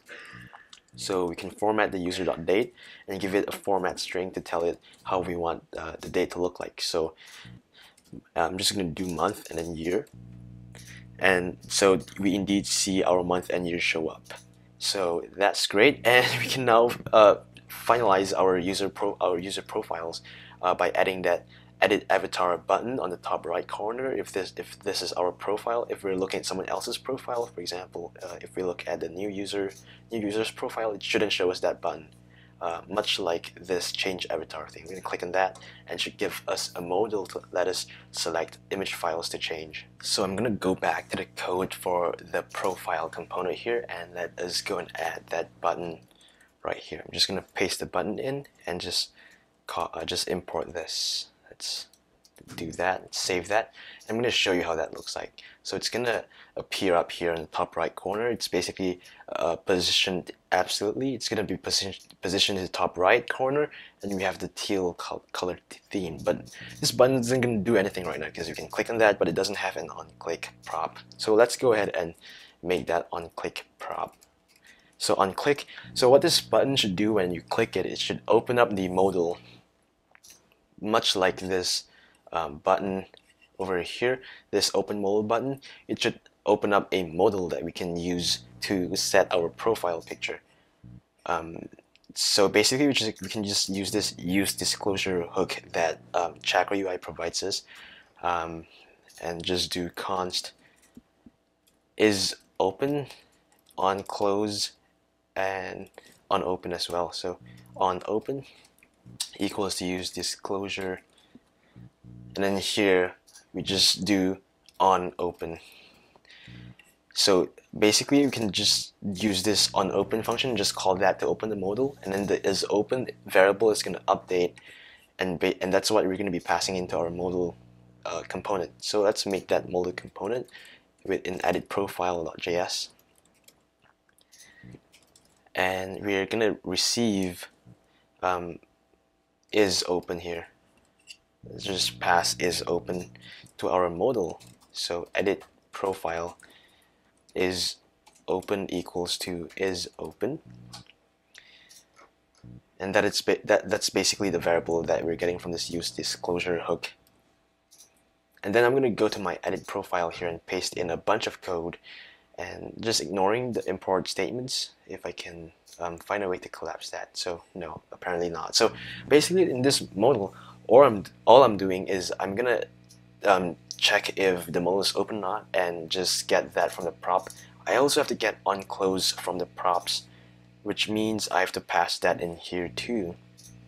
So in the edit profile we need onClose so why this edit profile modal requires this onClose function is because the modal is going to have a close button and that's the close button and uh, to be able to close the modal it requires access to that onClose uh, function uh, which this close button will trigger and so we have our header here that says edit profile and then we have our avatar which we have to insert and then we have our label and we have our input which does nothing at the moment because we have an empty arrow function in the onChange uh, prop. So I'm just going to change this to teal and let's go and try clicking on a button. So we click on that, we get this edit profile and uh, we don't have an avatar right now. We don't have that preview avatar so we, we're to have to fix that. Let's take that and replace it with our avatar component and the avatar component takes in the user object. So we have to pass in the user which we're gonna have to write the hook for. So user is loading equals to use user. Uh, actually, it should be use auth. And let's import use auth if we can. And um, so let's just return false, to return loading if it's loading. And so I should be able to go back to our application, change avatar, and we do see the avatar there. And let's let's try to select a file here. It's not going to do anything right now, but I'm just going to show you what it does. So we have all of these pictures. We can just click on that. It does nothing. Just tells um, just sets sets the input, but it isn't controlled by React state. So React doesn't know that you've selected a file here. So in order to make this input a controlled input, um, we can just change the onChange function to be handle change. By the way, uh, notice that I have this accept equals image slash asterisk here so that we're only accepting image files in this input and uh, users can't just uh, like upload text files. They can they can always just um, just change their HTML in their browser and just override this and just hack through it. So uh, at the end of the day, you might want to implement a secure checking system to check and uh, like a serverless function to check the file types as well as compress and optimize the images before uh, like resize the images before you upload them to your storage. But I'm not going to do that in this video because I'm just going to make this as basic as possible. And uh, I'm just going to make fun a function here uh, called handle change it's going to take in an event and we can just log to the console the event.target.files. Um, so if I go and choose a file here, that's just, you can see that it uh, outputs a file list type object. It's going to have a file and all of the properties of the file. Alright, so uh, I'm not going to log this to the console. In, in, instead, I'm going to set this file to a state variable. And I can call like a setter function called set file or something, and like do e.target.files zero. Now this function doesn't exist yet, but we're going to know that we have to make we're going to have to make a hook to update the user's avatar. So let's just go to our user's um, hook here and just export a function called use update avatar. And here we can return a function to set file. And then here we are just gonna do const set file equals to use update avatar. And then here the set file function is to set the file in a state variable within this hook. So we can just do const file set file equals to use state. And we have to import use state so now we have the file inside of this use update avatar um, hook. And what we can do is we can go ahead and make another function here called update avatar. So this is a function that will actually update avatar and make the API call. And we can get the update avatar function here and just uh, do on submit and just like when this button is clicked then we're gonna run this update avatar function. So let's go to the button here do on click equals to update avatar. So uh, a quick recap is whenever you change the file in this input it's just gonna set the file into this uh, into this file state variable. And then once you're actually done and you're you've changed and you're ready to submit and you click this button it's gonna it's gonna call this update avatar function which we have to write and it's gonna take this file and push that to the Firebase storage. And then we're gonna have a loading state from this because um, uploading files takes some time. It's an API call and that's why we have an uh, we have a loading state. Uh, I realize that it clashes with an existing is loading. Uh, so let's just rename this auth loading. Hmm, put that there. And then here we'll just do um, file loading and just get the loading state from the use update avatar and we have to make that loading state loading state here as well so it's loading then we have to const is loading set is loading and then now finally let's make this asynchronous function called update avatar. I'm actually just gonna change this to set loading instead of set is loading so that's shorter. And the next thing I'm going to do is, of course, as always, we're going to start the API call by setting loading to true and then false afterwards. And then we're going to call a function called upload bytes, and that's going to be imported from Firebase slash storage and since it's an API call, we can await that. So upload bytes takes in two arguments. The first one is going to be the file reference, which is basically the position, the location in which we want to upload the file, and it contains information about the file's name and the file's uh, folder and stuff like that. And then the next is the actual file to upload. And this data object, we can just call it file because we have a state variable to store the file. I'm just going to put it there and then all we have to do now is make that file a reference. And basically we're going to use this reference function that we can import from uh, Firebase slash storage. So let's go ahead and make the reference. Uh, the first argument is going to be the storage handle which we're going to import from um, our library slash Firebase. And note that we're no longer just doing DB here. We're doing storage this time because we aren't we're not dealing with Cloud Firestore anymore. This time we actually want to use the Firebase storage uh, API, the SDK for Firebase storage and not just Cloud Firestore anymore. Because we're uploading files and we're not storing uh, data. So what I'm going to do is I'm going to name um, this file avatars slash whatever. So this is going to be the file name and this is going to be the folder. If I uh, just set the, the file name to the user's ID and that way we'll have a unique file name for every uh, file in the cloud storage. If you try to upload a file to a reference to a, uh, to a file name that already exists, Firebase is going to re it's going to overwrite that file so you can't just store the file name here as it is because if two users upload um, dog.png they're both the dog.png is going to overwrite the the file name inside of storage so let's just use the user ID as the file name. Um, I'm gonna have to uh, import use. I'm gonna have to get the user ID from the arguments of the use update avatar hook. So we have to come here and pass in the user dot ID there, and there. That way we can just set the user ID as the file name. And then once the uploading is done, I'm just gonna toast the user, uh, just just to let them know that uh, it succeeded. So we have to do const toast equals to use toast. I'm just going to copy the toast and just put it here, profile updated, and set loading to false. Um, so let's go ahead and refresh this.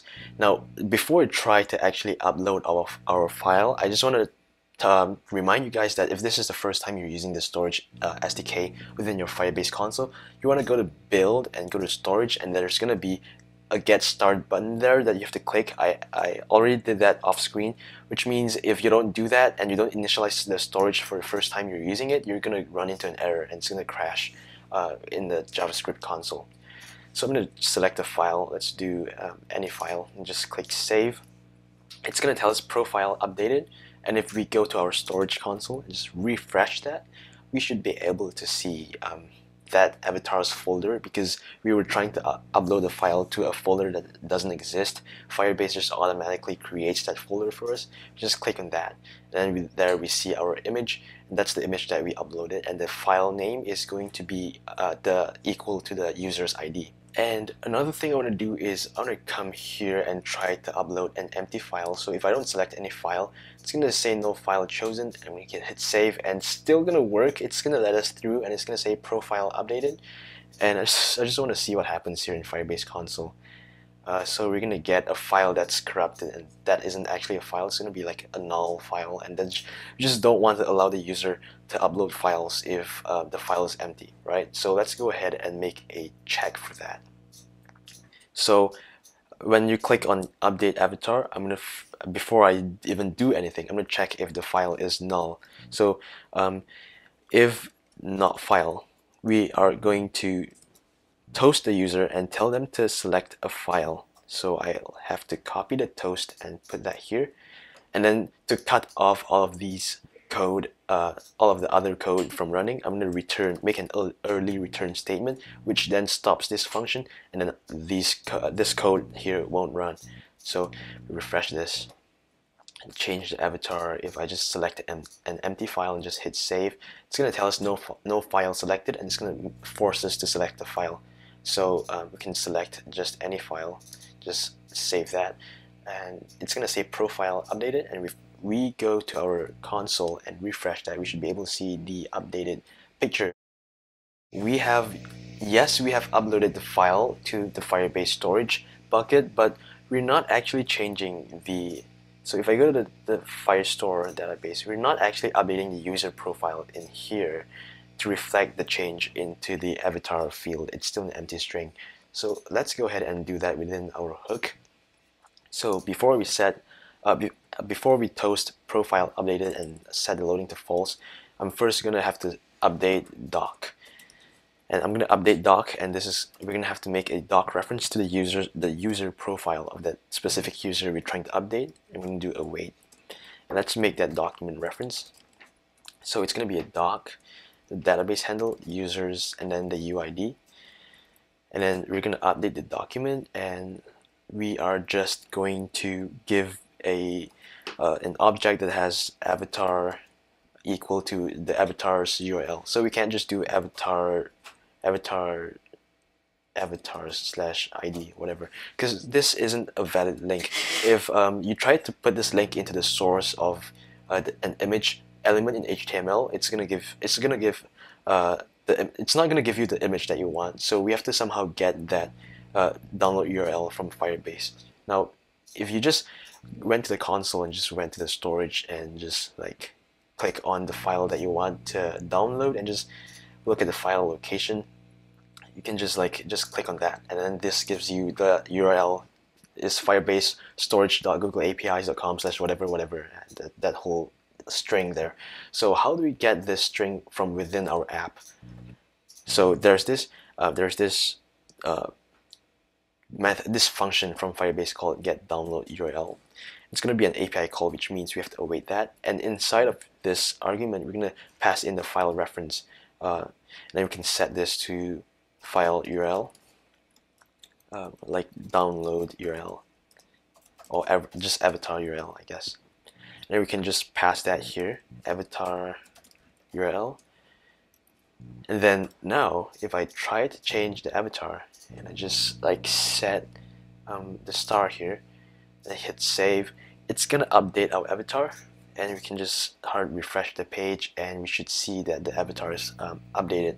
Now I don't want to have to refresh the page to see it uh, manually refresh the page. So if you wanted to refresh the page using uh, React Router you can um, use the use navigate hook. So use navigate. And then we just go to the bottom here and we just um, use navigate, just navigate, navigate zero. And zero basically just refreshes the page. So I can change the avatar again just change it to something else just hit save it's gonna save and refresh the page first and you can see everything's updated and this feature I'm gonna add to this change avatar modal is that I want to be able to preview the file that I'm uploading. So uh, right now if I choose I chose a different uh, different file it's not going to show up here in the avatar and that's because in our avatar component we have hard coded the source to come from the user the user's avatar property. So what I can do here is when uh, when we have set the file to this file this react file variable I can just give back a file URL and it's going to be uh, url.create object URL and that's basically a built-in function inside of uh, JavaScript that will allow us to create a URL that we can put into this source uh, prop as we are uh, previewing the avatar picture. And we're going to pass in the file binary in there. Let's go to um, edit profile here and just take the file URL from the hook.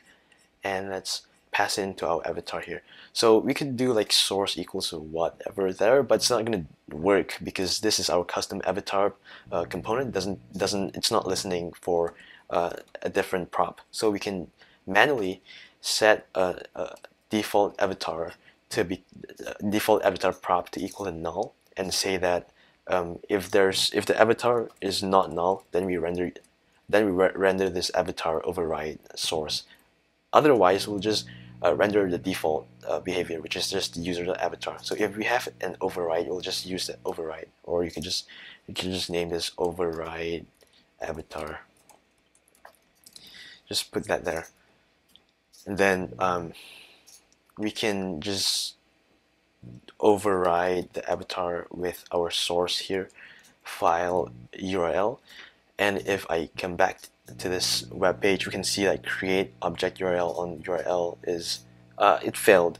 Basically, that's because um, in here we we started off by setting null to our, our file object, and URL.create object URL can't create a URL for null type files.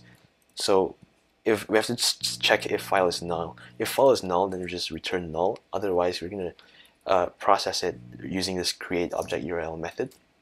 So we can refresh that. It's not going to give us the error anymore. We can change the avatar, just like select this, and you can see that updates and it shows us a, a, small preview before we even uh, upload this to the Firestore uh, database. So we can hit save. The, sorry, I mean I, I meant cloud fire uh, cloud storage. So storage and Firestore are totally different things. Storage is used to store uh, files, and Firestore is more like a database. So uh, we can refresh this and just uh, see the changes. So we're gonna see our file uploaded here in this avatar. And pretty much we're done with our avatar changing feature here. Um, if I go to another user, if I go to user 2121 and click on that, you want we shouldn't be able to see this change avatar button here because we shouldn't be able we shouldn't be allowed to change someone else's avatar. Uh, so let me see what went wrong here. Um, it's in index and then this button alright? So this change avatar button should only appear if we are change we are uh, looking at the profile of our current user. So let's get our current user here using uh, user let's rename that to auth user and this loading would be auth loading. Uh, so I'm gonna use auth. And then um, if user loading uh, all right so it doesn't matter. Let's just let's just wrap this in curly braces and say if um, not auth loading so if auth is loading then we just won't render anything here. And if auth is not loading we're going to check if the user the auth user dot id is equal to um, the user dot id and that user id is coming from that uh, variable there and if that's true then you just render the button. So the use the change avatar button should disappear but if we added our own profile we should see that button appear. Finally let's work on this all users page. So right now this page just returns an empty user string which is uh, right here this user's path. If we look at example this is what we want to get. We want to get we want to map through each of the user and just make a grid and show all of the users So uh, let's go ahead and make a component here called users. Then we have index.js here. And uh, I'm just gonna copy and paste some code here. So basically, it's this is a very simple component. It's just a list of all of the users. We're gonna have to make a hook called use users. It's gonna return to us um, all of the users that are that exists in this user's profile, this user profile table uh, here. So it's gonna just simply read every single one of the documents in this user's collection and just return that to us. Um, and then it's going to map through each of the individual user and return a user card. So one box is one user card and we have to map through the entire users array to create all of the user boxes. Um, so let's go ahead and make that use users hook. But before I do that, I want to go at the route and replace this users string with the users component, which we have to import. So import users from components slash users. And then let's go to our hooks and the users hook here. I'm going to export function use users plural.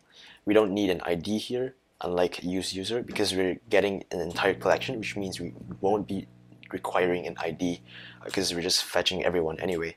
So uh, I'm going to just const users is loading equals use collection data.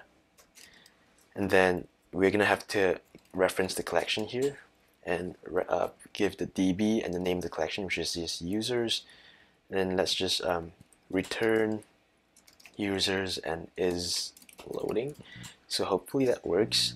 And uh, we can just save this. And for now, I'm just going to comment this out. And we're just going to just print out the user object um, and see if that works.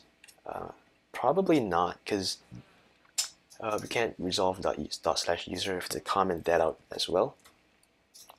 So that's not a React, uh, a valid React child. It's not a React child because this user is an object, and uh, we can't. That's not that's not a string. So we can just use JSON.stringify and just stringify it and see this uh, th this list. So we're have we're gonna list through every single one of the users, and we're gonna get the ID and the username and whatever. So that that works, and you can just make this user card um, in dot slash user. So user dot js, and I'm just gonna take this and put it here. So basically, what we're going to be doing in this component is we're going to get the user prop, uh, which is this user here, and then we're to just I don't know why I'm I, I put this loading here because we don't need, we're not looking for an is loading prop. So I'm just to get rid of that we're to have a vertical stack. We're to have an avatar that takes in the user object. And then we're, we're to have the username. And then we're to make the profile, the view profile link, link it to the protected slash profile, profile slash user ID. And then we can change this to teal. And then let's save that. And there we go. That's our functional users page. I can refresh that. And we can just go to anyone's profile here. I can view the profile of new user 2. New user 2 doesn't have any posts yet. If I go and all users and look at user 2121, we see that post. We can view our own profile and we're going to see all of our posts. So uh, we now have the users route completed. And the final thing we have to do right now is just go and implement the delete functionality I was talking, uh, I don't know how long ago in the video. So we can finally get to that and uh, finish up the project. So I'm gonna head over to hooks and the posts file and in the use delete post hook, I'm just gonna revisit this, uh, this hook and just write the functionality for this delete post function. So the first thing I'm gonna do here is I'm gonna confirm with the user if they actually want to delete this post. So I'm going to make a window.confirm. Are you sure you want to delete this post? So if I go and click on that, it says, are you sure you want to delete this post? And if I click cancel, it's going to be the, the res variable, that's going to be false. If I, if I clicked on OK, it's, this res variable is going to be true. So let's just say if it's true, if the user really wanted to delete this post, first we set loading to true and then at some point in the future we're going to set it to false once we're done with all of the API calls. So there's two things we're going to want to do here. We're going to delete the post document uh, in the post collection. So we're going to delete the post document itself. And the next thing we're going to do is delete all of the associated comments uh, for that post. So we're going to do delete comments here as well. So deleting the post document is relatively easy. We can just await delete doc. Uh, and if to import delete doc from Firebase slash Firestore, takes in the document reference and the database handle, the collection name, and the ID which we're getting from the arguments of the parameter of the use delete post hook. And that's very easy because now we don't have to post document anymore and we just have to delete all of the comments. Now this is going to be slightly trickier because it requires us to uh, make an advanced query to search where the post ID equals to the this ID variable. So we're gonna just um, um, we we have to like get all of the all of the comment documents that are uh, associated to the post first before we can delete them. So I'm gonna make a query here, and I'm gonna query for the collection uh, in the comments collection, and then I'm gonna do where the post ID is equal to the ID because in our comments and in, in the documents of the comments collection we're going to have this post ID field. So we're just saying oh where the post ID field equals to this ID up here.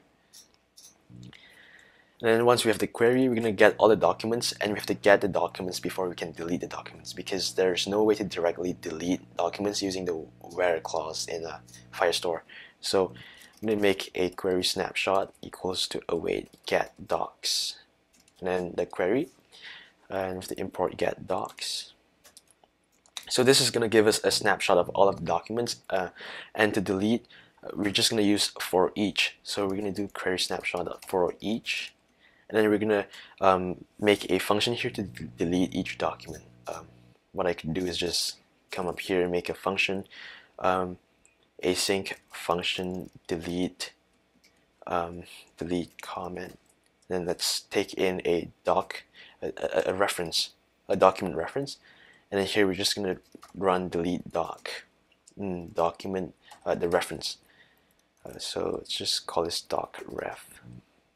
And then we can just uh, for each document reference uh, for each document we're gonna return we're gonna run we're gonna run delete comment and doc dot reference okay because if when we're doing query dot for each we're looping through each of the individual documents in the query and we're not actually looping through, through the documents reference. So we have to do document dot reference and pass that into this delete comments this delete comment function. Or we could also just uh, we could also just do like make this asynchronous function and make it an arrow function instead and just like delete doc and doc.reference and that way we don't have to create an additional function there just all in one line and um, so after we're done with all of that I'm going to toast the user and tell them that their post has been deleted using Chakra UI's, Chakra UI's toast. So const toast equals to use toast. And we have to import use toast from Chakra UI and just uh, toast that post deleted. So if I come here and I just uh, refresh the page um, it's gonna tell us use toast is neither uh, okay we have to import that. Let's import mm, yeah we, we have that imported and for some reason it's not oh yeah I have to take this and put it up here in outside of this delete post function. Refresh that and let's delete. If we say cancel, it's not going to do anything. If we said OK, it's going to delete the post, post deleted, and the comment should all be gone. So I'm going to delete all of these posts. And check our Firestore database. So we no longer have a single comment, and we still have we're still going to have one post, and that post is going to belong to let's see that that post is going to belong to user 2121 but it doesn't have any comments. See? Zero comments. So uh, so right now we can see that we've successfully managed to remove all of the comments and all of the posts using our new and updated post uh, use delete post function. One last thing that I caught before um, we finished the entire project is I, I still notice a delete button here for someone else's post that isn't our test user's post and we don't want to display the button if that post is not our post. So we only want to be able to delete our own posts and not other people's posts. So uh, all you have to do to fix that is go to post and the actions component in the post and this is the delete this is the delete button right so uh, we have to we have to get our current user using use auth, which we already do, and then we're gonna get the UID from the post uh, data object. So this UID prop will tell us if the uh, what the user ID of the owner of this post is, and we're gonna check if this UID equals to the current user's uh, user.id. So what we can do is just wrap this in curly braces. Just do like um, if we have to check if the um, if uh, if user is loading or not. So um, wait, yeah, if user is loading, if not user loading, as well as if um, the user dot ID is equal to the UID. In that case, we're just gonna render this icon button.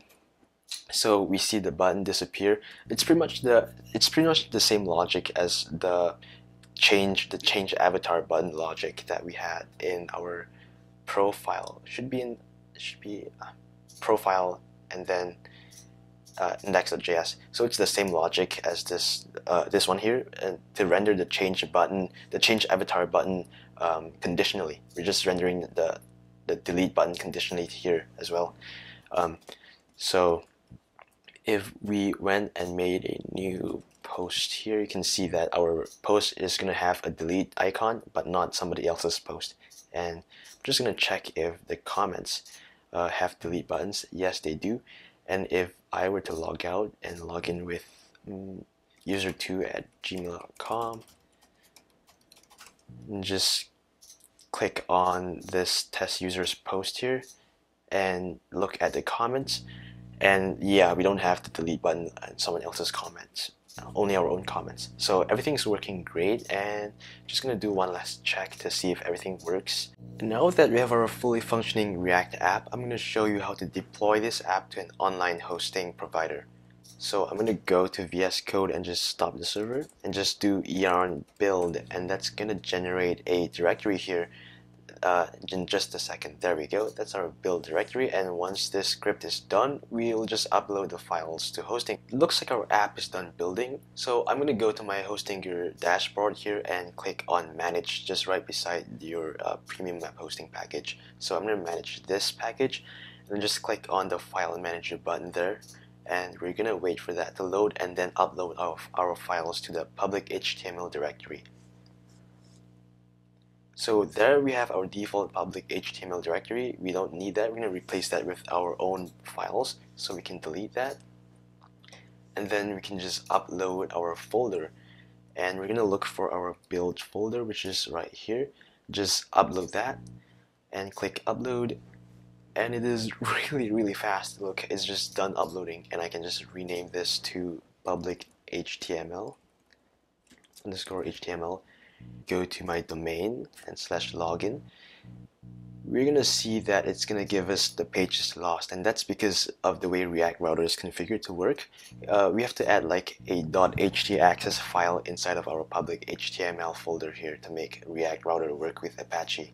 So I'm gonna make a new file here called .htaccess and I'm just gonna take this snippet and just paste it in here. The snippet is gonna be in the video description as well as the GitHub repository. I'm just gonna hit save. And this is where hosting really shines because we don't have to worry about restarting any servers or refreshing the server after making a change. And we can just go to the page and just hard refresh that and you can see that it's instantly live and instantly refreshed. Here we have our fully functional app that we can just sign in into. So test user and just password and it works and we have our SSL certificate. We have this entire thing working in our domain and our uh, console just works. I can just go and inspect and just see there are no errors in the console and you can uh, we can edit the profile. We can go click on all users and just do whatever we want here and just log out again.